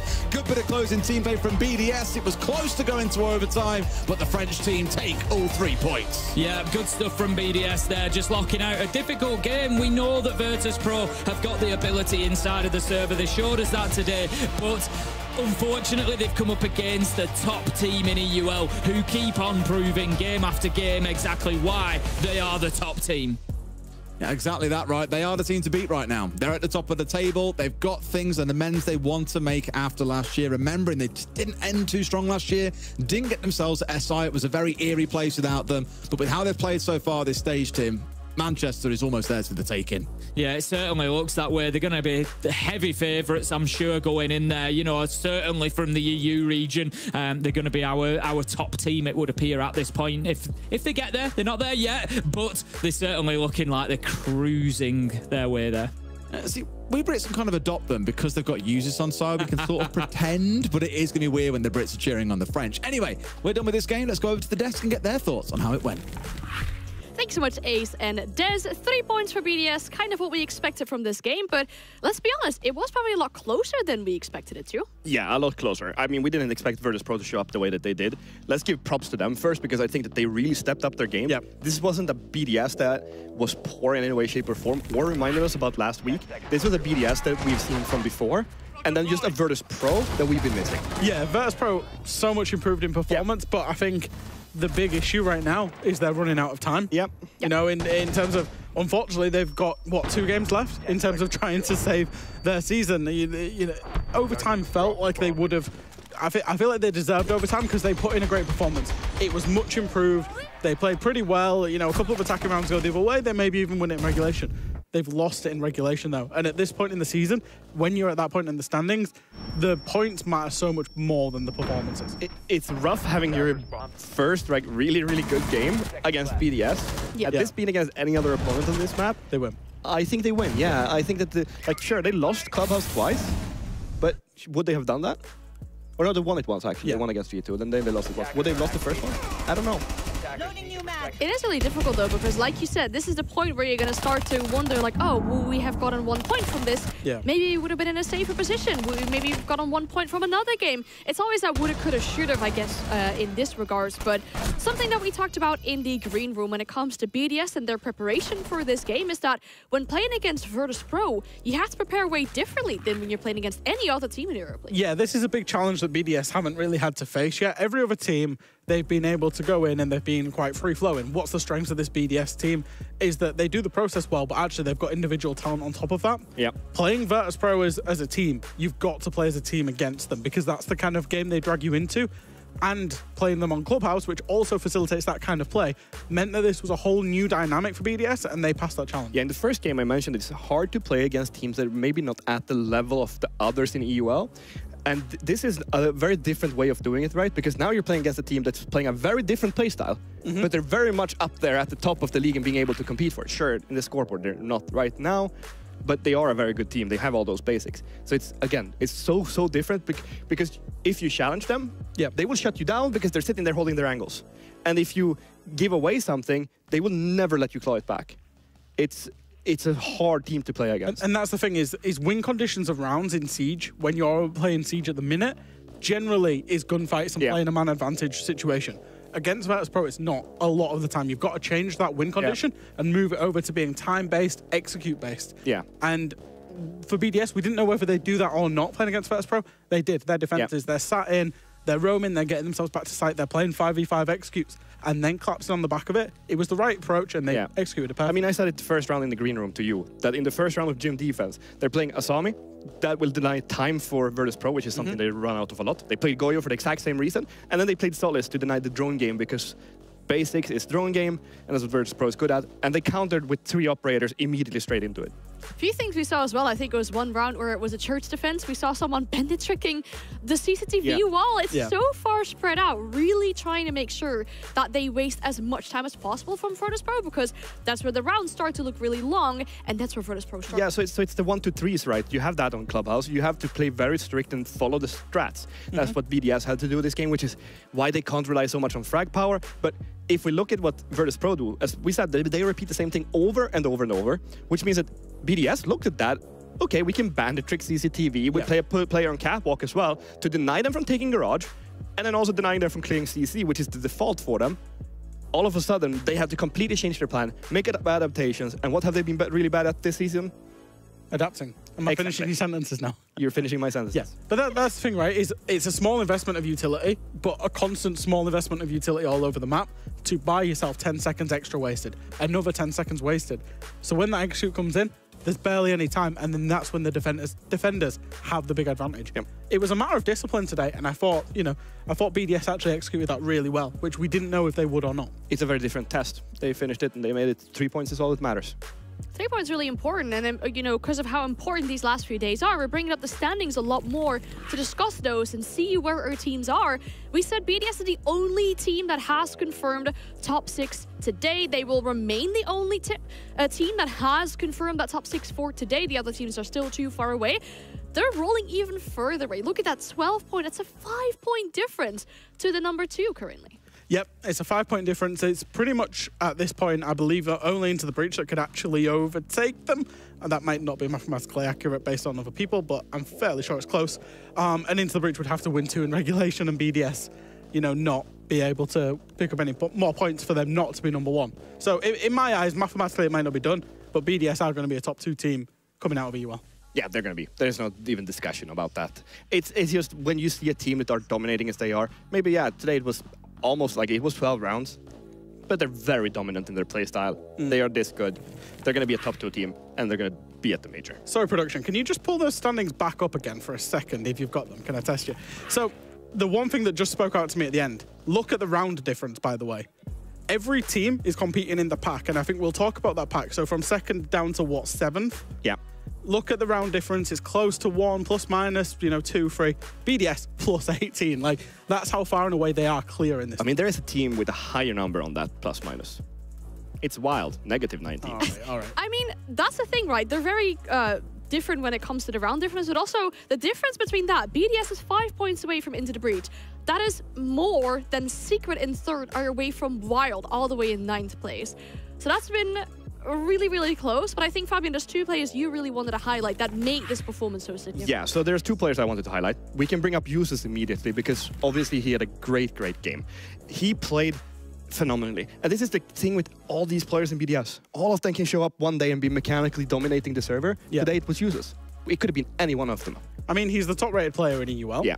But the the one thing that I consistently said, and you'll remember when you was on the desk with me ages ago before you went back to G2, that we always said about Yuzus is he's a match winner. He's Yeah. a round winner. Is that he provides that consistency in that kind of flex role that you want. Yep. But those late round situations, he is absolutely unflappable and will just win you rounds. I mean, there's a reason I wanted to pick him up three times during my career, both as a player and then as a coach. Yeah, it's, it's just- ridiculous. yeah, he is one of the best players. He actually declined us. That's the funny part from from Eminem.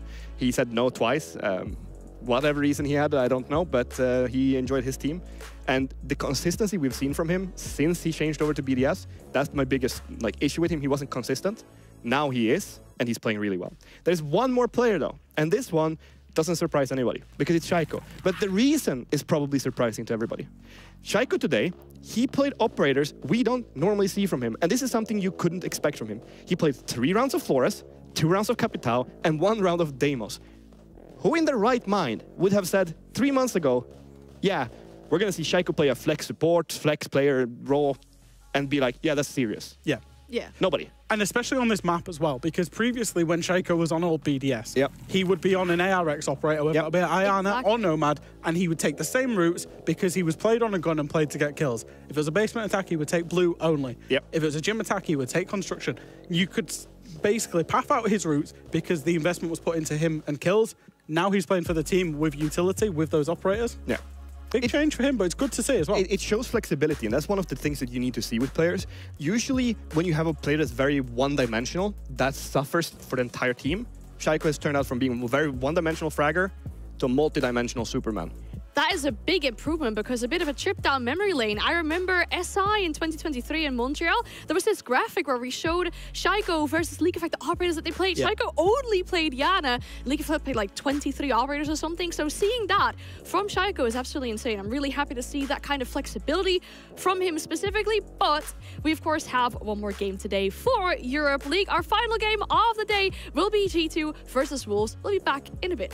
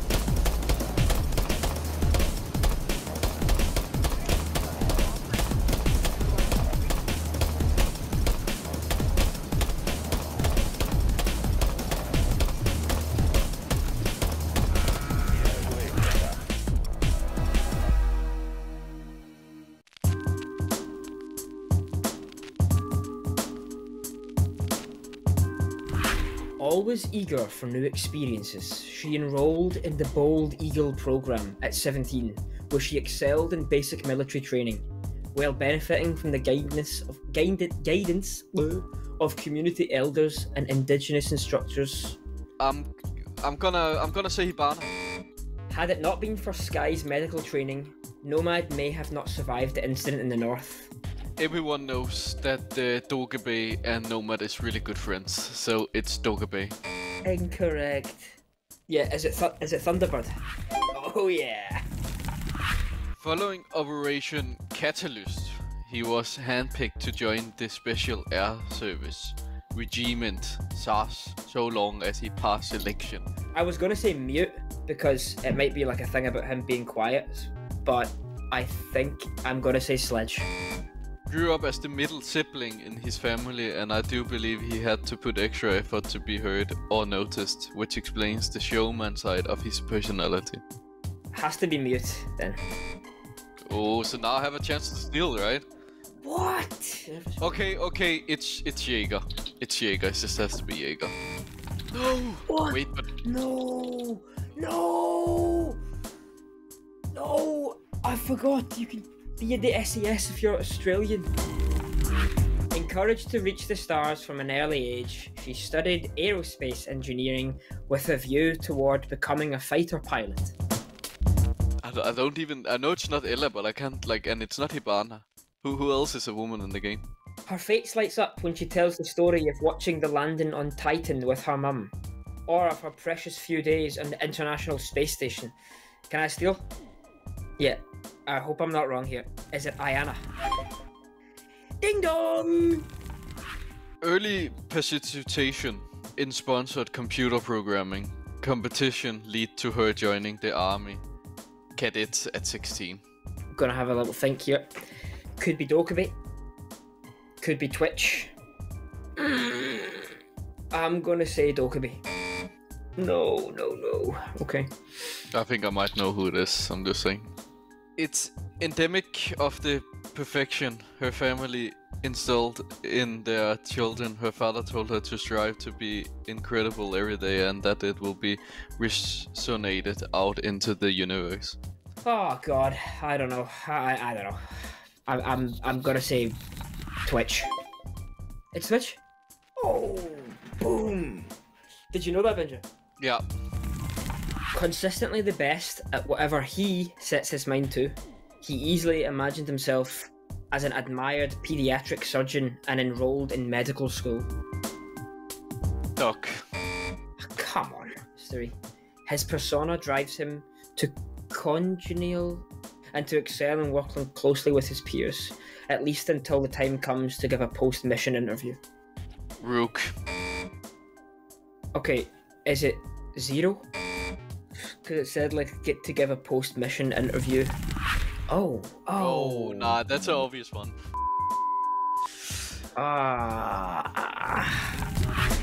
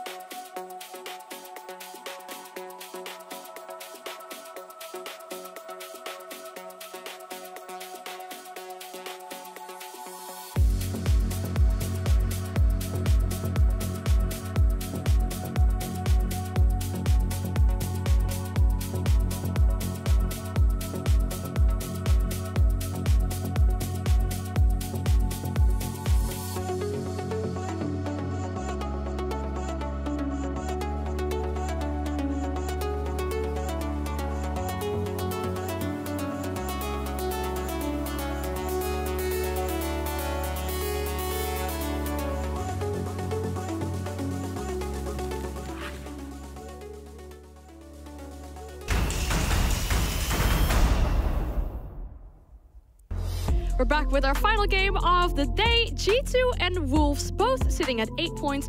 Who can jump up further away from that big group of teams that have all got similar amounts of points and really set themselves? I know, I know.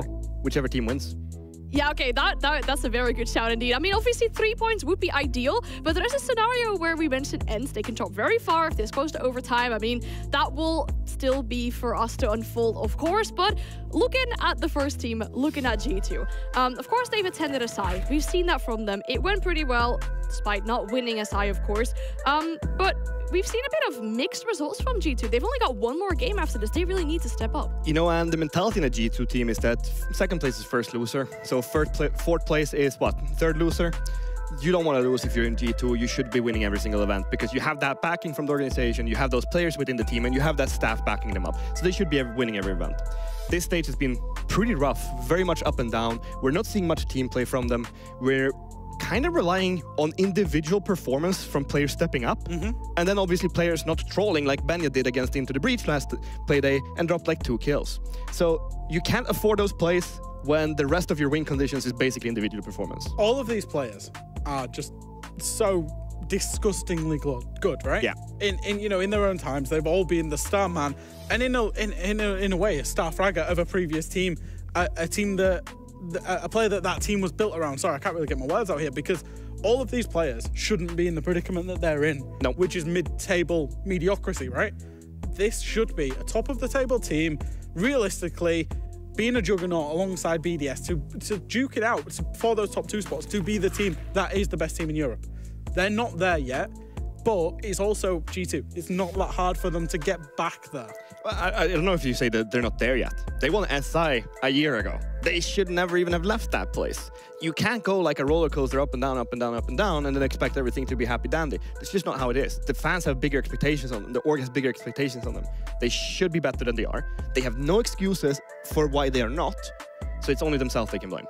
I mean, that SI of course, is very good. I mean, you'll see teams often after they have a bit of a dip, but still, as you mentioned, these players have that individual star power to be able to really solidify this roster. We have a comparison as well between, of course, their performances from SI with their performances from this stage. Yeah, it it was just a, a valid comparison, and I think you can see realistically you've got SI stage uh, SI 2024 on the right hand side of your screen, stage one this stage on the left hand side of your screen. Now, statistically, SI is looking better apart from a minute detail in attack win rate, but G2 were dominant at SI on their defense win rate. They were not allowing people to get entries on defense. They were not allowing people to get set up, get into the map. They were literally just bossing them. This stage, they're not. And I think that's the big difference so far with G2. Attacks are actually decent. They're, they're somewhat decent. A 50% attacking win rate this meta is very great. good. It's just the defense at the minute that's letting them down. It needs to be a massive step up. And I think one of the big changes for them is actually like the ADS time change that we've seen. Because these players are so heavily reliant on that individual fragging potential that they like to play aggressive. They like to jiggle peek their corners and they like to go up in their face. They can't do that with the new ADS time because it's just too slow for them. They need to find themselves again. And I don't know if they have that today. I think especially that defense win rate is really um, surprising to me how it's dropped so much after SI.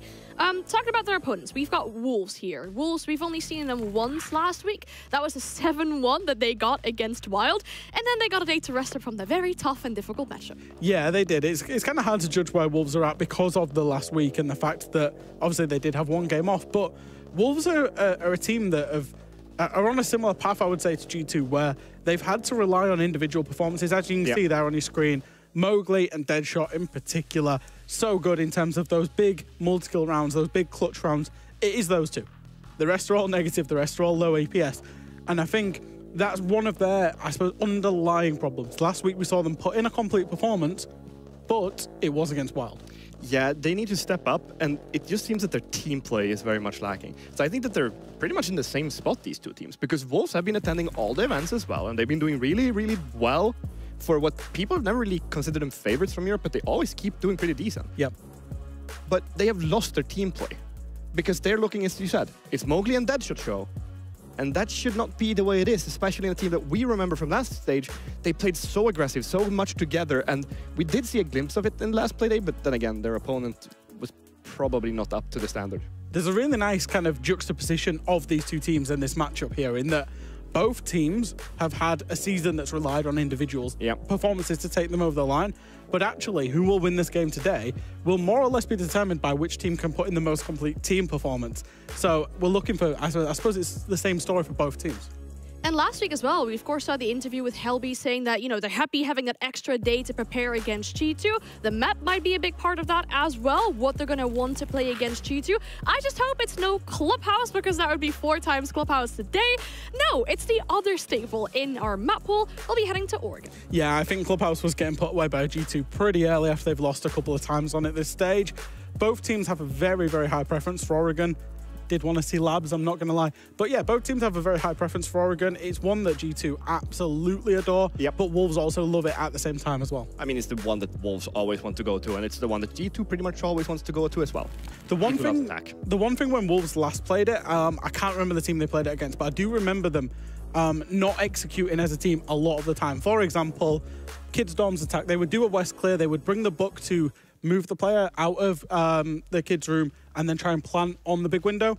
And the book was just absent. There, there was executes going off while people were still in spawn, all sorts of stuff. So I hope they've improved for their sake from that time because they looked awful the last time they played it. We'll hope so for Wolves, but our players are ready. The game is ready, so we'll stop talking and directly send you to our casters for one more time. We'll take it away to Ace and Dez for Oregon between G2 and Wolves.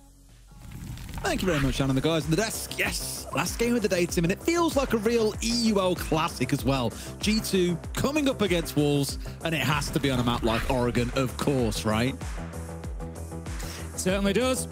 What better for a classic matchup than a classic map? And that is exactly what we are going to get. Um, I said this to you at the beginning of the day. I'll say it again now. I think this could be um, a real cracker. It wouldn't surprise me to see a little bit of overtime. It wouldn't surprise me to see these two, um, you know, bouncing back and forward. Maybe similar to what we had in the previous match with BDS and Virtus Pro, but just going the entire distance because these two at the minute, they're close to each other in terms of the league. They're on the same number of points. They just seem to be on very similar sort of stories at the minute in terms of, you know, a little bit of a lack of consistency here and there, maybe not always showing us their best and really needing to make sure that they hmm. get that playoff spot locked down, that they're not leaving themselves open to attack from those lower teams. So lots to play for for both of them. Mm, both played this map in the last three weeks. Mentioned, both won it as well. G2, probably the scariest stat to take into this game is they're 5 and 0 on this map in 2024. They love it. Equally, so do Wolves. Not quite the same sort of success record, but no doubt plenty of tape for both teams to have on each other coming in towards this game. And that might be why you're seeing things like the Grim ban coming out from G2. Not exactly a go-to standard ban. Occasionally creeps its way through, but just the overwhelming of the bees looking down in towards basement pillar. That's why you're seeing them, that ban come away. So I imagine, Tim, we're going to see a lot of things coming out here like the Ying really taking over the map, especially in the basement execute, which of course invites things like the Warden on the other side. So keep a close eye out for that little dance between those operators where they're playing in any of these given rounds. We'll see how things go because fans are done, Tim, and that means our last game of the day is about ready to start. Let's get things underway then. It's going to be G2 versus Wolves to wrap up what has been a fantastic evening of Siege. A little bit of both. Uh, teams being dominant in those first couple of games and then a real close affair between BDS and Virtus Pro sets us up nicely for what could prove to take the title of Game of the Day here if both of these two teams show up on Oregon. So we're going to kick things off with Wolves on the defense. It's going to be down in the basement. We've got P4 on the Warden. Probably going to be a fairly constant pick given that Ying is available. Obviously, the defenders don't know which attackers are going to be coming along, so you kind of got to just uh, pull the trigger on the Warden every time, I think, just to be sure. Warden's always considered quite a strong operator, to be fair. Even when you aren't seeing a Ying on board, you often see him brought along regardless, because when teams don't play, I mean, even with they're in play, you're seeing the exact same thing come out here. Look on G2's side of the screen, how many flashes they're bringing in this round. You don't need Candelas to full white screen people when you've got 12 flashes, of which you can basically throw four at the same time. They can be really overwhelming, and where I think we've seen a lot of success back at SI, and it leans in towards why G2 are currently our second best attacking team in EU, comes down to the use of things like these flashbangs. The problem is, Tim, they're coming up against the team with the highest defensive win rate overall in EU. That's at 80%. Wolves are no slouches at dealing with teams that can attack. So it's kind of one of those, Unstoppable forces, immovable objects. Who walks away? The loser, and Doki's posted up on two. Doki and Deadshot, no idea. Almost into a third as well, but not quite going to find his man. P4 should be able to slip away here. But my God, has Doki just taken a knife to the back of Wolves, Tim? Yeah, G2 really awake at the start of this one. We saw Alamo getting that early damage done onto um, the person peeking out of armory with Sindoki then doubling up and getting a couple of kills. Uh, and this is this is really strong stuff from G2 to kick things off. And straight away, Wolves find themselves with only three left alive, having to sort of haul up inside a site. And there's more than a minute 30 left to go. This is a long time to try and hold on, but there's not much else that Wolves can do. They can't be aggressive now. They can't really take the fight to G2. They're just going to have to wait um, and see what G2 bring to them on the attack. G2, meanwhile, have got all the time in the world to open hatches, to posture, and to make sure that they're in the right position before that final push. I mean, they couldn't really do much in general against the Decavian a Lion coming out, but the drop comes in. They found themselves two kills already. Uno's like, what the hell is going on? He can see nothing. The FNAT's really coming in clutch here, and suddenly, Tim, a 5v2 has gone down to a round loss. Oh, man. Wolves just snapping it shot on them for G2. As you said, Tim, they had a minute and a half to play with, but Hail Marying it through the hatch, and they pay the price. Yeah. Um, that happened. Hmm. Okay. Um, yeah. G two. I've got to. I've got to be critical there to say. You know, don't get me wrong. You know, sometimes a little bit of a push, a little bit of aggression, it wins. It. You know, it, it works. It gets you the round. But you've got a minute thirty. You're opening hatches. You've got drones. You've got utility. If they're playing behind all those things there, I just can't help but see that they win the round. You know, I can't see any other way that that goes. But instead, just dropping the hatch, it's like they didn't know there was somebody at pillar because Benja just dies immediately, of course, because there's somebody stood at pillar. And then the swing from the ward, and they just there was nobody then there able to trade it, nobody able to do anything. And I just think, you know, it's round one. It's not the end of the world, but just feels a little bit haphazard, a little bit silly from G2. And what really gets me is, again, we were speaking about the number of flashes they brought along in that round, designed to overwhelm. They had the Dokkaebi and the Lion for the roam to force Wolves back to sight, and of course they did wonderfully. They got those two entries, they had a minute and a half to play against two players. They had the whole world laid out before them, but just could not coordinate and close. Very perplexing. I can guarantee that the uh, group chat of all working on the show definitely lit up like a firework there as soon as that round went the way that it did. We'll see, of course, if fortunes can change here in round two. Starting things out, Bowley just clearing his way through a few drones. Not going to find himself a bit off the backside either as a result. So at least for now, playing a little more free. But do know that you're going to see G2 slowly enrapturing in here, closing in anyone that might be playing a bit too far out. Cheeky angle from Virtue. Not going to find his man. Going to really try to hard challenge onto that master door from behind the shield. Is going to give the position up, drop back into pit, and just play it from a slightly longer angle there, Mowgli. Keep Hmm. himself um, alive a little bit later. They don't want to be giving anything away. They were three versus five last time. They'll count themselves lucky to have won the round, I think, overall. And not for a G2 mistake. I think that might not have been the case. So Wolves this time not wanting to lose that entry death quite so quickly. Um, instead, we're going to have the pressure now being mounted by G2 as they manage to take over trophy, going in there behind flashes, and it's going to be tricky now for Wolves to play inside of pit. I'm really making use here with Virtue on the Deimos. Of course, he's not the go-to entry. He's not normally the guy you see charging and looking for kills. So here, it is much more about making use of the information game that comes out of the Deimos. The tried one, it failed onto the Mute initially. The second one to the Solid did Connect. And here, Ben just starting to work his way through. Has found himself one, Doki into another two. G2 starting to gain some ground here, Tim. Bibu does push forward though, looks to get aggressive. Manages to find one before dipping his way back into sight. Defuser is down, will be collected now. Leaves us three versus three, but it's dead shot to pick up Doki with a nice headshot. And this site is so defensible with three of you left, especially if you have the advantage. Alamau and Virtue, they're going to have to get something going. They're both kind of on the same side at the minute. Maybe it's a difficult one. Push separately, make them look opposite directions, but then you're not in a position to be able to impact on each other's deaths. It's not going to be an easy finish for them. 45 seconds, so they do at least have time on their side for now.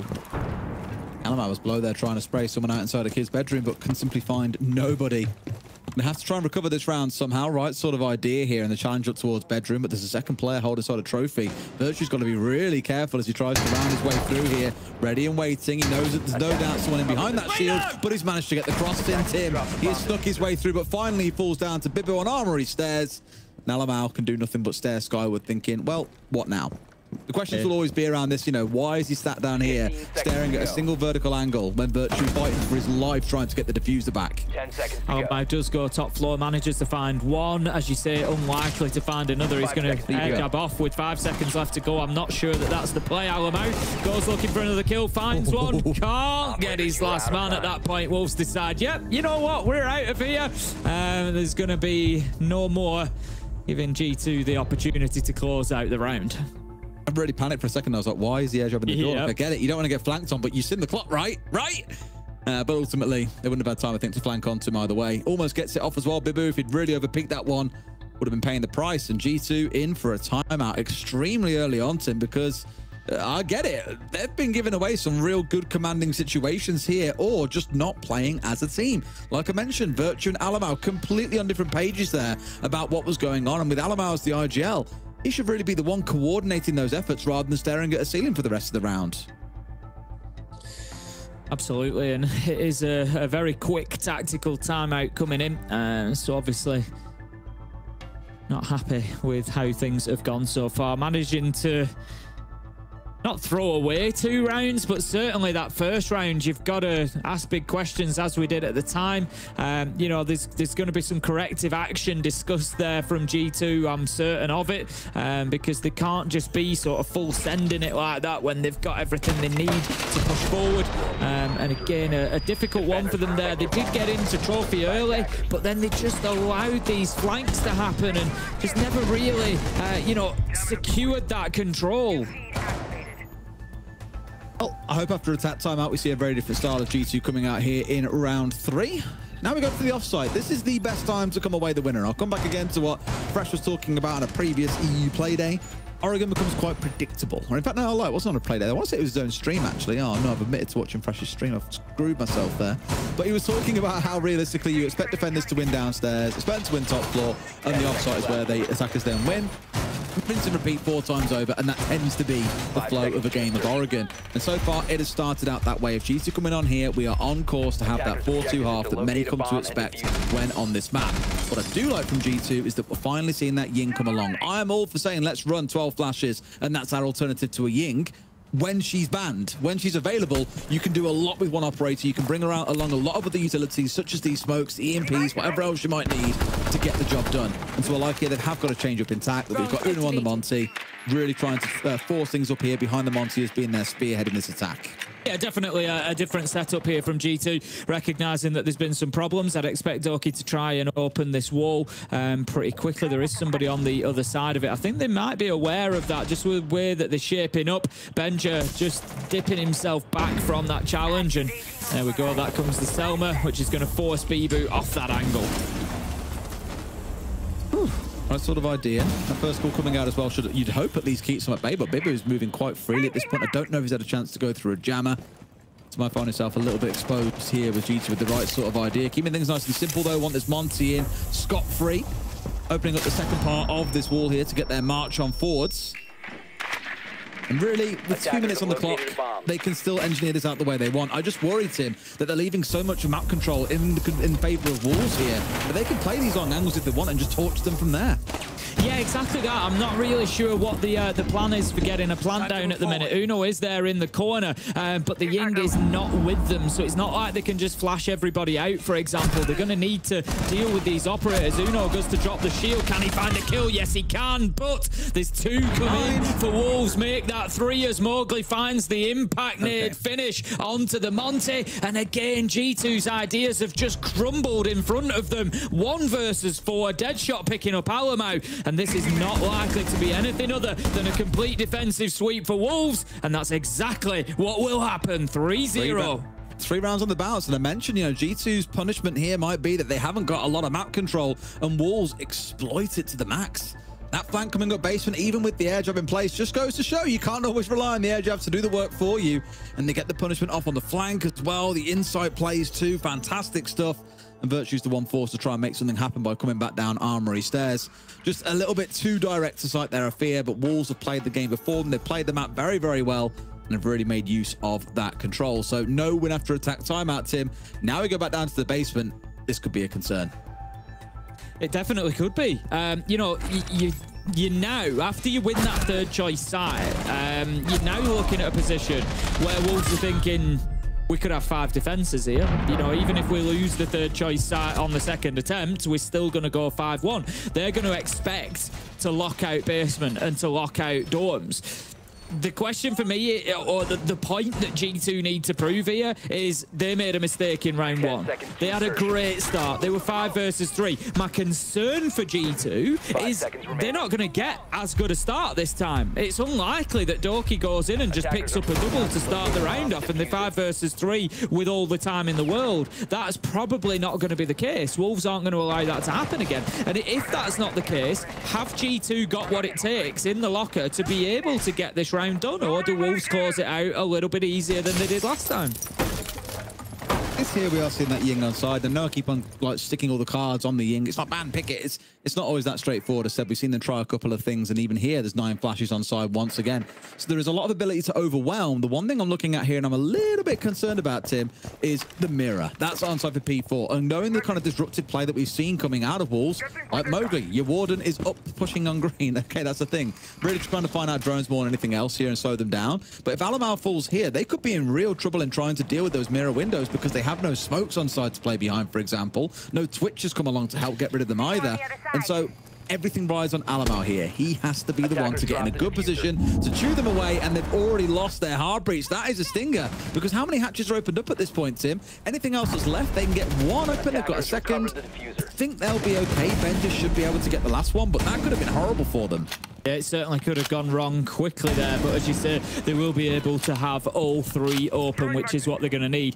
But we still can't ignore the fact that the entry kill has gone to Wolves. The manpower is now in their advantage. Basement is a, a tough site to take off defenders when they've got more men than you because you can't really use any verticals. You can't move them around other than coming down and fighting them laterally. And if they've got the man over, they can just hold more angles. They're going to take away the mirror, which is going to allow Alamau a little bit more freeze, uh, uh, freedom if he wants to get in there and play from that side. But 1 minute 15, Wolves, they've got themselves locked down at this point. They're just waiting for the storm to arrive.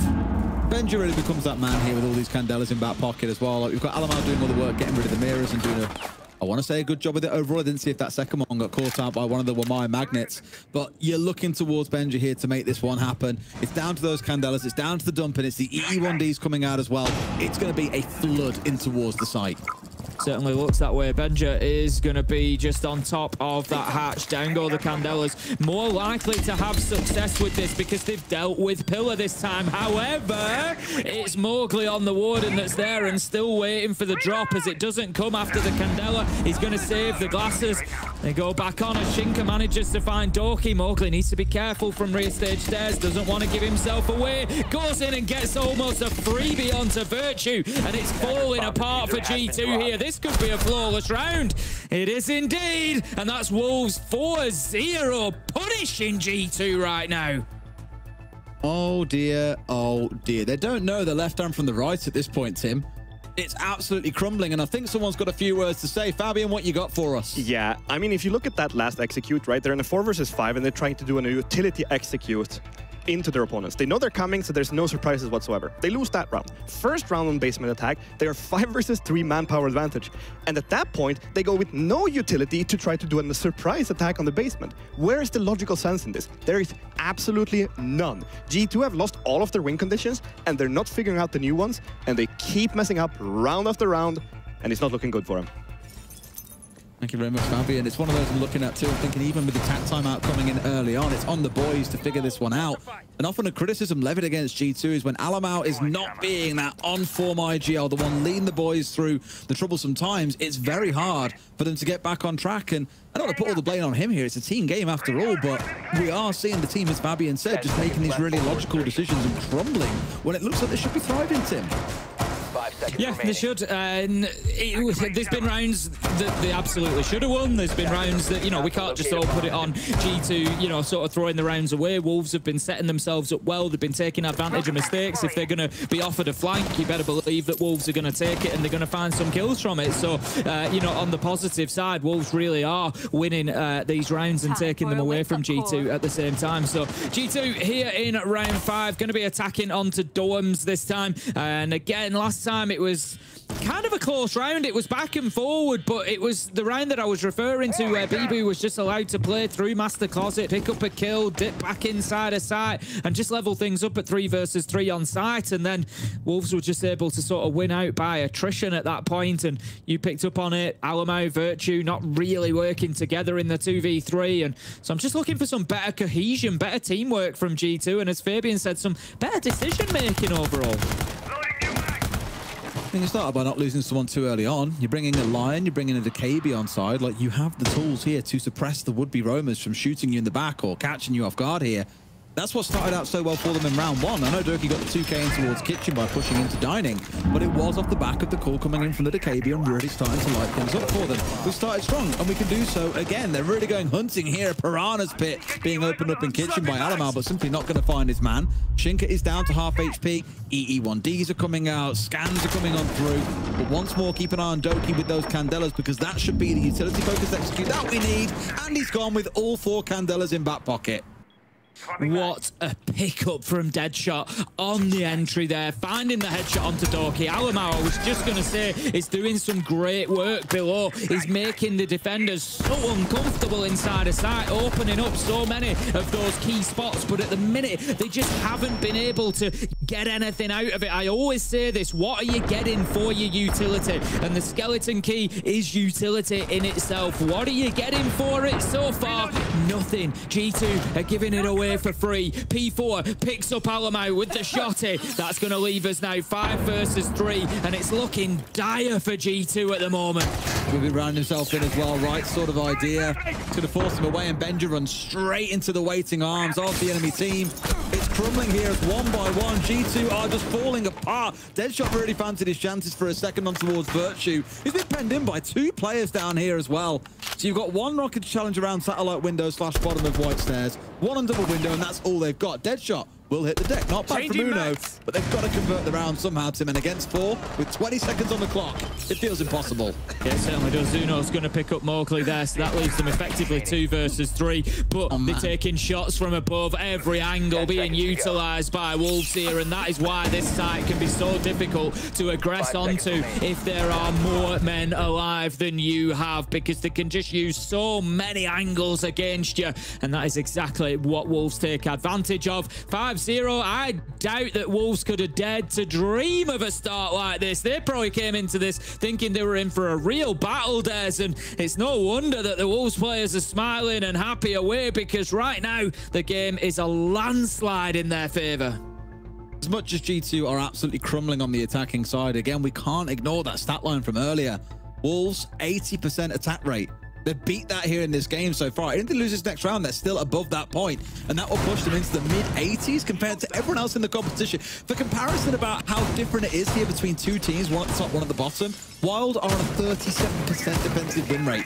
Bulls have more than doubled that. They are very, very good at defending in Rainbow Six Siege. On the attacking side, a few questions maybe to be asked, we'll see what happens on the second half. But with G2 this out of sorts right now, I think even when things uh, flip over, it could still be a very similar story. And dare I say it, Tim, we could be in for Wolves 7-0 over G2. 10 seconds remaining. Oh, we definitely could. Let's not get ahead of, ahead of ourselves just yet. There's two rounds for G2 to stop that from happening. But honestly, with the attacks that we've seen so far, I think it might be time for G2 to surrender, Des. You know what is a bit crazy? G2 have only got one game to play after this, and that's tomorrow. They have the last day of the stage off. They don't have a chance to get any points. They play against Wild tomorrow. They might have the playoffs off at this rate. Well, they will. That's it. As it currently stands, they are in seventh place and not making it to the playoffs because Fnatic won earlier on. Wolves, if they win this game, push themselves way up towards 11, for example. And G2's round difference is taking an absolute hammering in this game. Like, I cannot stress enough that although it's okay, it's a few rounds won, whatever, it's a write-off, it's three points. No, that round difference is the main tiebreaker, and it will mean a world of difference when it comes round to that final play day, regardless of where G2 might finish. They need something from this game, Tim. Otherwise, we have Manchester without G2, and Alamau's been caught fast asleep. Like, how does this even happen? What? Like, two players are pushing towards basement, hunted him down. He's had no idea it's coming, completely unsupported, and now he's down as well. This is a car crash for G2. I'd be interested to see um, who he'd been tracking at that time uh, and and where the sort of um, information was coming from because of course when Deimos tracks uh, an enemy player his location is given away as well. So it just shows again good comms good teamwork um, from Wolves. It may well be that Deadshot was the one being hunted. It may not. He may well have been getting fed that information from another. This is just it's, it's turning into men against boys. There's, there's, there's not even any any contest in a lot of these gunfights. You know, Wolves are just popping up from all over the place, taking absolute freebies one, one, after another. And Deadshot's going to have another. He could well find himself Oh. two. He does get closed down, but it doesn't matter because he just beats him into a double nitro from Mowgli. 6-0. Wolves already on map point. It just feels like they've got eyes in every single wall there, Wolves. Starting down in the basement finding Alamau, the double C4 at the end, just everything was orchestrated so ridiculously well. What a half that's been. Six rounds in a row. I know it's Oregon. I know it's the defensive side, but against a team like G2, again, second best attacking team in all of EUL right now, they have absolutely crumbled before the French side. I think G2 will get a few rounds here on the defense. Do I think they're going to get a six? Do I think they're going to get a six in a row? Absolutely not. No chance. Um, you know, I, I'll write it off now, and I will eat my words. I, I will watch the clips me, back of me saying that if G2 run it all the way back in. With the way that they've played so far, and this, I don't say that because of the score. I say it because of the way that G2 have played. They have made so many fundamental mistakes, so many silly decisions that I would be astounded if they are able to turn it round into a flawless defensive half. Are they capable of getting some rounds? Of course they are. They have to take one at a time at the minute. But are they capable of running six back to back with the way things have been so far? I'm not sure that that is going to be the case. Just bonkers. Uh, honestly, I expect them to get absolutely cheese the pants off here in this round. Looking at it, yeah, it's in the basement. Ying on side, Capitao on side. In case of Zamira, we've got a Twitch as well. They've just got everything they need to feel to deal with this round. They can get rid of all the Goyos early on, then get rid of the F-Nats, for example.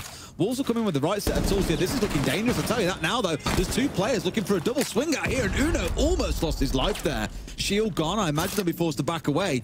But at this point, G2, they don't want any of that smoke, Tim. They've backed off. No, I like that G2 have read into the possibility um, of Wolves being 6-0 up and thinking bring a shield, brute force into elbow and just like you say, try and cheese the round. I like they've read into that and they've brought the utility uh, to challenge it. It's something that we used to see in, in LATAM back in, I'm talking 2020 when I was casting um, at the back end there. It used to be Cyber at the time. Always used to play the Tachanka, the old Tachanka with the turret, but he'd put the shield there on the door, put the turret behind it, and he'd just hold anybody out of bunker. Um, so, you know, to see Alamau involved in bringing that along, getting the shield on the bunker there is not too much of a surprise. It's from his home region that we used to see it years ago, and it's done its job. It's really backed Wolves off. Got rid of the shield and just thought, you know what, we'll leave this one. It's not worth trying to crack it with the utility that we've got. Instead, putting their efforts into the rest of the map, getting all these hatches opened up, for example, making sure there are no roamers around. They've done the right sort of thing because there are none left here, chewing through barbed wire, for example. Again, making sure that site is as ready for them as can be. The key one for me is Deadshot. He's only just thrown out his shock drone, mind you, and that needs to be getting out on the field here and looking to get rid of as many of those Goyo canisters as possible. And that's going to be two of them gone as the Rotero drone goes down and claims both of them inside a freezer. We also see the main lobby as well. One left to go. That will be taken down. So the path is clear for Wolves at least. The majority of utility has gone. The one thing they don't have so far, Des, is kills. They haven't managed to find anybody yet. 55 seconds left to go, and that could prove a real sticking point for them. I really don't think they're going to care, Tim. They've done all the setup of their balls they need to. They've got rid of bulletproofs, barbed wires, shields, Goyo canisters. They've chewed through as much as they can, including trying to get rid of those wire magnets as well. So here they can start trying to just dump utility in, working their way through. This could be massive for them, but the drop behind them is going to be the big one. Watch Deadshot at the top of the screen here with Mowgli. In they come. Mowgli hits the deck. Deadshot hits the deck. They've cleaned them up at this point, Tim. They've held on well. Only one left standing, and G2 are going to hold on for a flawless round. It was all about that drop, and they read them like a book. Yep, G2 were well prepared for that. They got themselves set up despite all the utility being cleared. They knew what was going to come and they were able to get the job done flawlessly. And I mean, what a difference. What a difference between G2 on defense and G2 on attack that we have just seen. They just looked calm. They made good decisions. They read into what Wolves was going to do. And all of a sudden, they look like the G2 that we expected to play into this game. I'll stand by what I said. Are they going to win six rounds back to back? I don't think that's going to be the case. But come and prove me wrong. Get it. Uh, get another one and another one and another one. Third choice site. This is a gamble. Ugh. Okay. All right. yes. Very apt. Never surrender, boys. You've only got five more rounds to go. It's a big climb to keep things going, but we're trying the offsite here now. This is a spicy one. I'm not really opposed to trying something a little bit different and mixing things up. You'll have to play the sites at some point, no doubt, but rather than playing off towards meeting that it feels has been growing in popularity, it's off towards this dining side. Instead, Tim, feel like I haven't seen the classic execute on here for a while. I'm thinking about Thermite up, for example, in Small Tower, getting things opened up. But Wolves aren't even bother with that. Instead, got themselves a very different style of setup coming in here. Instead, the only R breach coming along is going to be that ace. There's going to be uh, a fight over top floor, I would expect, uh, given the lineup, particularly the book on side. Try and get P4 in there, working through kids' dorms and dorms, opening up the ceiling above, force them out of kitchen, maybe go for a little plant on kitchen to meeting wall, maybe go for a little plant on kitchen door, rather than trying to play it into dining. It's all going to depend whether they can get that top floor control or not. They don't have any hard breach at all, so if I was going to say if Attic's been reinforced, they won't be able to get in through there. It hasn't, so that is at least going to give them a method of ingress to get in towards pit and be able to start pressuring these top four players. Now at least Mowgli's found himself dug downstairs, and if they at least managed for now, seeing one slip through. I think it's Uno dancing his way around here as well. Has to be careful at this point, because I don't think he realized there was a player still hanging in behind him. Of course, they'll have a good idea where he was with the phone call ringing out off the back of it, but in a spot here we could get pinched unless he wants to drop away, and drop away he shall. Back down into the basement. Now, where does he reappear? Multiple sets of stairs to work on through. It looks like it'll be Freezer up towards Zulu. Maybe wants to try and catch someone here out towards the backside of things. Right idea. But can they find anyone? Oh, oh Mowgli oh, almost found one, but he misses the shots. Finally manages to find Benja as he rounds in towards Zulu. G G2 trying to play with a bit too much freedom, Tim. Yeah, I'd like... Oh, there we go. Mowgli's going to be taken down in the trade. Alamau picks him up. Shinka still on board. One Selma used, but they're going to need more because they need to clear out meeting. They need to get themselves into a position to be able to plant, and that might mean just opening that wall up. It isn't reinforced between kitchen and meeting, but it's the rear stage wall particularly that they might want to take down. Doki gives himself away. P4 is going to pick up the kill. Big advantage here for Wolves, and they're looking to get this close, but they still haven't won that fight over top floor. I don't really understand why G2 are so locked into this. They're so keen to come swinging in, and Wolves are like, hey, you're not defending top floor fully. You've got a reinforcement set up downstairs. Sure, that means top floor's a bit easier to cut through like Swiss cheese, Tim, and they've picked them off one at a time.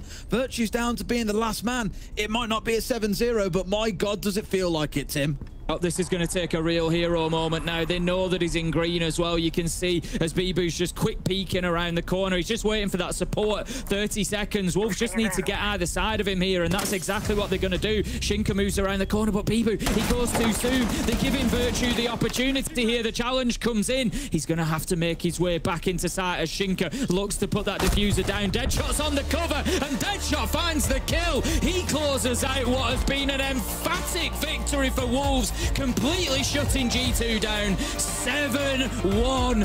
What a result for the French side. And a sorely wanted one by them. That puts them straight up into third place here, jumping ahead of Team Secret.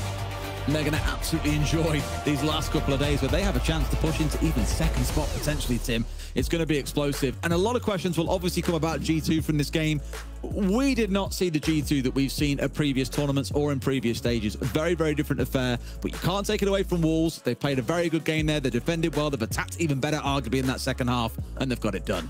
Absolutely, they've smashed them to pieces. There's no other way of putting it. Wolves have come in with a game plan. It's worked perfectly, and G2 have helped them out by making some bad decisions along the way and, you know, not really utilising everything they've got in their hands. Um, but yeah, a great night for Wolves. They're going to be very happy with that, I've no doubt. They will have expected a tougher game. It didn't come for them, but 7-1, what a result. I imagine there's going to be a host and two ex-G2 members of staff that are going to be scathing on the desk. Let's go over to them now and get their thoughts. Thank you so much, Ace and Des, for all the casting today, of course, as well. You know, three times Clubhouse, not necessarily easy, um, but you made it easy to listen to for sure. Yes, Wolves, back-to-back seven ones for them. Absolutely amazing.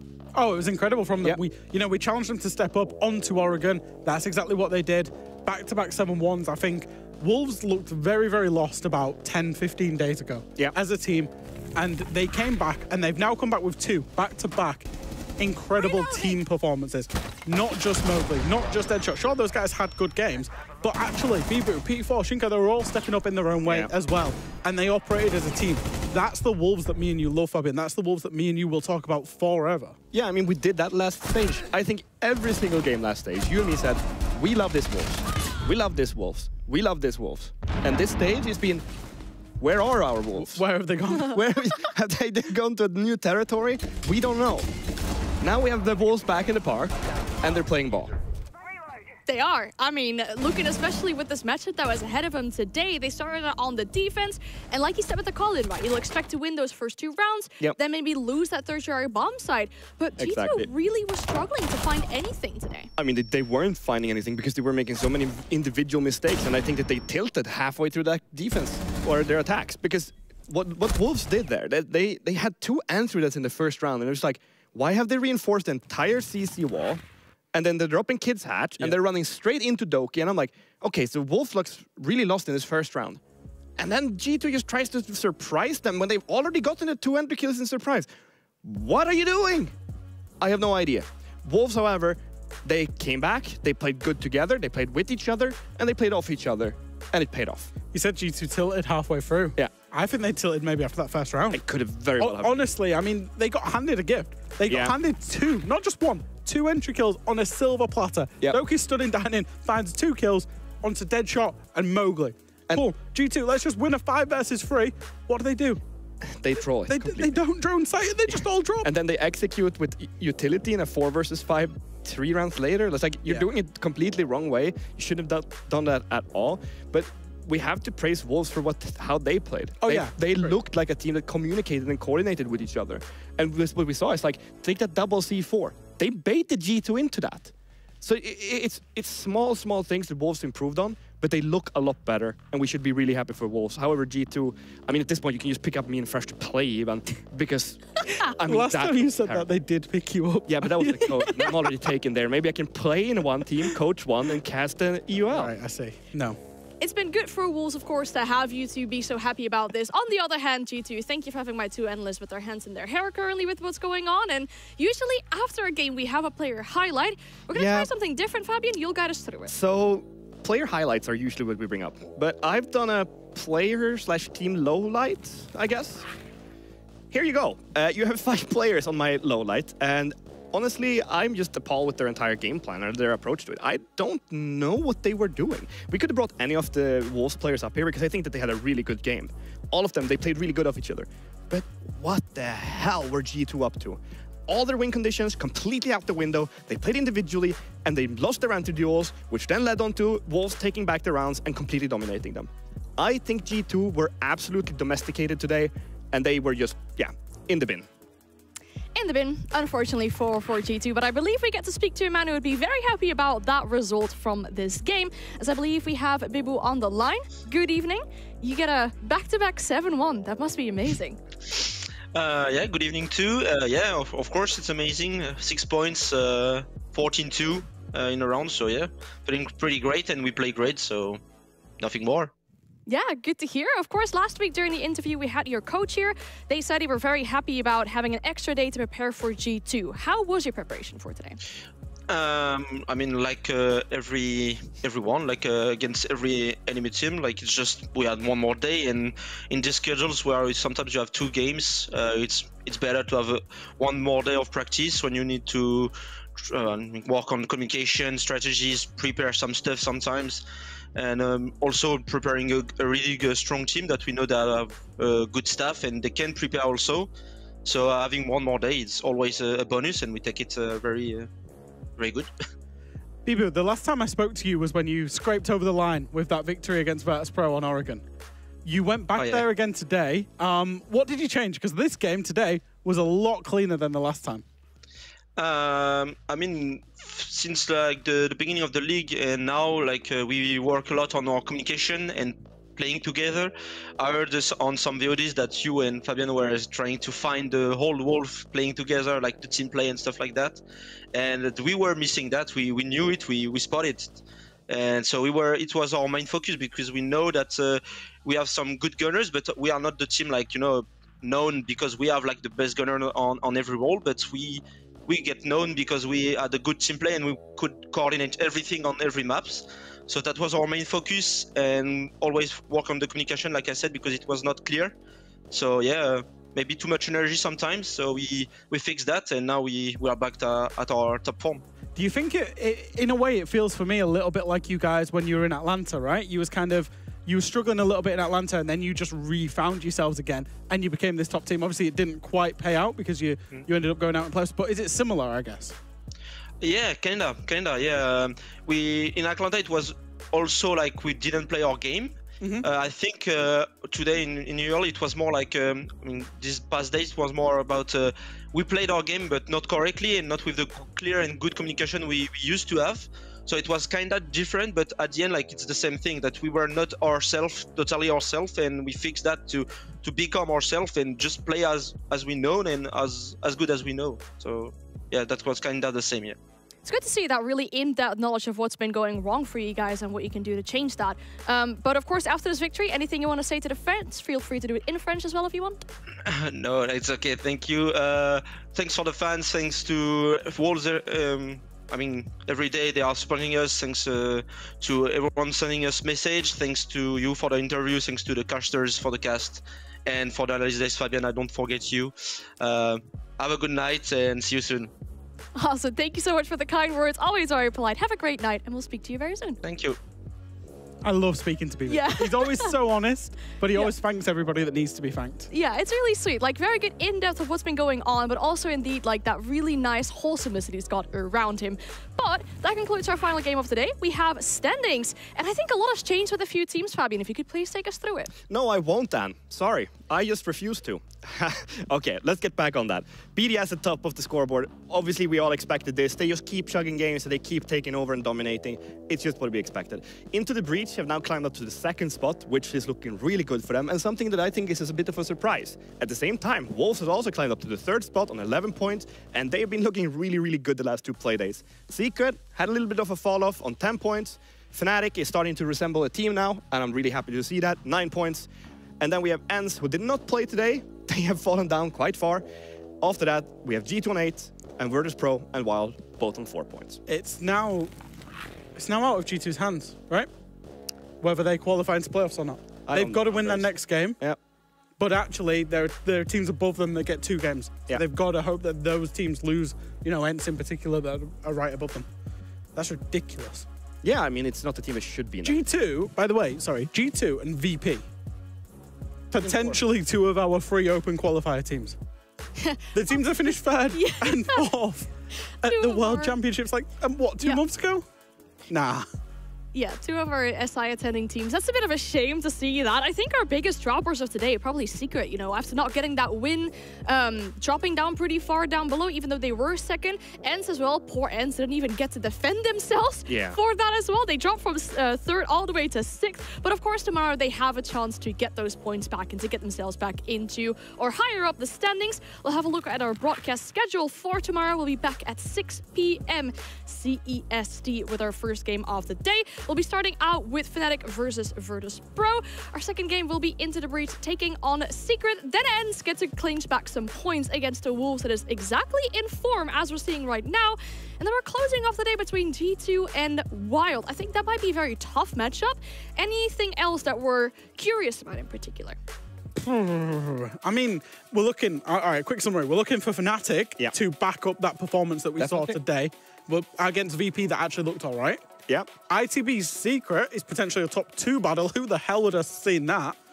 Nobody before this stage. ENCE started. Wolves. ENCE have been like better against the French teams. They beat BDS. They're against another French team. It's the smallest brother against the middle brother. And then the bottom of the league. Yeah, I mean, battle it- that's literally a G2 low off. We don't need to talk about that. wow. I mean, like I said, G2 have to win it. Yeah, I mean, I mean, uh, they potentially couldn't. I mean, the, the, there are some clear things you can do against Wild. For example, ban the Monte. If they don't do that, and then they go to a map where Monte has big impact, I wouldn't be surprised if they somehow manage to lose it. I'm, uh, I'm gonna call the newspapers right now. Fabian said something bad about G2 after he put them that high on his power ranking. That's crazy. Honestly, if, if I could read your power ranking, Oh, go on, Fabian. Aw. Talk us. So me and Anna are sitting pretty. 'cause No, we've no, kind okay, of got. I see we, what it we, is. We're more or less the same. Me and Anna, Oh, no, exactly I the know same. what it is. Talk Look, through your power ranking. Look, our producer Tommy, he's mistaken that seven for uh, it was a one. Oh. Yeah. You gave G2 Oh, a 1.4. Yeah, I gave Okay. G2 a 1.4. It was Fnatic Oh. of uh, a five instead of an eight. Yeah, you know, well. this is a production error. You guys can look away from this. Honestly, it's, it's all them. Anything you'd like to add to that for today? Of course, it's just saw our power rankings. Uh, like you said, we're doing pretty decent. I think we're pre- sitting pretty Yeah, solid. me and Anna laughed. Can we just go back Sorry, now and w- see? this yeah. this is like winner's corner over Yeah. here. That's loser's corner over there. all right, you, you you want me to just take off my headset and leave? Yep. All right, see you see you tomorrow, guys. Right. We'll See finish the show from here. Yeah, cool. Right, great. It was awesome having you on today. Thank you so much for all the wonderful analysis. And now you, you feeling today? You happy? Yeah, I'm very happy, Anne. I'm very happy. Um, today was great. Fabian got his power rankings wrong. G2 lost. He's, he's, he's about to literally go and cry in the club right now. We saw a lot of clubhouse today. Didn't see any good maps. EWL teams, right? Tomorrow, Nighthaven Labs only. All four, please. Yes.